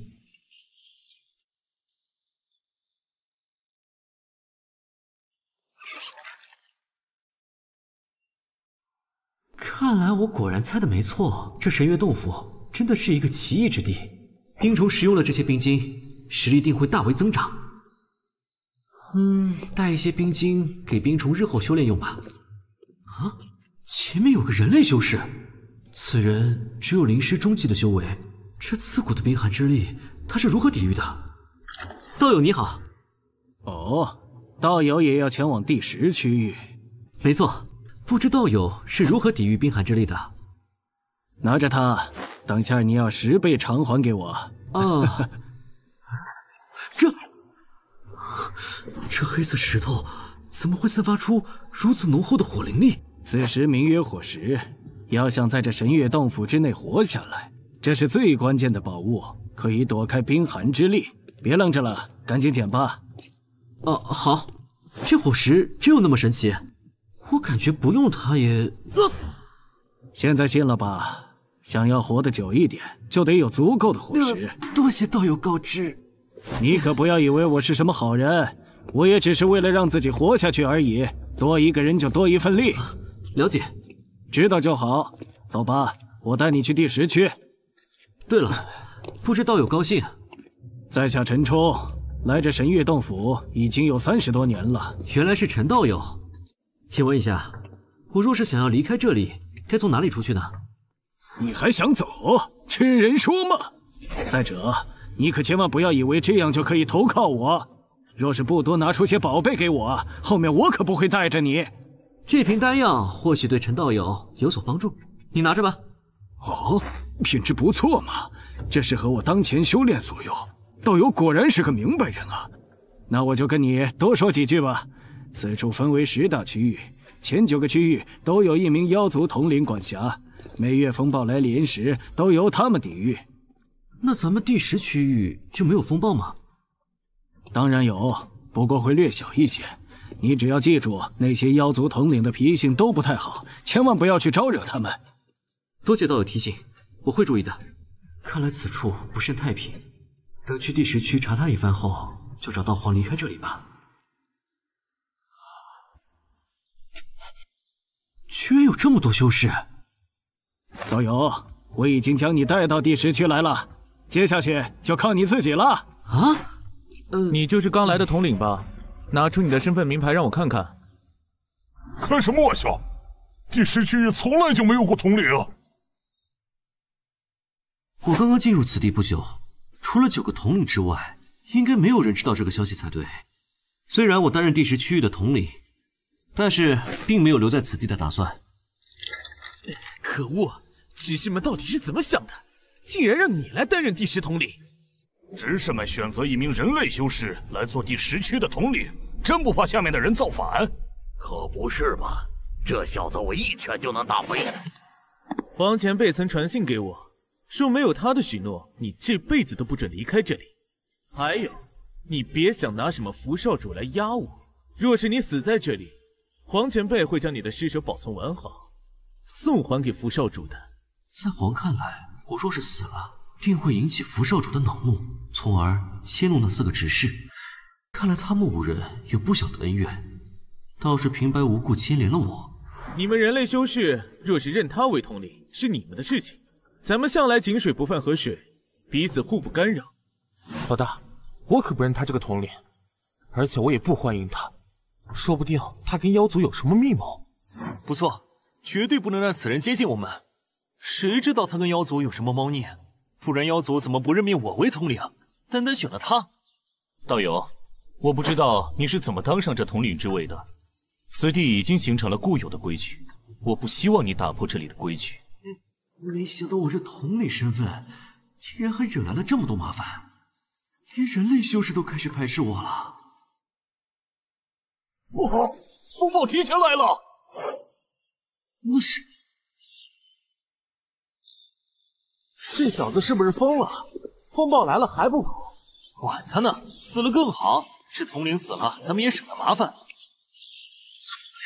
这是神力，此等精准程度，甚至可以跟巨蚌之中散发出来的神力相媲美。很好，这种神力大量注入的感觉，已经很久没有过了。得多吸一点。这小子怕不是在找死啊！黄前辈既然让他死，就最好让他死得快一些。不过可不能让他的尸首被毁了。我们还得向黄前辈交差呢。这些人类修士太可恶了，他们又没有修缮好阵法，这次灵晶肯定还会受到损伤。灵晶若是再受到损伤，就让他们人类修士抵命。与精神好奇妙的感觉。难道神力和生火都是由这种晶石产生的？这块晶石之内充斥着大量的神力，从未见过如此玄妙的神力。他在干什么？他居然妄图庇护灵晶！这新上任的统领为了出风头，连命都不要了。这么点修为，怎么可能挡得住风暴？这小子是不是活够了？上任第一天就赶着去送命吗？快去阻止他！等会儿来临的风暴会更加猛烈的。外面风暴这么大，这时候出去无疑是送死啊！谁愿意出去当炮灰谁去？我可不会冒着生命危险去救一个愣头青。外面究竟发生什么事了？为何连混沌空间内都产生了这么强的灵力波动？怎么会这样？连海蚁都被这灵力波动给轻易杀死？难道古小友遭遇了什么天大的危机？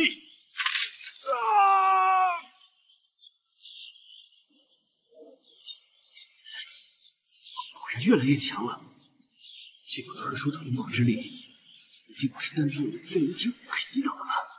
我的神力刚刚成型不久，甚至还没有用尽，就以我现在的实力，一定用神力抵御风暴。不管了，这件事无论如何也得保下来，拿出全力上吧！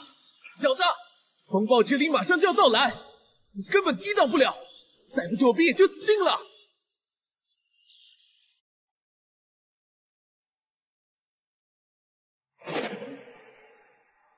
唉，可惜了。原本这小子凭借一身火灵法诀，完全可以在此安稳生活的。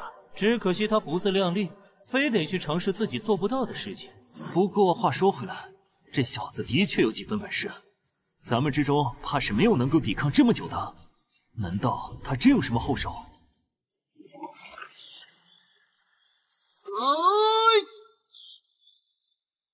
好强的灵力！来这里后。我还从未见过，难道这小子真的可以以一人之力抵抗这么强大的风暴之灵？风暴好像暂时平息了。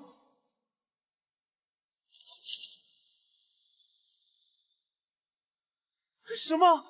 灵龟草？是灵龟草？居然一下子长出这么多灵龟草！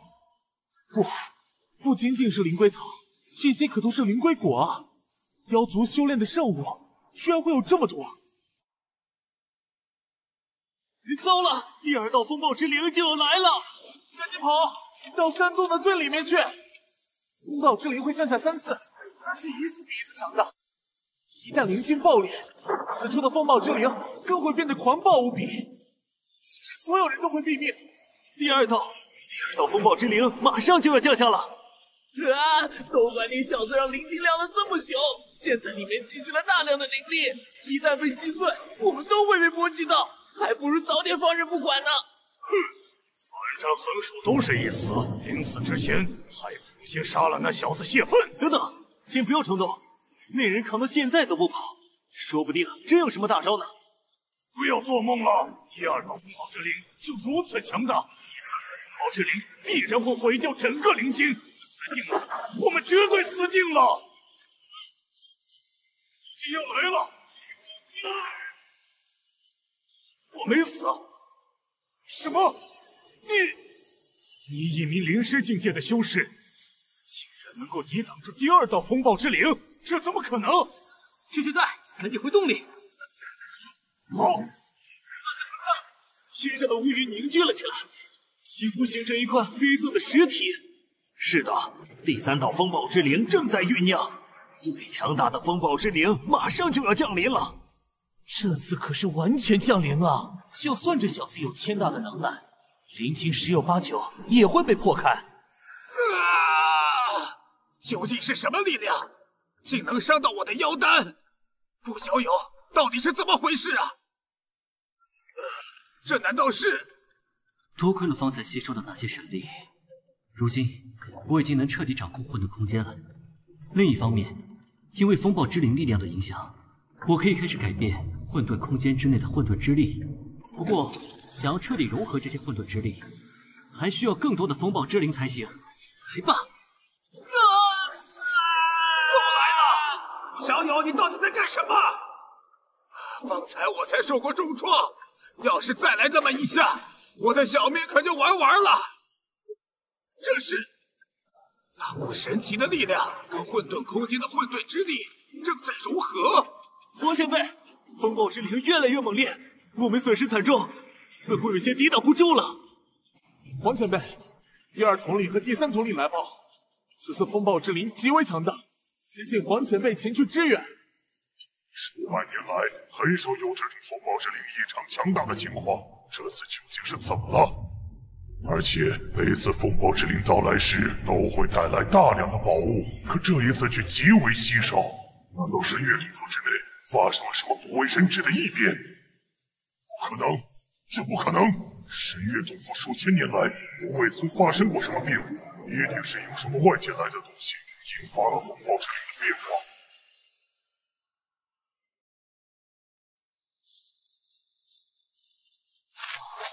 风暴已经过去了吗？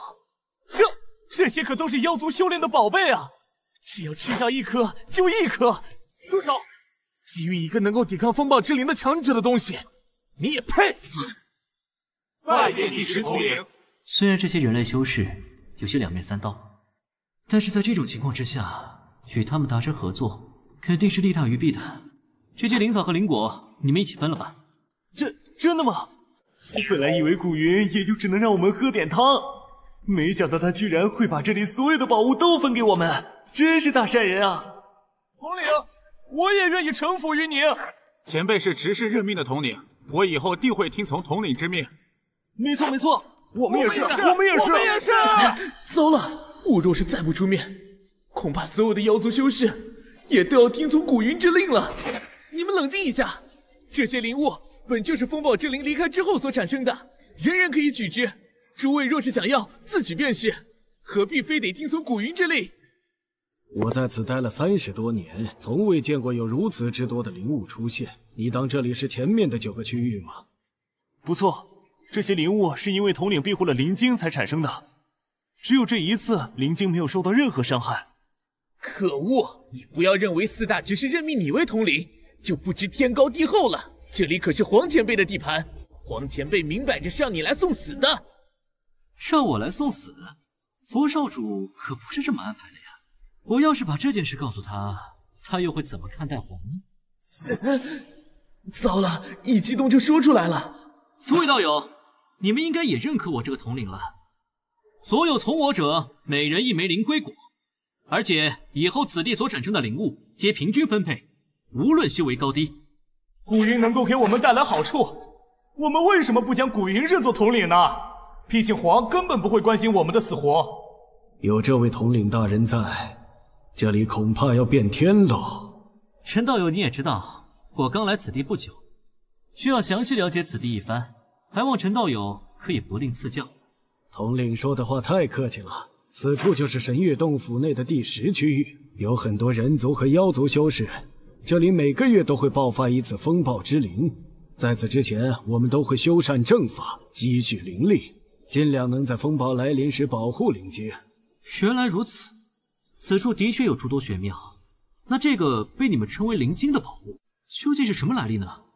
又有什么妙用？详细的我们也不清楚，只是听说灵晶一旦被毁，风暴之灵就会发狂。统领，刚才那个妖族修士名叫迪康，千万不要接纳他。这些妖族没有任何信誉可言。今天他们臣服统领，过几天说不定就会策反。你这个道理我自然明白，但是现在的情况比较特殊，我不想过多的招惹事端。统领说的不错，等会儿我会将命令传达给其他道友，保证不会跟妖族修士们产生冲突。那风暴之灵不来的时候，你们一般都会做些什么事情？当然是寻找火石了，没有火石就无法在这里生存。当然，我们也不敢走得太远，在风暴之灵到达的三天前就必须赶回。这可不妙了！原本我还想在此处找一个闭关之地，进阶灵丹境界，可眼下看来，风暴之灵波及的范围太大，根本无法进行闭关。啊，我刚刚想到，从下个月开始，宝物分配的规矩还是调整一下吧。啊！顾云可是才说过要平均分配所有宝物的，刚过了这么一小会儿就变卦了。大家别紧张，我只是决定以后以收集冰晶的数量来决定得到宝物的多少，由陈道友负责清点事宜。虽然冰晶对其他人没有任何用处，但是对于冰虫来说却是大补之物。是统领。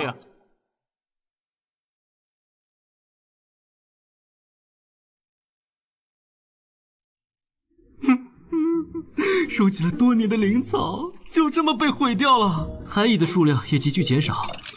不过只要有足够的灵物，它们就能继续繁衍下去。五小友，究竟发生了什么？现在此处成为了一片荒原，这该如何是好？前辈放心，用不了多久，此处就又会郁郁葱葱了。不过在此之前，还得劳烦前辈多多打理一下。这你放心，此处可是我的长居之地。自然会好生照料的。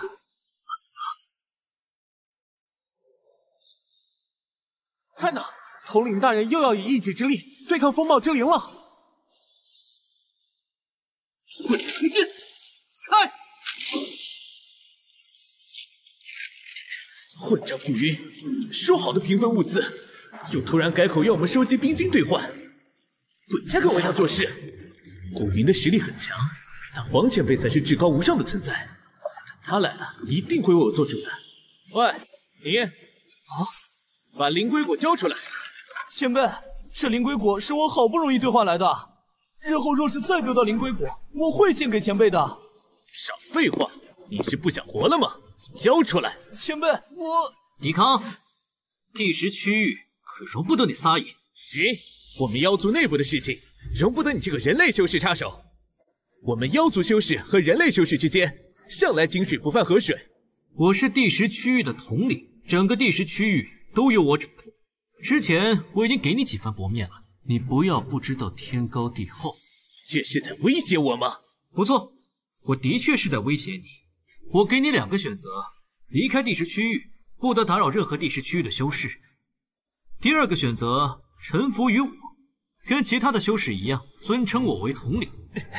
无论怎么选，这第十区域恐怕再也没有我抵抗的位置了。选你个头，找死！以此人的实力，对我造不成半点伤害。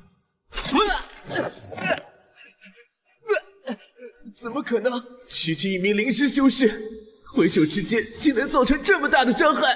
红领大人竟然能够一击击败迪康，恐怕只有灵丹境界的修士才能做到吧？如此看来。哪怕古云想要取迪康的性命，也是完全可以做到的。可恶，我可不能死在这里！古云，你给我等着！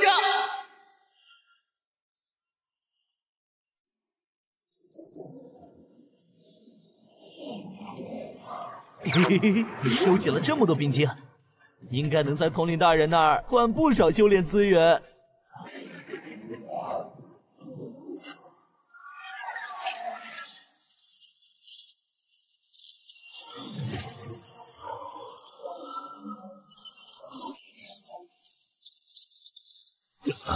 风暴之灵才刚刚消散，怎么又一次出现了？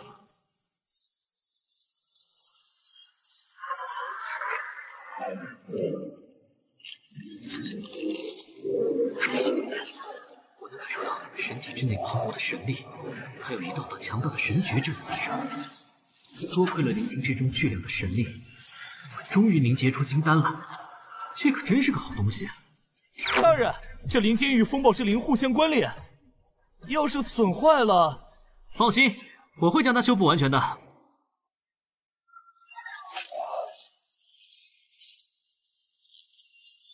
我从未见过如此之多的稀世秘宝。两位，这里便是神月洞府的第十区域，我敢保证，再也没有别的地方比我们这儿物资丰富了。敢问师兄，那位兄台是何许人也？你们可记好了，那位是我们第十区域的统领，也是神月洞府内第一位人族统领。这些灵植秘宝之所以如此旺盛。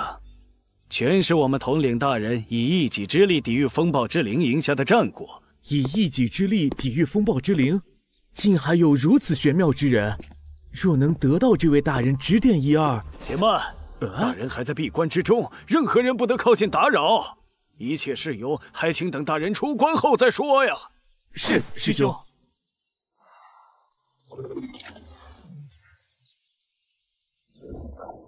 一年不见。你竟成长的如此之快，甚至超越了母体。我先去找前辈，之后再来看你。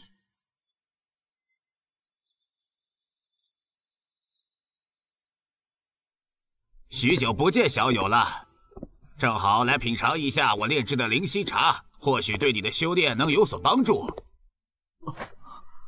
前辈炼茶的技艺真是越来越高超了。不敢当，小友的灵犀茶树品质极高。若是没有如此品质的灵茶树，我也炼制不出这种好茶。这一年的风暴之灵全被你收纳在此，他那毁天灭地的力量竟是丝毫不减。只可惜，如此强大而又磅礴的灵力，我还无法掌控。在第十区域，必须严格服从统领定下的规矩。你们想要得到宝物，就得看自己能弄到多少冰晶。正因为统领大人的守护，第十区的修士只多不减。现在能收集到的火石和冰晶可不多了。不错，但你们只要听从统领之命，宝物就少不了你们的。倘若敢违背统领之命，谁也保不了你们。我们都听师兄的。地阶妖族修士是疯了吗？快拦住他，不要让他惊扰了统领。不好，来不及了！我办事不力，定会惹大人震怒的。呃，下下跪。完 了，打扰了大人闭关修行，一万次都不够他死的。只是那地阶妖族是强行闯入的，千万别连累到我们呐！你是月华初？晋升咒怎么会变成这样？明明分开的时候还好好的，你别动！多谢主人，我终于找到您了。到底发生什么了？当年主人走后不久，黑海岛就发出了通缉告示。宋丁文向我许诺要一起追随主人，不料转头就去告密，我被抓起来严刑拷打。宋丁文，早知如此，我当时就不该有妇人之仁，直接将宋丁文杀了。就不会让你承受那么多痛苦。不是主人的错，好在，好在我后来被一位妖族前辈俘获，带来了这里，才得以与主人重聚。你放心，有朝一日我若是回到黑海岛海域，定会寻找宋丁文的下落，为你报仇。拿着，这些丹药对你的修炼有帮助。从现在开始，你就待在我身边修炼。多谢主人。统领大人。恭喜统领大人出关，不知您有何要求，我这就去安排。我想知道最近其他九大区域有没有什么异样。统领，我们第十区域地处偏远，与其他区域很少互通消息。唯一知道的是，这阵子派来的苦力越来越多，现如今总人数已经达到将近五百人。按照一年前的标准，一百多名修士已经足够维护第十区域了。妖族如此费心费力的抓人，究竟有什么目的呢？统领大人有急报，第九区域的统领红锦在暴风之灵的降临中陨落了。什么？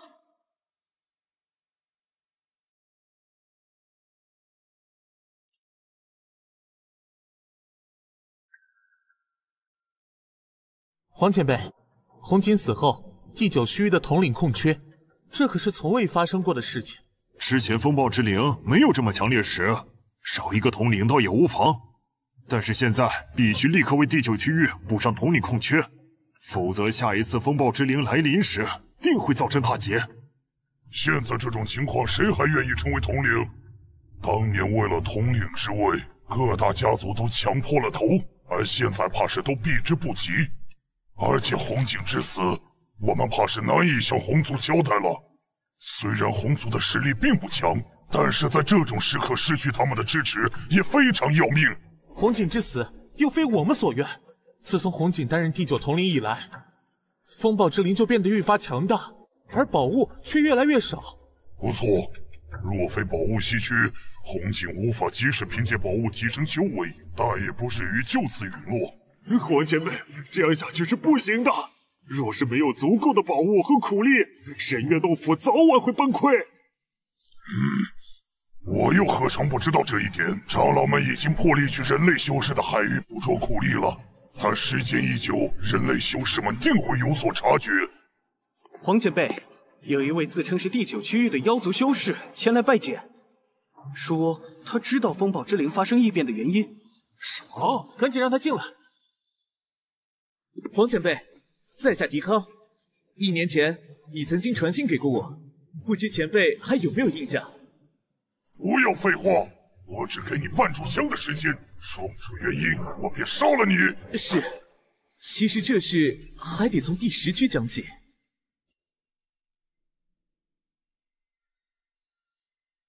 什么？你说古云以一己之力扛住了风暴之灵？简直荒谬！第十区的风暴之灵再弱，也不是一个人族灵师修士能够抵抗的。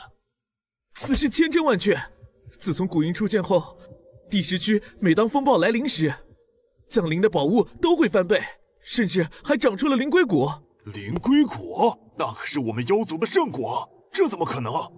按以往的经验来看，第十区域是绝对不会有宝物出现的。你小子的话，未免太匪夷所思了。我的话究竟是真是假？诸位统领，去第十区域一看便知。对了，你说你是第九区域的人，又怎么会对第十区域的情况如此了解？不瞒黄前辈，我曾在第十区域被古云打成过重伤，不得已才逃去了第九区域。可那红锦大人根本不信在下所言，直到今日，我才有机会来到这里。黄前辈，我倒是认为狄康所言有几分道理，不如我们抓几名第十区域的修士前来审问。就能一清二楚了。从现在开始，由狄康担任第九区域的统领。在下一次风暴之灵降临之前，你必须做好万全的准备。若是损失过大，我会直接取你性命。啊！什么？第九统领？以我的修为和威望，根本没有可能担任这个位置。这皇是想拿我当炮灰吗？我会暂时离开一下。其他所有统领立刻回去准备下一次风暴之灵降临。另外，对于今日之事，任何人不得外泄。是。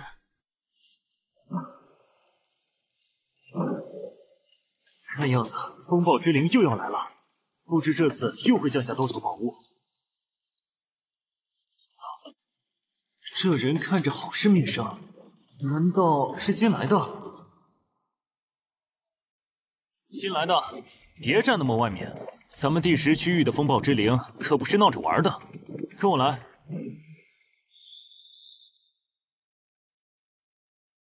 外面都说第十区域的风暴之灵最为孱弱，怎么眼下看来好像并非如此？小友怕是孤陋寡闻了。自从古云前辈成了第十区域的统领，这风暴之灵的威力便愈发凶猛，可不是过去能比的。哦。其他区域内的修士都因风暴之灵威力骤增而头疼不已，怎么感觉阁下反而对此很是欢喜啊？小友且看，此地灵芝宝物绵延千百丈，都是风暴之灵赐下的。如今的第十区域可谓是块修炼宝地，有所得必有所失，你们又如何有命在风暴之灵下过活呢？小友别急，很快你就会知道究竟为什么了。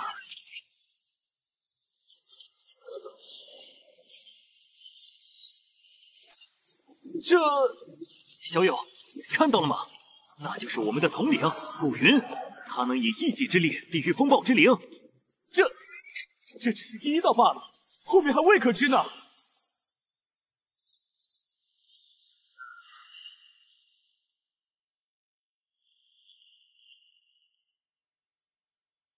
统领神勇，尔等速速统计好宝物数量，收纳进库房。这究竟是怎么一回事？我记得之前那块灵晶最多只有磨盘大小，短短一年是怎么让它增长到这等程度的？出来吧，别继续藏着了。啊，统领，您在说谁？这里难道还有外人吗？嗯，是是黄前辈，黄怎么会出现在这里？难道是因为此地巨量的宝物？若真是如此，我们的好日子就要到头了。宝物原来都在这里，说不定这就是其他九大区域宝物减少的原因。而且这些修士竟都在此地修炼到了灵石后期巅峰境界，这还能算是苦力吗？古云，黄可是神月洞府的主人，统领大人他能有抵抗之力吗？黄来者不善，面对这些堆积千丈的宝物，以及掌控风暴之灵的方法，他已经动了私心。虽然我早就料到此地的事情瞒不住，但没想到第一个来的人就是你。没想到我也有看走眼的时候，区区一名人类低级修士，竟然能够驱动风暴之灵，你是如何做到的？我凭什么要告诉你？我劝你赶紧把掌控风暴之灵的方法说出来，我可以安然让你离开妖族海域，否则今日就是你的死期。是吗？要不你试试看。找死！这皇的实力果然非同小可，恐怕就是当年的武境，也未必能够在皇的身上讨得什么好处。既然他已经对我动了杀心，那就绝对不能让他轻易离开。皇，今日我就让你开开眼界。哼，你们人类修士只会借助外力，不懂得提升自身实力。根本无法与我们妖族修士相比。那可未必。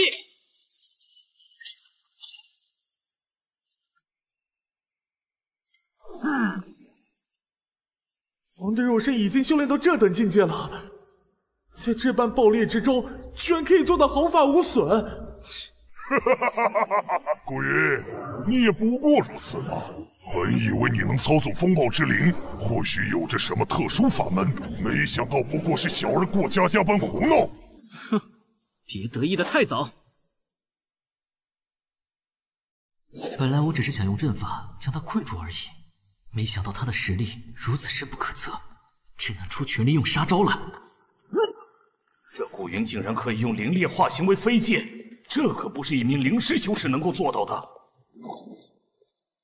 不对，这似乎不单单是灵力气息。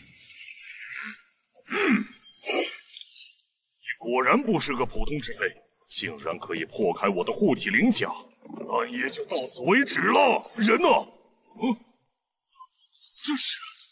嗯不好，连我的神识和魂魄都被冻结了。没想到古云竟然驯养了如此强横的妖兽。这只高等级的冰虫，恐怕连拥有妖王血脉的强者都无法抵抗。强大的第一区统领皇，现在竟然全身鲜血横流，连护体鳞甲都被折损大半。只要古云在，我们的希望就在。第十区域这个修炼圣地就能保住。此人比想象中更加难缠，连冰虫也只能拖延他一小段时间。皇掌控着神月洞府解除的命脉，若想离开这里。就必须将他给斩杀于此。只是皇的妖身强大无比，修为非常之高，想要杀死他，必须借助强大的神力才行。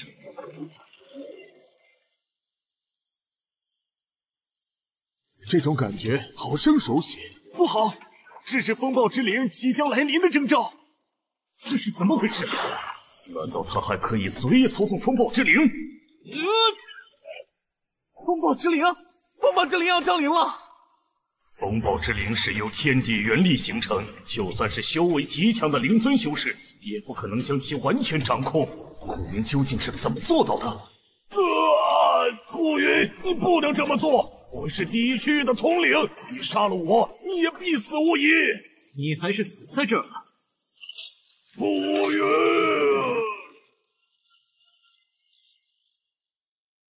这次动用风暴之灵的力量，给身体带来的损伤太大了，几乎达到快要崩溃的程度。如今还不到风暴之灵降临的时候，想要获得神力，还要再等待一个月的时间。主人，你没事吧？这痛吗？这呢？可有哪里不适？放心吧，我没什么大碍，只需静修一段时间便能恢复。统领，第十区域所有的修士都在这里了。哦，自从统领来到第十区域，我等这些被称为苦力的修士，才真正有了出头之日。若没有大人，我等恐怕要在此浑浑噩噩的度过一生。统领杀死皇，必定会引起极大的风波。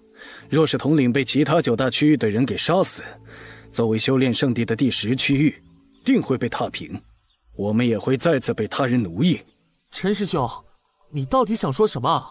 统领，晚辈陈冲愿献上精魄以明志，誓死追随统领，从此性命交由统领处置。嗯，陈道友啊，需需要做到如此地步吗？你仔细想想看，统领若是想明哲保身。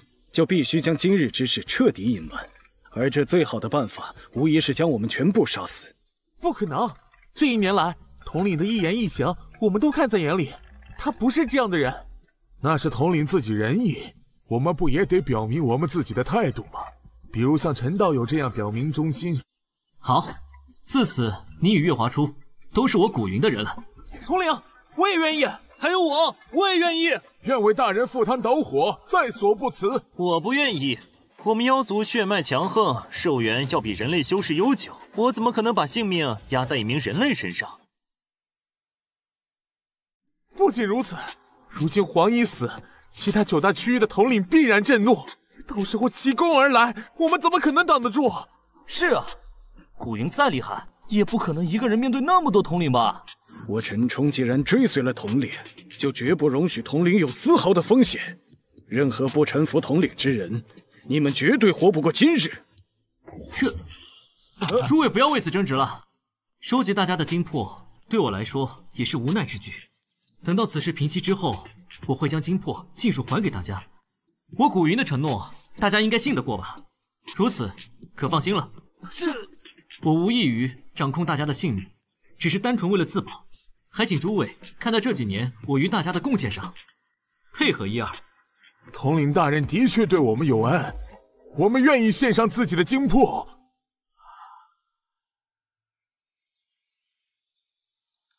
如此一来，第十区域五百多名修士的性命，皆掌握在我的手中了。顾小友，我在那儿黄的陨落之地拾到了一个储物袋，里面的宝物令我大开眼界。对前辈有用的宝物，前辈。就全部留下吧。若是有时间，还请前辈探查一下离开此地的方法。我已经找到了，这黄就是神月洞府的主人，他手中掌握着开启神月洞府的钥匙。这是我从储物袋的典籍中发现的，此物就是神月洞府与外界沟通的令牌，整个妖族也只有这么一枚而已。不过传送阵法的位置处在第一区域，我并不建议小友就此离开。毕竟外面还有迷雾大阵保护呢。前辈说的不错，只要外界的妖族无法进入，我在此地就不会有太大的凶险。小友应该还记得，当初我在玉兽宗时，曾经让你帮我竞拍灵蝶卵的事情吧？哦，记得。前辈为何突然提及？之前我以为是妖族妄图夺舍玉兽宗修士，不过查看了那本典籍之后，我才知道，并非所有的妖族都是如此。其实妖族的范围极广，比如上古龙族或者蜉蝣族等等，他们乃是妖族之中的王者。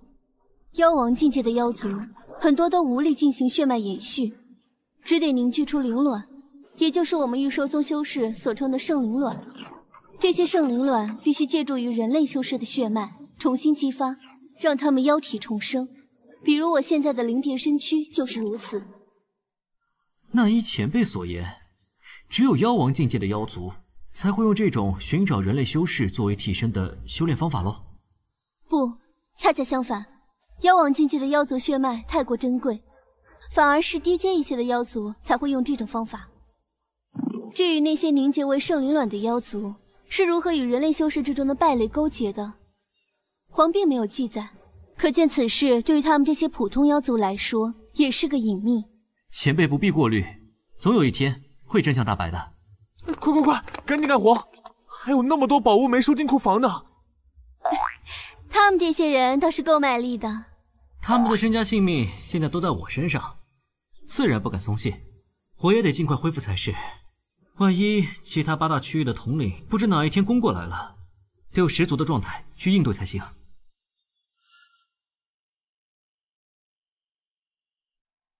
什么？你说黄前辈失踪了？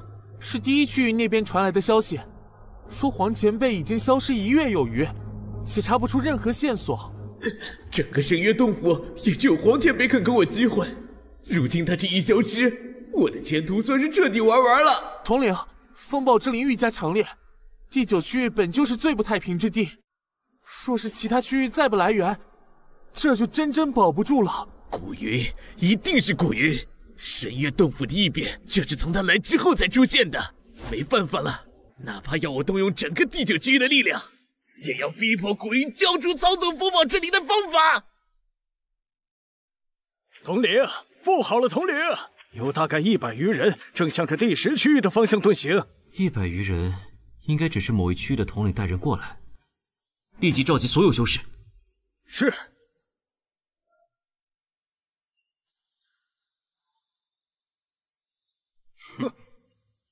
这一年来我在外流浪，吃尽苦头，都是拜着古云所赐。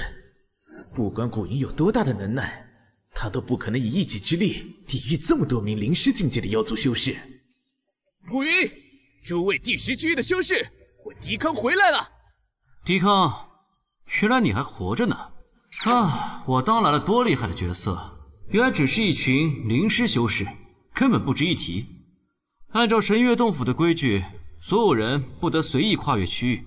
你们还是从哪儿来的，回哪儿去吧。你放肆！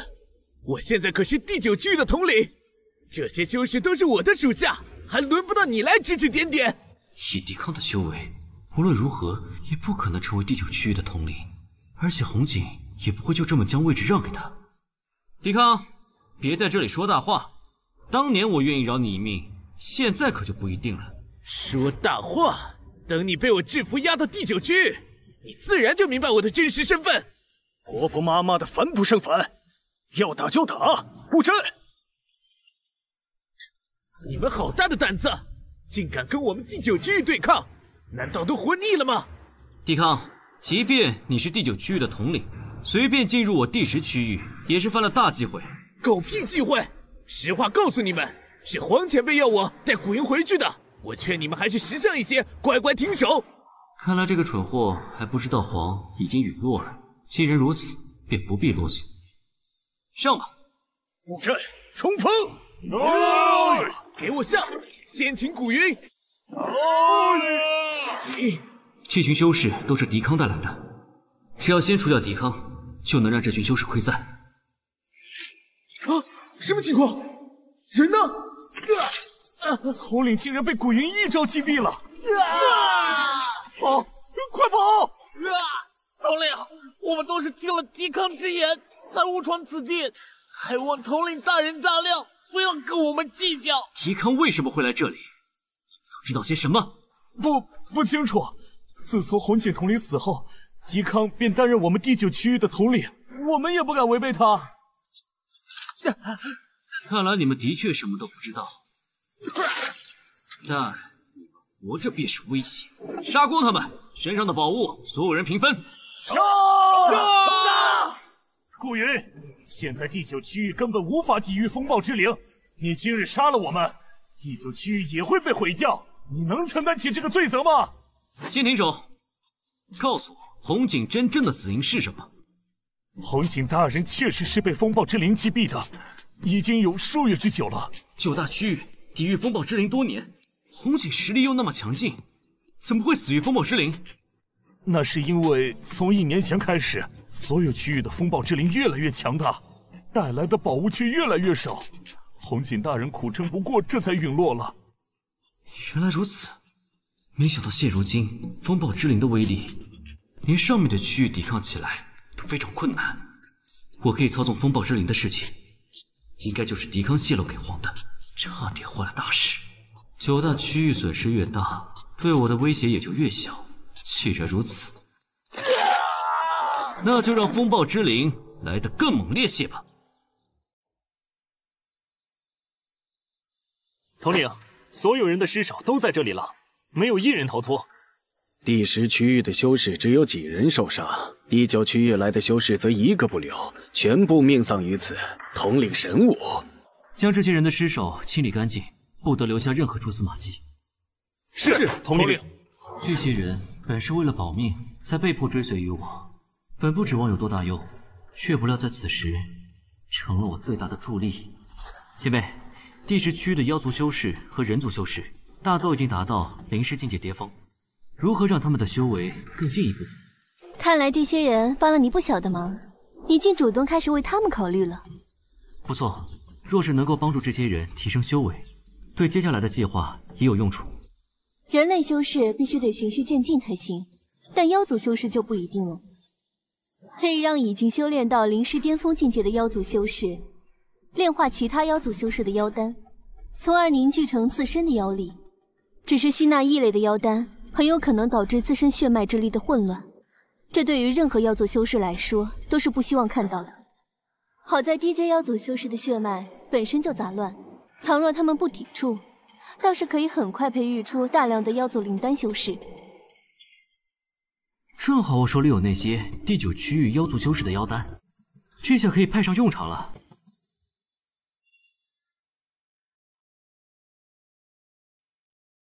如何？打听到狄康的消息了吗？没有，整个第九区域都找遍了。统领他可能去了别的区域。他算个狗屁统领！就算是死了也不要紧，重点是他私自带走了那么多名妖族修士。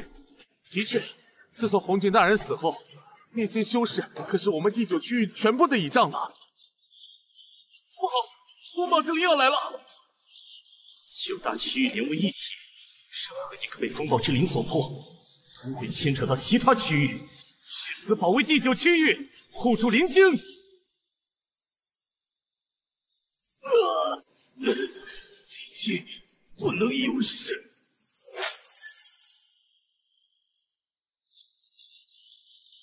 第八区域三百多名苦力几乎全部重伤，可眼下的宝物储存也只能让少部分人恢复。还没有黄前辈的消息吗？其他区域并无黄前辈的消息传来，属下在想，前辈会不会已经……放肆！黄前辈可是整个神月洞府的支撑力量，休得胡言！是，属下知错了。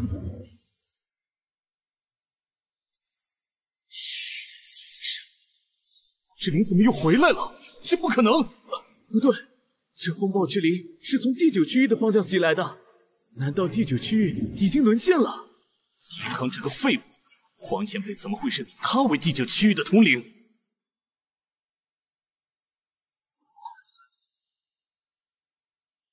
这这道风暴之灵，使第八区域的重伤苦力们瞬间死了八成。统领，这下第八区域就彻底失去抵抗下次风暴之灵的力量了。可恶！最后这一道狂暴之力，岂会陷入如此困境？九大区域连为一体。在下次风暴之灵降临之前，我们必须得为第八区域和第九区域同时做好万全的准备。黄前辈，你究竟去了哪里？若是你再不出现，我们所有人恐怕都要陨落在此地了。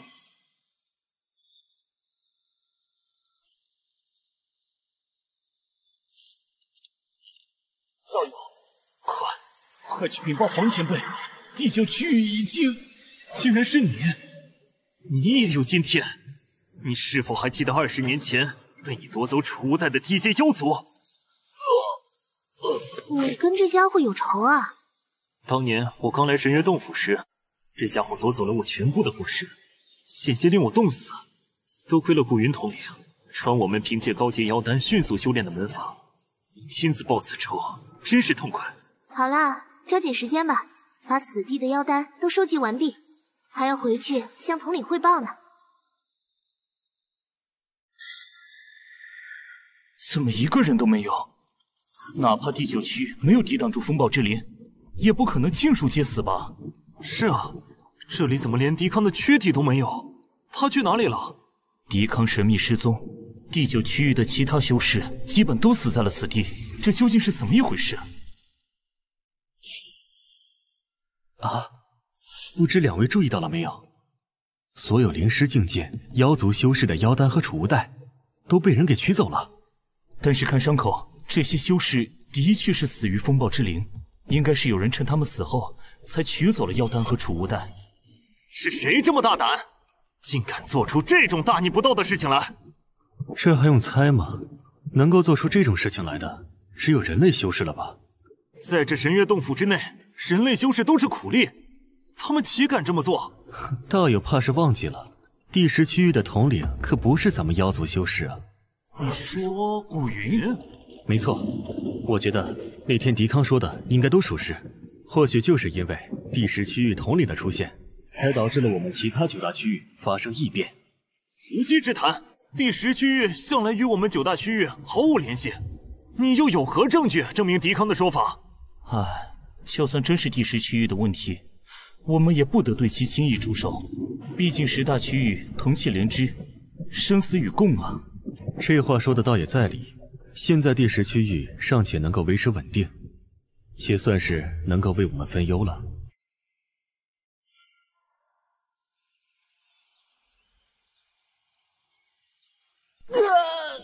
你也配和我抢东西，找死！前阵子统领赐下的妖丹都被你们拿去了，这次还和我们抢，未免太贪心了吧！我呸！那些妖丹是我和兄弟们去第九区域亲自取的，你们若是想要的话，自己找去啊！那里早就被你们的人搜刮干净了，我们如何能找得到？嗯，陈道友，他们这是在吵些什么啊？打扰统领了。前几日有一批妖族修士去第九区域搜刮妖丹，可惜数量不太够，而他们又都在争夺进阶灵丹境界的机会。机会总会有的，但若是因此失了彼此的情分，可对第十区不利啊。是是是，我这就去劝说他们一下。喂，你们两个，嗯，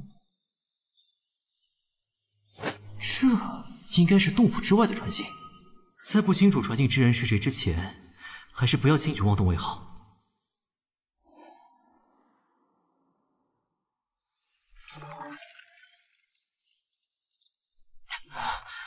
经过这一个月的休养，上次动用风暴之灵时造成的损伤已经恢复的七七八八了。前辈，之前你让妖族修士们在第九区域留下的隐匿阵法激活了，应该是有其他区域的统领前往。第九区域被毁，他们不可能坐视不理的。毕竟现在整个神渊洞府内的妖族修士和人类苦力完全不足以支撑抵抗风暴之灵了。统领，若是他们抵抗不住风暴之灵的话，是否会对我们造成威胁？现在的重点是不要让另外七个统领对我起疑心。只要他们还在尽全力抵抗风暴之灵，就不会对我们造成什么威胁。统领，请放心，我已经派了不少修士四处查探，一有消息就会来禀报给你。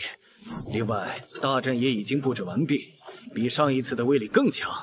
若是有修士胆敢进犯，绝对让他有来无回。啊，那七个统领的修为虽然无法与皇相比，但他们合力进攻的话，恐怕我也很难应付。好在现在单是抵抗风暴之灵就够他们喝上一壶了，应该还没空来搭理咱们。哎呀，但愿如此吧。好在现在单是抵抗风暴之灵。就够他们喝上一壶了，应该还没空来搭理咱们。哎呀，但愿如此吧。多年之前，我也曾经试图进入神月洞府的深处，想要探寻风暴之灵是如何产生的。就在我刚进入深处时，一道巨大的黄色光芒就将我击打回来，差点要了我的命。倘若不是黄前辈以及其他统领的帮助，恐怕我早已身亡了。后来，我花费了将近十年的时间来修复伤势。从此之后，再也没有修士敢进入神月洞府的深处探寻。没想到，这道黄光居然再次出现了。统领，我们可要抵挡不住了！这次的风暴之灵实在是太强了。现在黄前辈失踪，又没有修士和灵物的补充，凭我一个又能做些什么呢？糟糕，这风暴之灵的力量越来越恐怖了。我啊！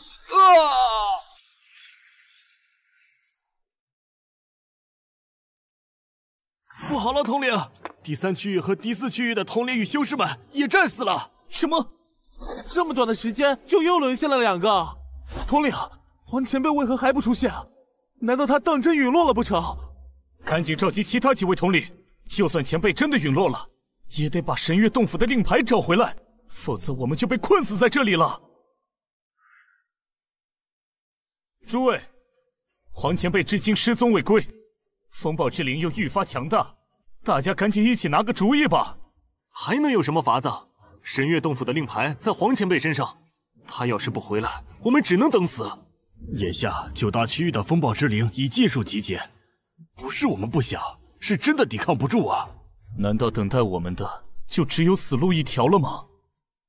兰陵统领，妾身这儿倒是有个法子。哦，素素说来。自从九大区域沦陷以来，第十区域却一直风平浪静，从未有求援的消息传出。对，那里与九大区域相距甚远，风暴之灵应该会弱上不少。我们可以去那里避一下难。第十区域的统领就是迪康说的那个能够抵抗风暴之灵的人族修士古云吧？不错，如今九大区域是待不下去了。无论迪康所言是真是假，我们都已经失去容身之所了。嗯，好，那就出发前往第十区域。很好，上次强行引用风暴之灵时受的伤已经完全恢复了。有人来了！哇，第十区域的宝物竟然如此之多！不仅如此，此地的灵气也异常充沛，怕是比我们九大区域加起来还多。第十区域的统领出来见我。古云拜见诸位统领。终于还是来了吗？不知他们有何打算？我乃第二区域的统领兰陵，黄前辈不在，诸位皆由我所统管。是，不知统领们来我第十区域有何指教？从现在开始，你晋升为第九区域的统领，负责抵抗那里的风暴之灵，可有异议？哼，原来是这样啊！谨遵统领之命，所有人跟我前往第九区域。这，难道他们不知道，除了第十区域外，这神月洞府内已经没有生地了吗？天哪！第十区域居然会拥有如此庞大的灵晶，就算不布置任何庇护阵法，也可以轻松抵挡数十次风暴之灵的侵袭了。看来这古云的确有几分本事，竟然能够将灵晶保护成这般形态，当真是罕见。如此，我们便在第十区域安心休养，坚持到黄前辈归来，或是长老们打开通道，就能离开此地了。统领，我们为何如此轻易的就把第十区域给让出去了？大家可是在此耕耘了一年有余，才有了今天这样的成果。如果我没有猜错的话，另外九个区域已皆数沦陷，所以他们才会想到进入第十区域来避难。倘若我们硬要相争，他们绝对不死不休，到时反而得不偿失。可是那些宝物还有灵晶。岂不是白给他人做嫁衣了？我实在是不甘心呐！哼，那些宝物就算他们拿在手里，也要有命享受才行啊！怎么回事？灵晶居然出现了损伤！灵晶在我的庇佑之下，断不可能是受到风暴之灵才留下损伤的。难道是我炼化灵晶已久，神力多被我吸收？灵晶本身。变得极为不稳定，一旦爆裂开来，怕是会毁天灭地。如此看来，第十区域倒成了最为凶险之地。神月洞府内已无安身之处，必须尽快想办法出去。前面那是……大家稍微休息一下，就继续赶路吧。马上就要到了。嗯，喂，第十区的统领在此，有几件事情要询问你们一下。拜见统领大人，大人有什么想要知道的，晚辈绝对知无不言。你们是从哪里来的？要到哪里去？其他区域的风暴之灵现如今情况如何？回大人的话，晚辈们是路上遇到的各大区域的苦力，正打算一起前往第十区域。如今九大区域的风暴之灵正在逐渐融为一体，凝聚在第三区域上空。我们实在是抵挡不住了，所以才会想到去第十区域避难的。逐个对付风暴之灵会非常麻烦，可眼下他们竟然融为一体了，真是天助我也！这下说不定能找机会一举消灭所有风暴之灵。任中，传令下去，所有修士即刻出发，前往第三区域。是，大人三思啊！据说在上次风暴之林的降临中，那里所有的修士已经全部化作粉尘了，连尸体都没有留下。哦，这倒是有些可惜了。有尸体就会有不少妖丹，这样我手下就能再添几名灵丹境界的妖族修士了。来，我给你一个选择，是继续去第十区域，还是要和我们一起去第三？我不去，我还不想死啊！啊，那你自求多福吧。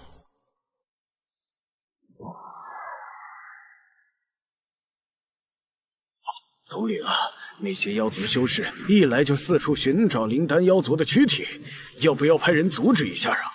不用，是我让他们去的。多找一些妖丹，提升他们的力量，对我们接下来的行动肯定会有所帮助。哈哈，我找到了一颗。第三区的状况果然比第九区严重多了。找了这么久的妖丹，数量却少得可怜，一只手都能数过了。一只手都能数过了，你确定？大家先别搜了，统领有命，风暴之灵快来的时候，需要马上布阵。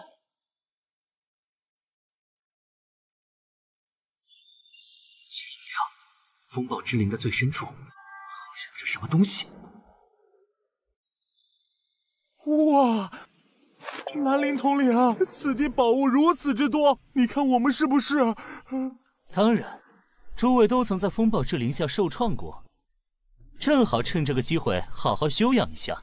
统领，此地宝物虽多，却经不起众人消耗，还是仔细商量一下分配方式为好。你看，这第十区域的灵晶如此庞大，就算我们撒手不管，它也能在风暴之灵下撑过很久。只要灵晶不毁，宝物就不会少。更何况此地的资源已经千丈有余了，何惧之有？去吧，尽管拿。我的都是我的。事情当真会有这么顺利吗？我总有种不祥的预感。刚才这动静是？没猜错的话，这应该是来自其他九大区域风暴之灵的动静。第十区域与九大区域距离极为遥远，竟然还有能够传递过来的余威，说明此次的风暴之力极为强大。嗨，别担心了，我们不是已经从那里撤离了吗？呃，只是那古云和第十区域的修士要遭大殃了，恐怕会死的连渣都不剩。这，这股奇异的能量是……这些神力不是来自于灵晶，而是来自于风暴之灵的内部。不好，此次风暴之灵的灵压太过于强大，这样下去，我的肉身都会崩裂的。呵呵，这种感觉是灵机凝聚，灵机凝聚意味着我有了日后凝结生成灵丹的可能，这是进阶灵丹境界最大的希望，拼了老命也要坚持住。能量好像越来越强了。作为一名修炼身外之法的修士，我的本源灵力更加强大，这些神力还不足以催动我的灵气改变。糟了，风暴之灵似乎变得更为强大了。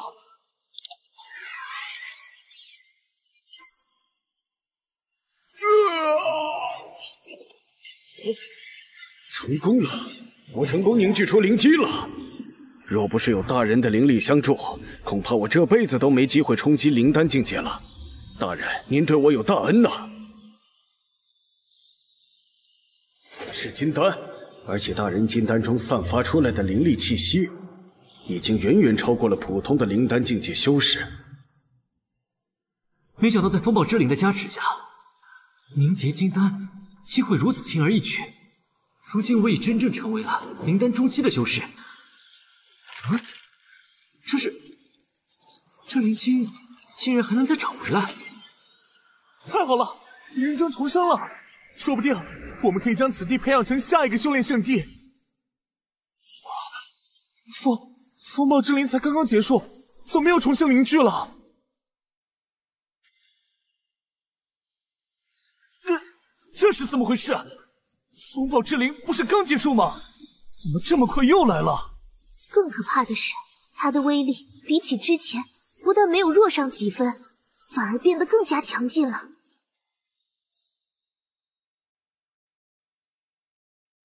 也不知那古云使的什么法子，这第十区域的灵晶硬生生扛了这么多次风暴之灵，竟还是分毫未伤。操这心干嘛呀？反正灵晶一时半会也碎不了。风暴之灵还能给我们带来那么多宝物，我巴不得他就留在这儿，在这儿不走了呢。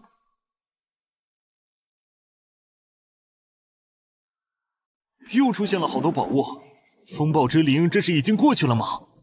风暴之灵连续数次，每一次都有这么多宝物，我现在真的怀疑，其他九大区域的宝物是不是都集中到这里来了？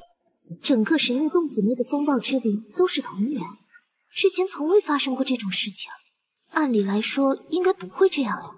的确，风暴之灵不可能只针对第十区域，应该是这段时间内发生了某种巨大的异变。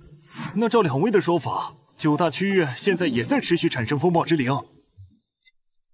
看来那个什么古云现在已经必死无疑喽！哼，我才不管什么古云，收集宝物才是当前最最要紧之事。哎哎哎，这些东西是大家的，你可别一个人独吞了。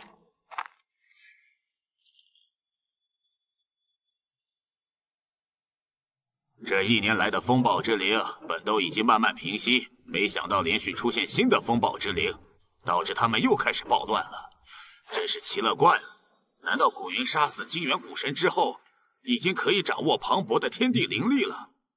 一直以来，古小友都对我多有戒备，才将我一直留在这里。日后为了保命，我得尽快取得他的信任才行。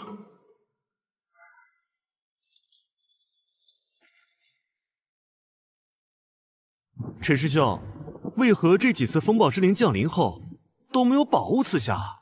虽无宝物，但有大人在，神力和灵力都极为浓厚。你还有什么不知足的？别再胡思乱想了。你才刚刚进阶，专心稳定当前的境界才是最重要的。是，陈师兄。最后的风暴之灵终于要来了吗？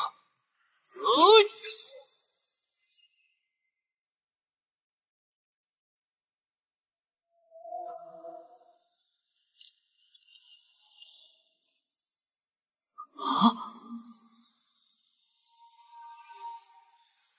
好美啊！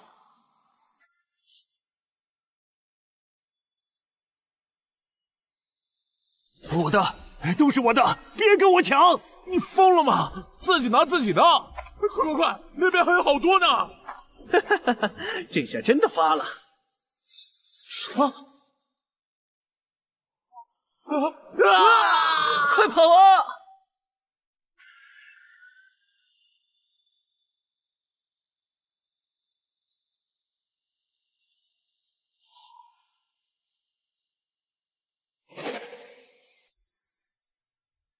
神月洞府出现了状况，奇怪，按照我的推算，神月洞府的异变至少要在数万年之后才会发生，怎么会突然提前呢？府有两位少主尚未成年，修为极低，神月洞府现在出现异变的话，究竟该如何是好？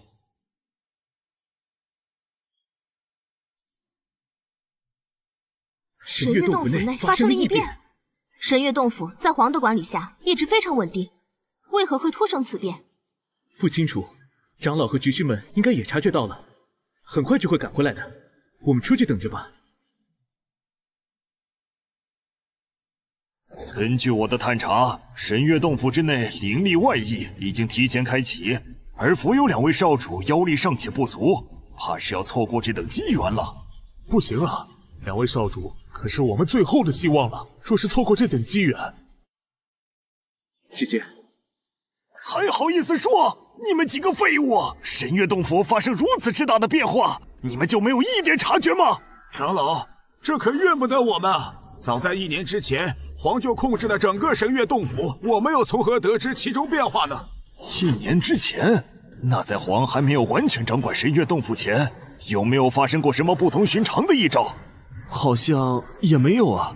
而且我们主要是负责收集苦力的，最后都是由皇将他们收容进去。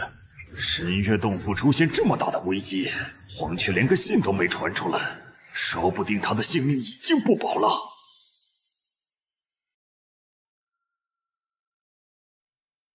长老，还有一事我等未曾禀报。一年前，福少主曾经向我们推荐过一位人族统领，他通过了皇的考验，成功进入了神月洞府。啊？居然还有这种事？这又是什么情况？这些年来，你不是一直在和我闭关修炼吗？这师姐，你忘记了？就是当时咱们在外海抓住的那两名人类修士啊，其中一人有着妖族血脉，他非常的有潜力，我就推荐他当统领试试。这几个混账执事，说好让他们保密的，就为了推诿他们在神月洞府上的失责，竟然把我给拉下水。行了，不要废话了，现在不是谈这个的时候。有什么问题之后再说。长老，现在的我们还暂时无法承受神月洞府之力，应该如何快速提升呢？唉，只可惜我们还没有找到上古龙族的血脉，否则让两位少主吞噬龙族血脉，兴许还有转机。我想起来了，十年前福少主送来的那名人类修士，他身上就有着上古龙族的血脉。你说什么？若是真有上古种族血脉，少主怎么可能察觉不到呢？呃，那个人类身上的确有着微弱的妖族血脉气息，不过我并不能分辨出究竟是何种族。连福少主都分辨不出来，你们几个执事怎么可能分辨出来？再者说，龙族乃是上古妖族，怎么可能跟人类修士血脉混杂？长老，这可是当年我等向皇举荐那人族时，红族的红锦所发现的呀。哦，红族在气息察觉方面远胜其他的妖族，不管是真是假，必须赶紧找到这名人类修士，一探究竟。不错，若此事当真，说不定能够按着线索找到上古种族。你们快点联系皇，将神月洞府给打开。少主，我等与皇已经失联好几个月了，现在根本没有任何渠道能联系得上他。那倒也不一定，我们可以使用秘法打开一丝缝隙。再派人进入其中，搜寻黄和那名人族的下落。希望在神月洞府彻底迸发之前，能够找到此人，否则咱们妖族怕是要遭遇大劫了。事已至此，也别无他法了。尤少主，我建议先将低阶妖族们迁出这片海域，给咱们保留一些火种。好，就依长老说的这么办吧。这里还是神月洞府吗？我不是在做梦吧？神月洞府发生如此巨变，难不成与我将风暴之灵切入输入混沌空间有关？主人，我似乎察觉到了一种特殊的气息。哦，月华初眼下已然进阶灵丹境界，对灵气的感知也敏锐了许多。他的感觉应该信得过。你说的这股气息在何处？有什么特点？这种气息与您赠予的那些妖丹灵液的气息有些类似，而且还拥有一种极大的诱惑力。在吸引着我前去探寻，应该就在洞府极深之处。主人，咱们要去看看吗？前辈，月华初所说之事，你是否有所察觉？他所言不错，这种气息对我也有着莫大的吸引力，想来是与那上古龙族同源。神月洞府发生巨变，妖族肯定会派人前来查看。这气息背后的隐秘，说不定就是我们离开此地的契机。既然如此，小友就赶紧下决定吧。这些修士们都归附于你，索性把他们也带上，或许能够帮上什么忙。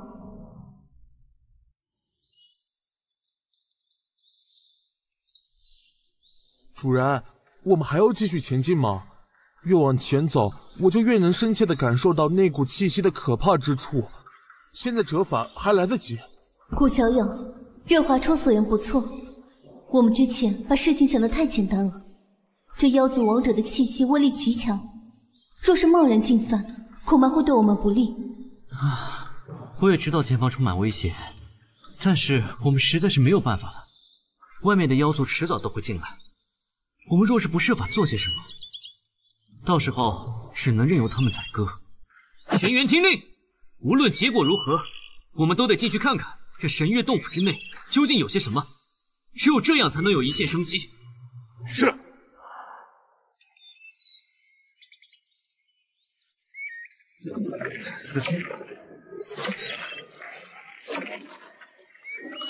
门开了，红族听命，县委派你们进入神月洞府查探情况，务必要将那名深藏上古龙族气息的人族修士给带回来。遵命。两位少主，此次开门导致我灵力消耗极多，下次再想开启神月洞府，恐怕需要进行一段时间休养。真是辛苦长老了，您赶紧进入圣地休息吧。希望您可以早日恢复灵力。多谢尤少主。大家快看，这些尸骸上有着我们红族的气息。不只是我们红族，还有许多其他妖族的气息。这里究竟发生了什么，才会令他们伤亡如此惨重？你们过来看一下这个，这里有件碎裂的法器。应该也是我们红族的，这，这应该是一件长老才能持有的高阶法器啊！怎么会？到底是多么强大的力量，才能将如此厉害的法器摧毁成这般模样？啊！这，好强的上古妖王气息！难道在这神月洞府之内，还隐藏着某个不为人知的大妖？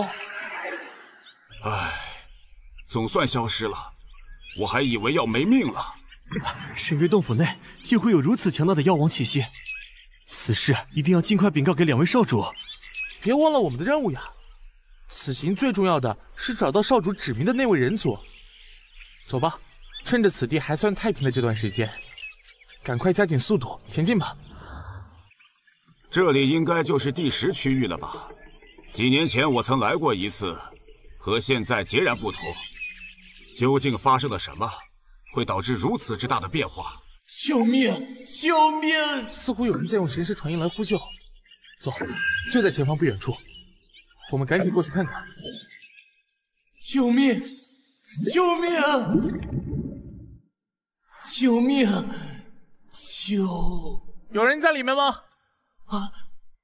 道道友，赶紧救救我！他好像是第二区域的统领，多年之前我和他见过一面。第二区域的统领为何出现在第十区域，还伤得这么严重？道友，这神月洞府怎么了？究竟发生了什么事情？第十区域统领人族古云，就是那名拥有上古龙族血脉的人类修士。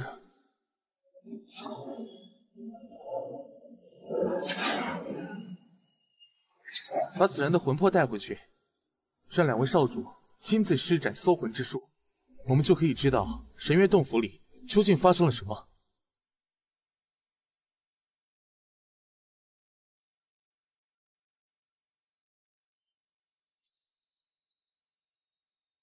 这股强大的气息，和当年我在神奴门见过的古神族有些相似，但要强上千万倍。古云，这。这里是什么地方？柳宗辉，你可熟悉这种气息？你之前搜寻神印的时候，很有可能遇到过这种气息。这种气息是……啊！不要，不要啊！收！这强大的神力威压，竟险些把刘宗辉的魂魄给打散。顾小友，你有没有注意到，这些妖族可都是灵丹境界？可仅仅身处在这气场中，就让他们有些难以支撑了。此处肯定隐藏着什么天大的秘密。前辈所言极是，我们有什么办法能够帮助他们抵抗这强大的气息吗？你看，月华出的情况就相对好一些，或许是因为他曾经得到过上古龙族的妖丹灵液，这些妖族修士如今可都是小友的助力，今后还有很多能够用得上他们的地方。我觉得可以给他们每人都分一滴妖丹灵液。好，那就按前辈所说的去做吧。不过每人一滴妖丹灵液，咱们这次也算是下了血本了。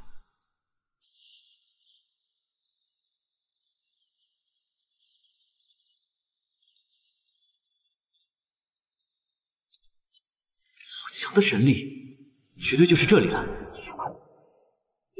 我体内的上古圣兽凤凰之力，对此地的神力做出了回应。主主人，这到底是什么东西啊？感觉所有的力量在他面前好像都不值一提。这应该是一道极为特殊的传送法阵，只是不知它的终点究竟是何处。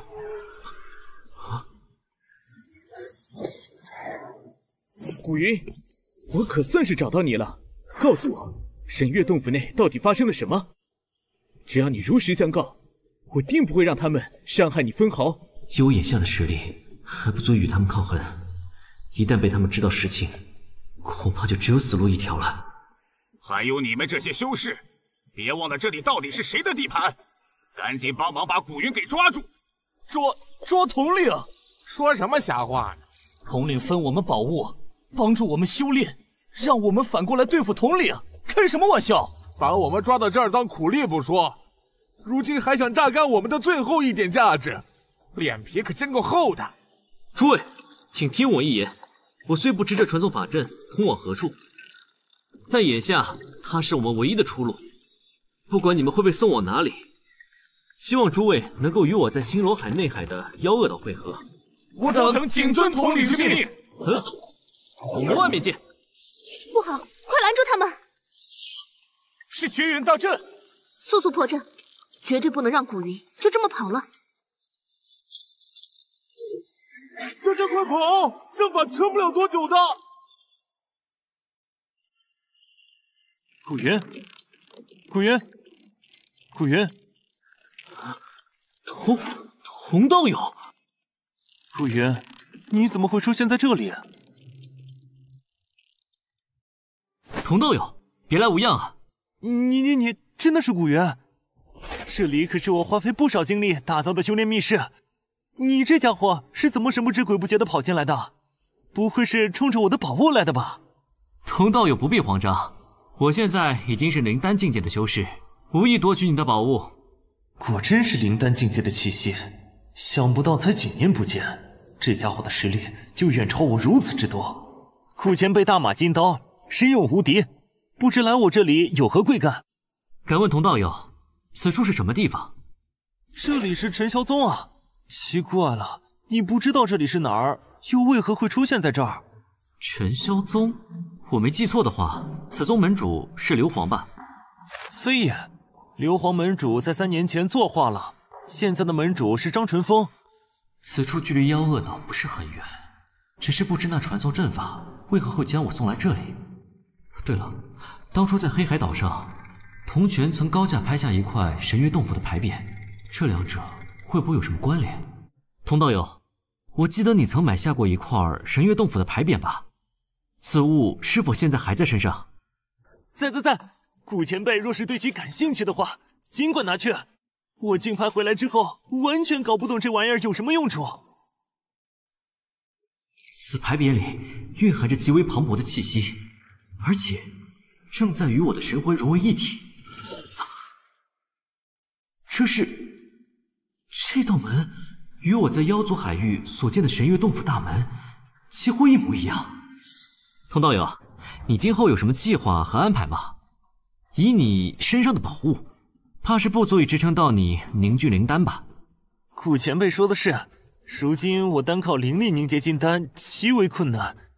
凝结灵丹更是遥遥无期，我们也算是相识一场。我会尽力助你一臂之力，不过你必须听从我的命令。愿意，愿意，我愿意听从古前辈之令。能有一名灵丹境界的前辈照拂，这可是件天大的好事。童娟买下神月洞府牌匾的事情，早晚会被妖族查到，为防止他们找来暴露我的行踪，将同学收编入队是最保险的做法。现在我有几件事情要交代给你。第一，你要对外界隐姓埋名，不能透露自己的身份。第二，便是设法控制陈霄宗。没问题，这两点古前辈大可放心。我现在可是陈霄宗的第一长老，就连门主的实力也在我之下，可谓是尽在掌握。如此便好，我去将陈霄宗所有灵师境界以上的修士，在一日之内召集于此。此事一定要保密。是是是，我办事你放心，只要我一声令下，全陈萧宗无不遵从的。另外嘛，啊，我想在这间密室里休息一下。没问题，没问题。让我看看这扇门后究竟藏着什么，或许是一个天大的机遇。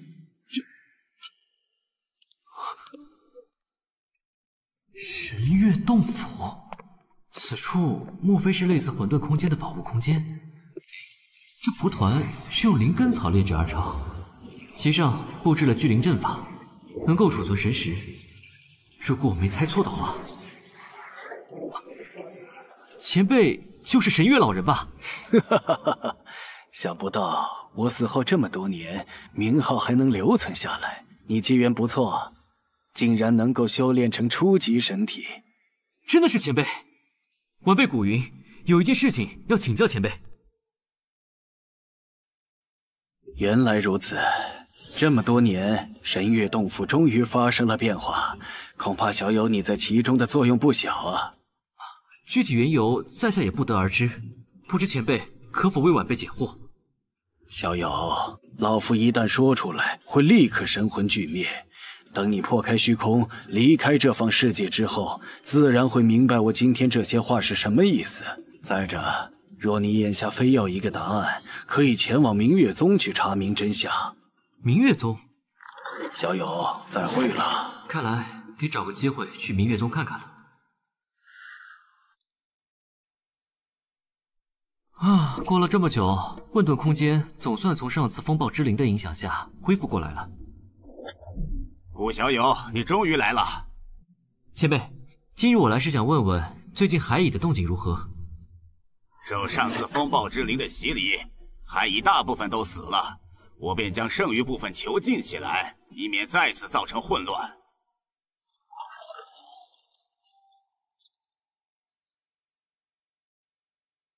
前辈，这些海蚁已经被我全部炼化了，而且他们的后代也不会再随意而为。什么？我尝试了这么多年都不能将这些海蚁炼化，古云竟然只是打出一道灵力就做到了。照古云修炼的速度，迟早有一天会进阶到灵尊境界巅峰。追随他，必能助我迈向更广阔的世界。顾小友，啊，呃，前辈这是何意？我金俊寿今日愿奉你为主。从此生死相随。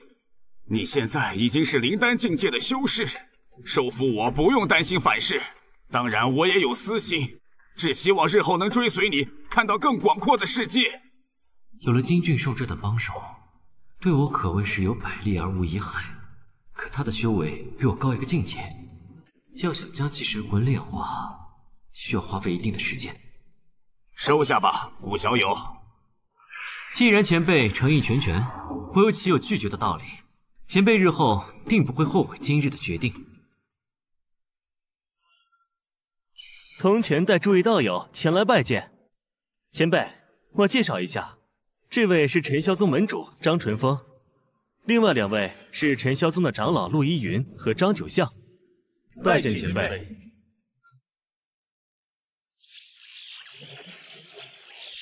这是什么声音？不瞒前辈，自从三年前岛屿之下就偶尔传出潺潺涌动之声，后来我们才知道，这海底藏着一个巨大的漩涡。随着时间的推移，这漩涡的吸力越来越大，后来竟然连百丈之外的生灵都能吸入进去。还希望前辈能为我们陈霄宗出手，除此祸患。此事着实有些古怪，你们可有思路？谣传此异象在多年之前曾经在明月宗出现过，与吞天兽有关。又是明月宗，果然如神月老人所说，这明月宗里藏着大秘密。走，随我走一遭。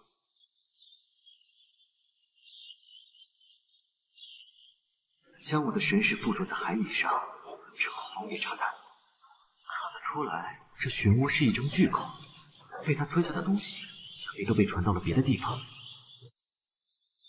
多谢前辈，多谢前辈。别误会，这和我没什么关系，我只是稍加探测罢了。提醒一句，这是一种你们无法抵御的强大力量，甚至连我都……金前辈一定要救救陈孝宗啊！其实这里暂时没什么危险了，眼下我有更重要的事情需要交给你们去做。什么事？前辈尽管吩咐，晚辈定当全力以赴。第一件事，张传峰现在即刻外出，我会给你一千枚珊瑚作为调度资金，打探明月宗的消息。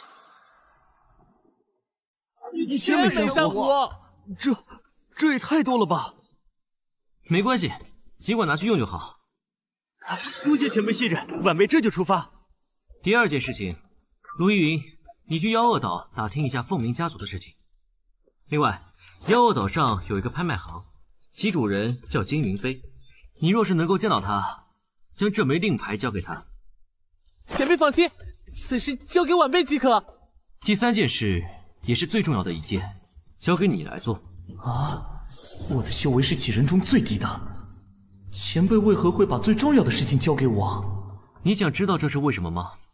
晚辈不知，还请前辈明示。因为你身上有妖族血脉，这一点是其他人所不具备的，可以在我接下来的计划中派上用场。妖族与人类修士可是不共戴天的，你竟然可以隐匿这么久！前辈饶命，晚辈只是体内有些许妖族血脉而已，从未无故伤人，还请前辈留我一条性命。别担心，我没有别的意思，而且在我的门下也有不少灵丹境界的妖族修士。什么？古云的门下竟然还有灵丹境界的妖族？他真正的修为难道堪比灵尊强者？不知前辈有什么要我做的？晚辈必定尽力而为。你的妖族血脉可以帮我认出妖族修士，帮我搜寻他们的下落，让他们齐聚尘霄宗。灵丹境界的妖族前辈修为何其之高，我怕找到他们也未必能够与他们说上话。嗯。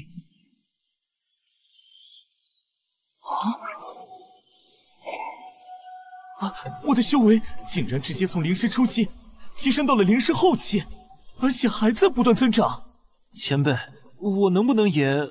我知道你在想什么，但他是因为有着妖族血脉，才能用这种吸收妖丹提升修为的方法。哼，当个妖族真好，我我竟然提升到了灵丹境界。你的资质不高，我为你提升的修为几乎是你的极限了。多谢前辈，晚辈自知不足，能有此机缘已是此生之幸。这块令牌你拿好，那些妖族灵丹修士见到此令牌就会明白了。还得提醒你一下，你如今境界不稳，切不可与他人随意斗法。多谢前辈，我一定会注意的。顾前辈，有什么要我做的？不用，你就留在尘霄宗内吧。顾前辈，我修为是所有人里最高的，你有什么事情尽管交给我就好了呀。你的身份太过敏感，万一被人认出来就麻烦了。放心，在你凝聚灵丹之时，我也会尽我所能帮助你的。啊，哎呀，原来我的如意算盘早被古云前辈看穿了。虽然你不能露面，但尘霄宗内的大小事务你要处理好。前辈不留在尘霄宗内吗？我还有其他事情要做。唉，这么多年过去了，店里的生意还是这么惨淡。若儿，你就跟我回明月宗去吧。张师姐。我必须要留在这等他，他会回来找我的。这都好几年过去了，宗内也无人再提及古云之事，他应该不会回来了。是吗？你怎么知道我不会回来了？你你是古云？古道友，没想到你竟然可以逃出明月宗，当真有几分能耐。还得多谢当年张道友的帮助，不知现在明月宗是否还在通缉我？你走之后，大长老突然消失，宗内一片混乱，慢慢也就把通缉你的事情忘记了。张道友，不瞒你说，此次归来，我打算重回明月宗。胡闹！现在掌控明月宗的人，以前都是大长老的熟人，他们怎么可能会轻易放过你？我有不得不回来的理由，在时机成熟之前，我会一直居住在这里的。有了神月老人的一番提点，这明月宗，我是一定要回来一探究竟的。你就不怕我告密？若是道友想告密，也不会等到今日。啊，我还有一个消息要告诉你，大长老已经死了。什么？大长老死了？嗯，就在一年多前，是我亲眼所见的。我若想正大光明的进入明月宗，似乎只能从内宗开始着手。张道友，你能否将我回来的消息转告苍前辈？说不定他会有兴趣见我。古云，你就这么肯定师尊会跟我一样帮你保守秘密？是的，苍前辈与你一样，都是我所信任之人。当年我遇到的人若是苍前辈，他一定也不会告发我的。这件事让我好好考虑一下。师尊正在闭关，我也未必能够随便见他。过几日再说吧。古云，啊，哎，多大的人了，怎么还这么粘人？你这么久才回来一次，我若是不看紧一些，你又该不见了。前辈，张师姐过来了。后面这位难道是苍长老？古云，短短几年的时间，你一直被通缉，宝物也不够充足。如此艰难的环境下，竟然还能突破到灵丹境界，当真让人惊讶。前辈谬赞了，若儿，你先去外面稍等片刻，我与苍长老叙叙旧。你也出去吧。是，师尊。古道友，你的问题我都会如实相告，但你要告诉我此行的目的，并上交一部分幻灵丹。苍长老果然快人快语啊！超级幻灵丹。我身上还有不少，你可以随时来找我取。这超级幻灵丹，一颗便要上千枚珊瑚，他竟就这样轻易拿出来了。说起来，若不是这超级幻灵丹，明月宗也不会变成如今这样。自从超级幻灵丹对修炼的好处暴露后，长老们便将整个宗内翻了一个底朝天。他们为了尽可能多的得到灵丹，甚至不惜对同门大打出手。整个明月宗都乱套了。古道友，宗内长老们对超级幻灵丹的渴望程度已近乎癫狂。若是他们知道你回来了，断然不会放过你的。只是超级幻灵丹吗？我原本以为前辈会因为大长老之死而来呢。这两者原因皆有。以我的炼丹技艺来看，你根本不可能制出超级幻灵丹这种丹药，必须得是灵尊境界之上的强者才能做到。如今。整个明月宗都对超级幻灵丹感兴趣，那我何不借金俊寿之力，以超级幻灵丹为筹码，重回明月宗呢？不错，这超级幻灵丹啊，的确是一名灵尊前辈所炼制的，而且这位前辈啊就在附近。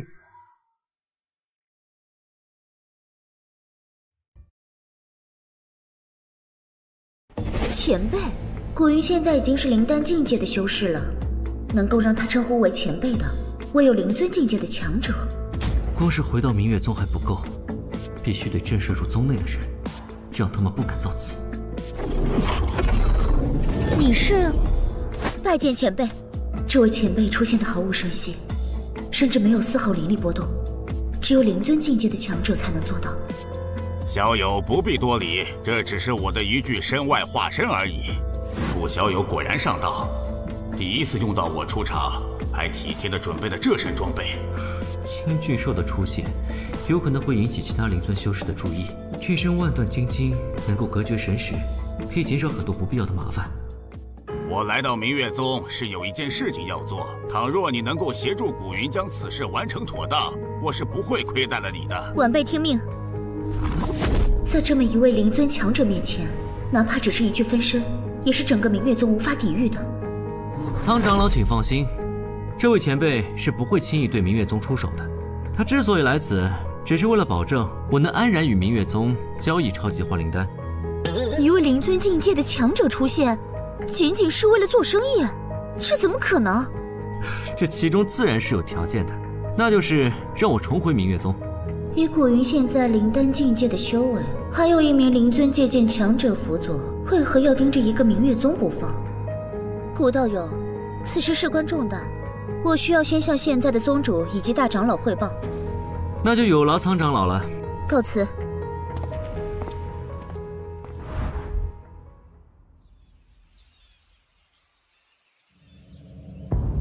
前辈，外面有一个叫张纯风的人来拜见你，让他进来吧。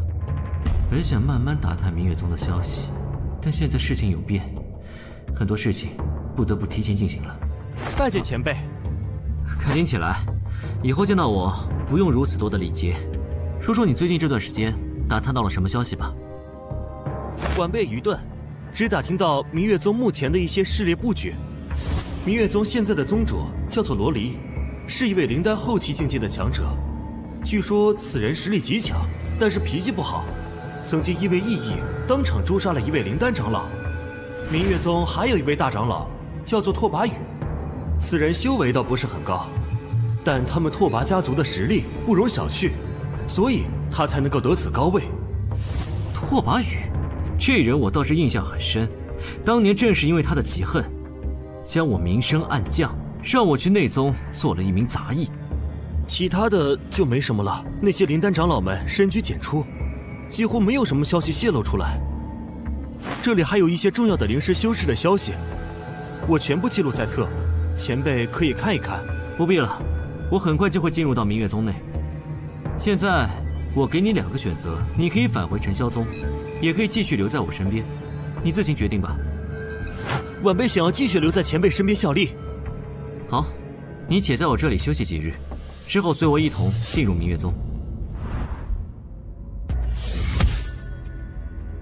经过上次的突变，这些海蚁吸纳灵力的速度越来越快了。瞬间就能将一株百年左右的灵木吞噬干净，海蚁群进化的方向越来越稳定了，只是比起我的期望，还是差了点距离啊！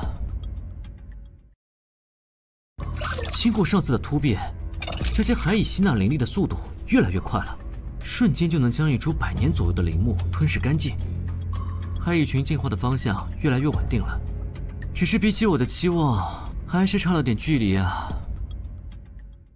前辈，张师姐带着好消息来了。啊！古前辈，晚辈奉明月宗宗主之命，前来邀请你前往明月宗商谈交易一事。这是邀请函。前辈怎么不接？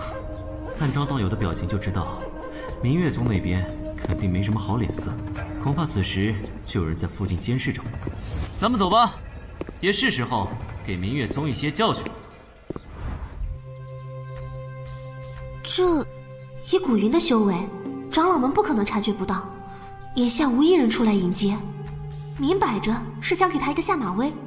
张道友，带我去你的院落。呃，好好的。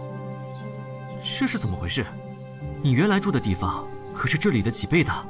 明月宗不比从前了，如今内宗弟子一家独大，豪华的院落全都分给拓跋家族的道友了。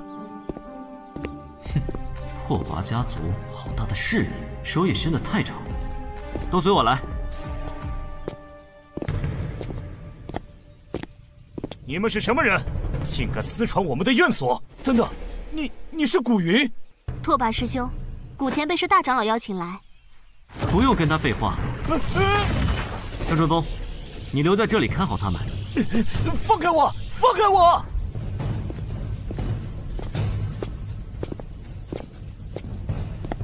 这道阵法非同一般，看上去是一道专门针对此地而构造的阵法。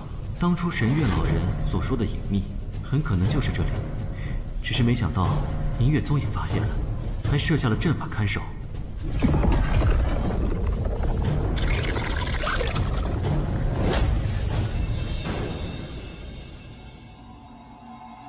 啊！怎么会有如此浓厚的神力？若儿。啊不对，阵法明明已经解除了，为何这些神力不向外涌出，反而执拗的留在池子里？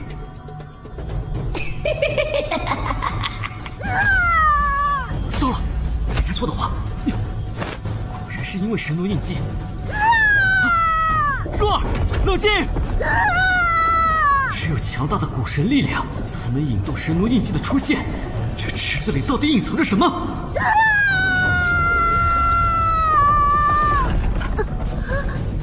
若儿，若儿，若儿，你没事吧？我在若儿体内，竟感受不到丝毫的神力涌动。刚刚她分明吸收了很多，都到哪里去了？古云，你好大的胆子，竟敢杀我拓跋家的人！古云，你从前好歹也是明月宗的人，怎可对同宗师弟如此狠心？他究竟怎么得罪你了？你就让人随便取了他的性命？张春风，我只是让你看好他，没让你把他给杀了吧？呃，前辈，此子方才一直不安分，还想暗中向外报信，我是不想误了前辈的行动，这才不慎错杀了。古云，你先把子子杀了，然后再给我一个说法，否则老夫与你不死不休！啊，前辈，我啊，这些都是灵丹后期的修士，前辈真的会为了我和他们起冲突吗？啊！区区几个拓跋家族之人，杀便杀了，你们又奈我何？所有人都给我听好了，你们若敢出手，有十个我便杀十个，有一百个便杀一百，若是有一千个，我便屠尽整个明月宗。才认识了没多久，前辈他竟然就愿意为了我而对抗整个明月宗。区区一个灵丹初期修士，也敢与整个明月宗抗衡，真是狂妄！古云说出这等狂言，我若是还想着旁观，恐怕整个拓跋家族都要看不起我了。哼！老夫今天便要看看你究竟有多少本事。这种时候还不忘作秀，如此浩荡的声势，是生怕别人不知道你的破绽在何处吗？死！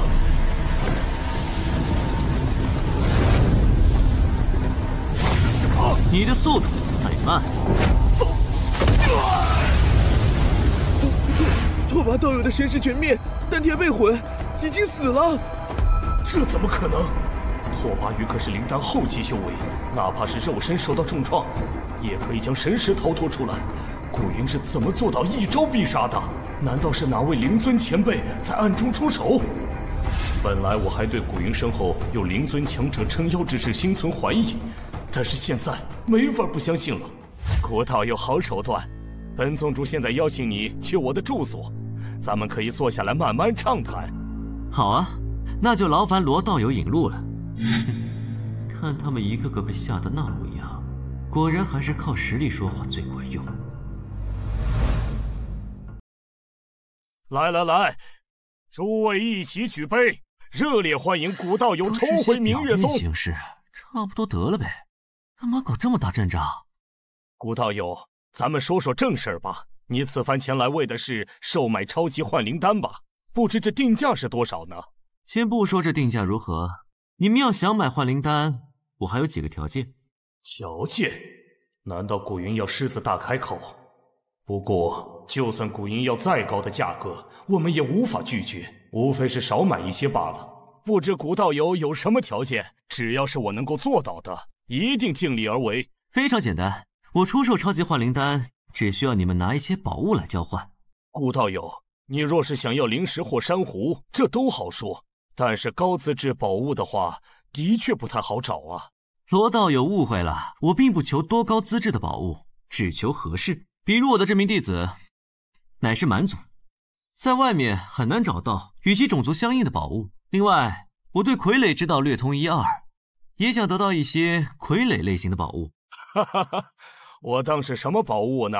明月宗最不缺的就是傀儡，你的这些条件我都能答应。罗道友大气，是是超级幻灵丹，这算是定金。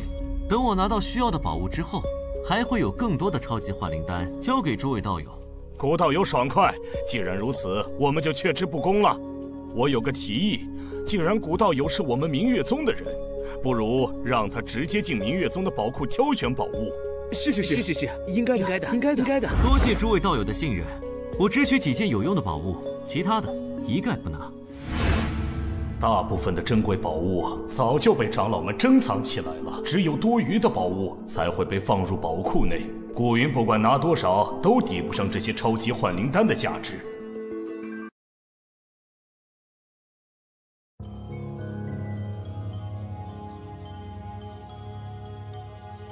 前辈，此处院落我已经清扫干净，之前住在这里的拓跋家族弟子的杂物也已经全部扔掉了，前辈可以直接住下。随意点就好，不用太费心思打理的。反正我也不会在这里停留太久。等查清楚我想知道的事情，我就会立刻去往别处。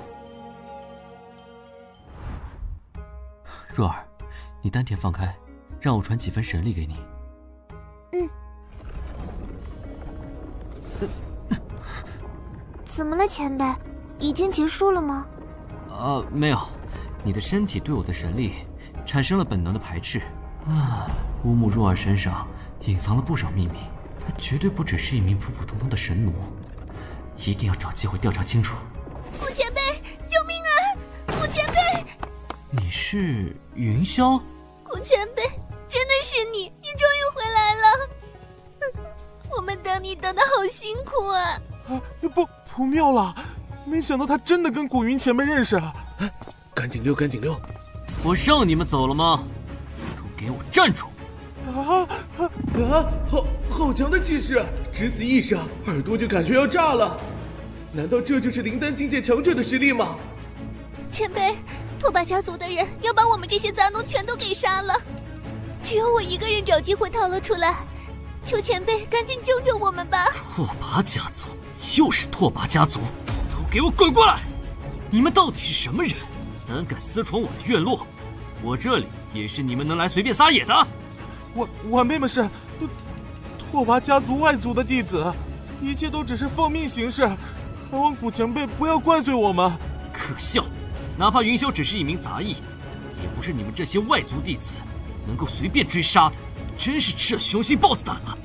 晚辈们知错了，晚辈们以后再也不敢了。还请前辈放我们一条生路吧。哼，这得看你们之后的表现了。说说吧，究竟为什么要抓他？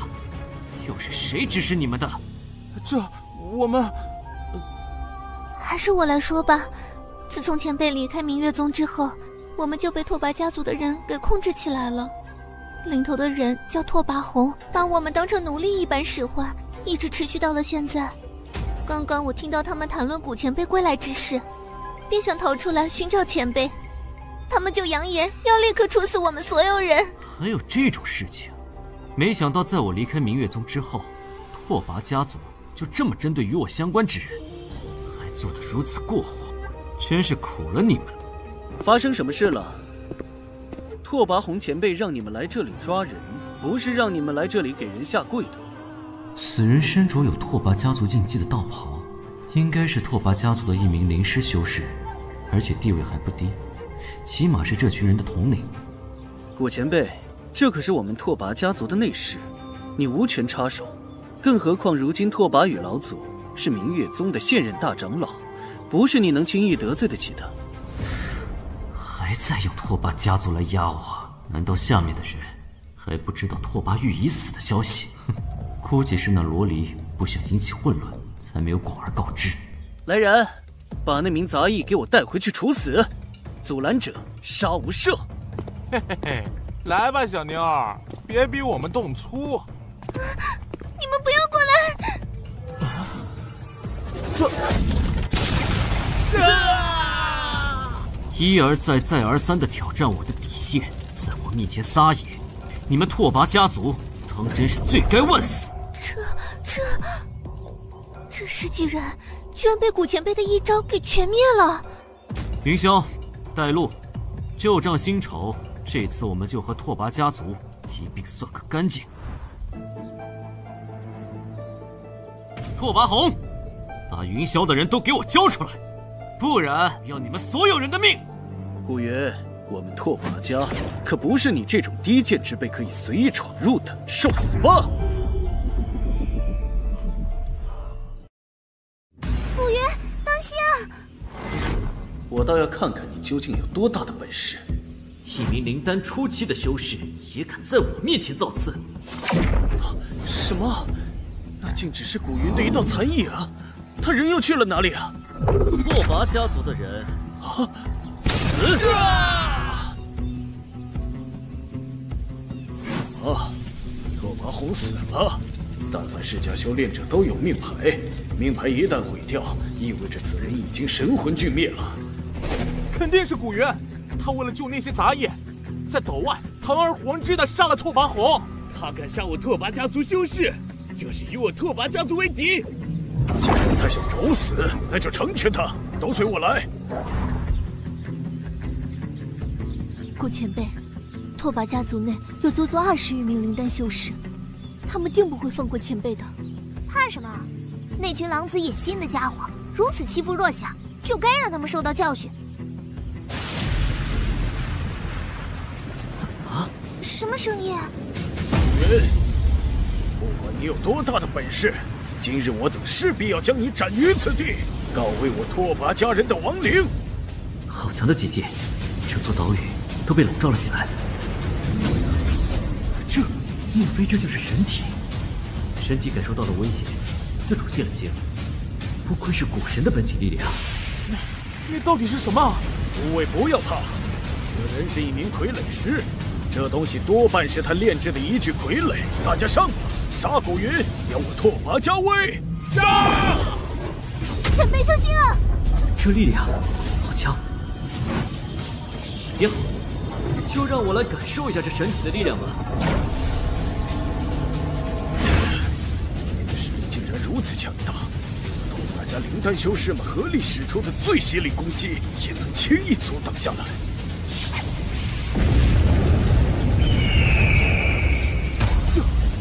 身中凤凰的精魄，怎么会出现在这里？怎么会这样？一名灵丹修士，竟然在古云的意境之下就这么死掉了！诸位族人，不反抗的话，今日肯定难逃一死。索性使出全力跟他拼了！这是魔种，而且这魔种似乎想要与我的血脉融合。不可能，魔种为什么对你没有效果？你不是人，绝对不是人类修士，你是个妖族。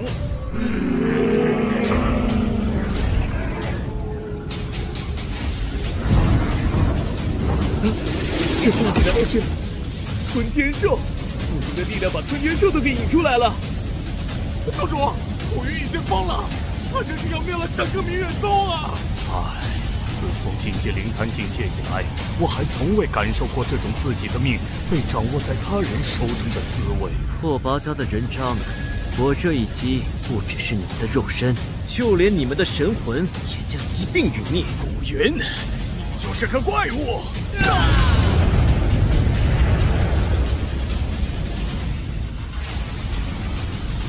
如今神体显现，我又炼化了这魔种，这些力量真正的与我融为了一体。以我现在的实力，哪怕是遇上灵尊修士，也有一战之力。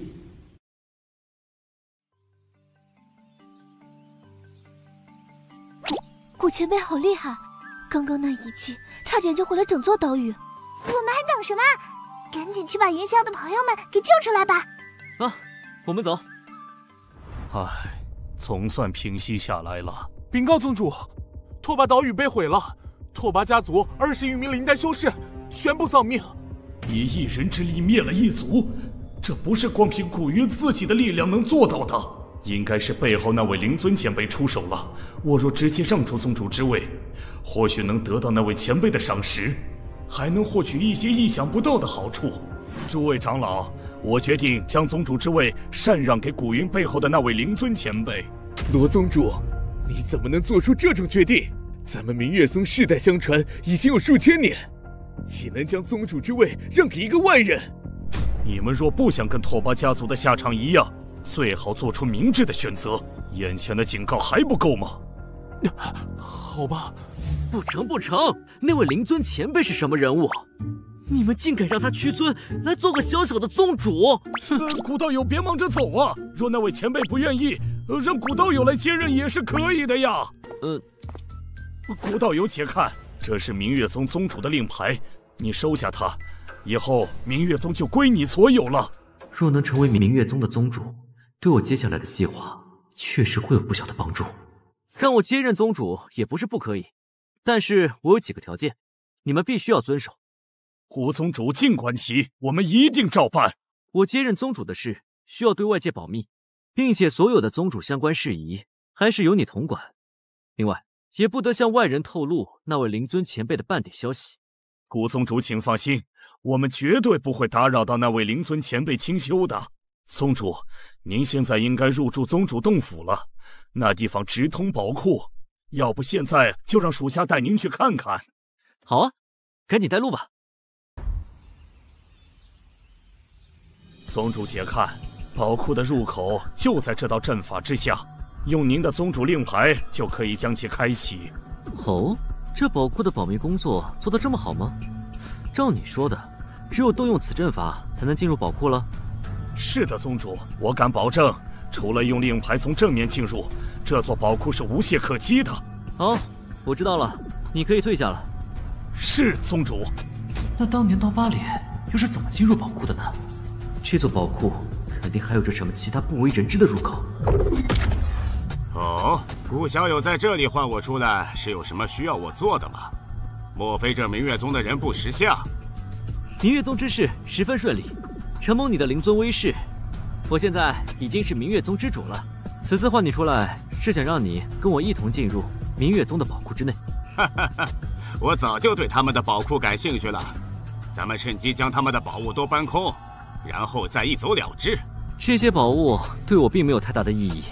前辈若是有什么感兴趣的东西，自取便是。开！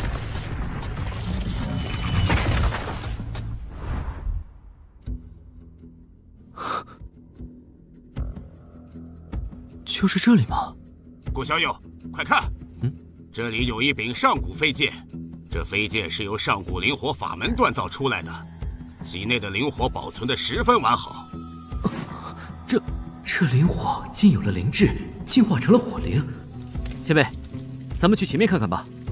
前面似乎有处别的传送法阵，这宝库内必定还有着许多更加隐秘的地方。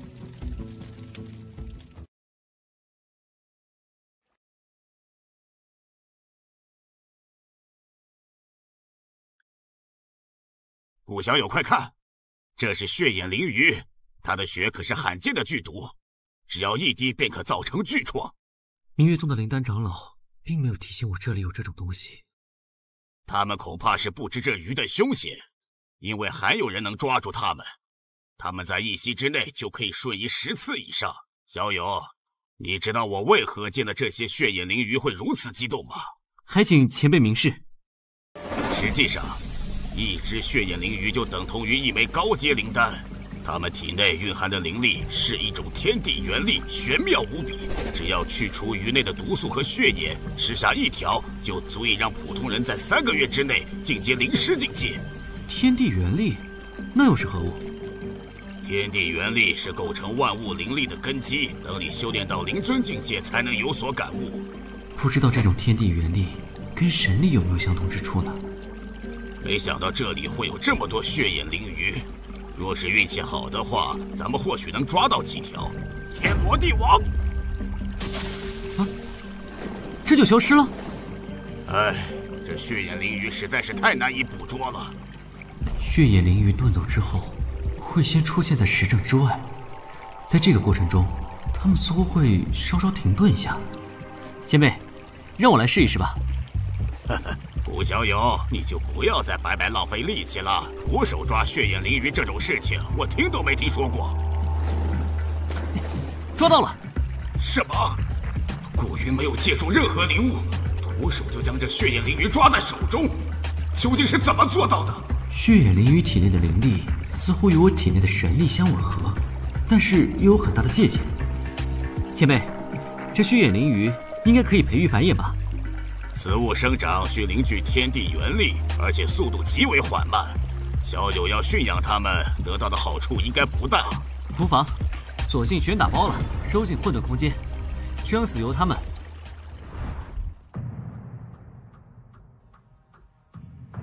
这间密室就不怎么样了，活像个杂物铺子。我感受到了一丝极为微弱的神力波动，在这边，神力气息。就是从这个小点之内流动出来的。若是强行破开，可能会导致其中所藏之物被损坏。先把这小鼎收入混沌空间，具体的之后再做打算吧。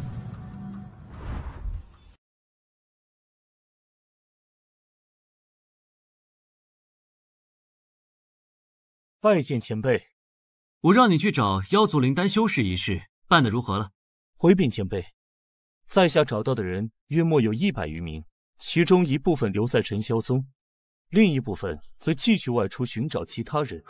竟然找到这么多人，这么多妖族灵丹修士汇聚于此，难免不会露出一些蛛丝马迹。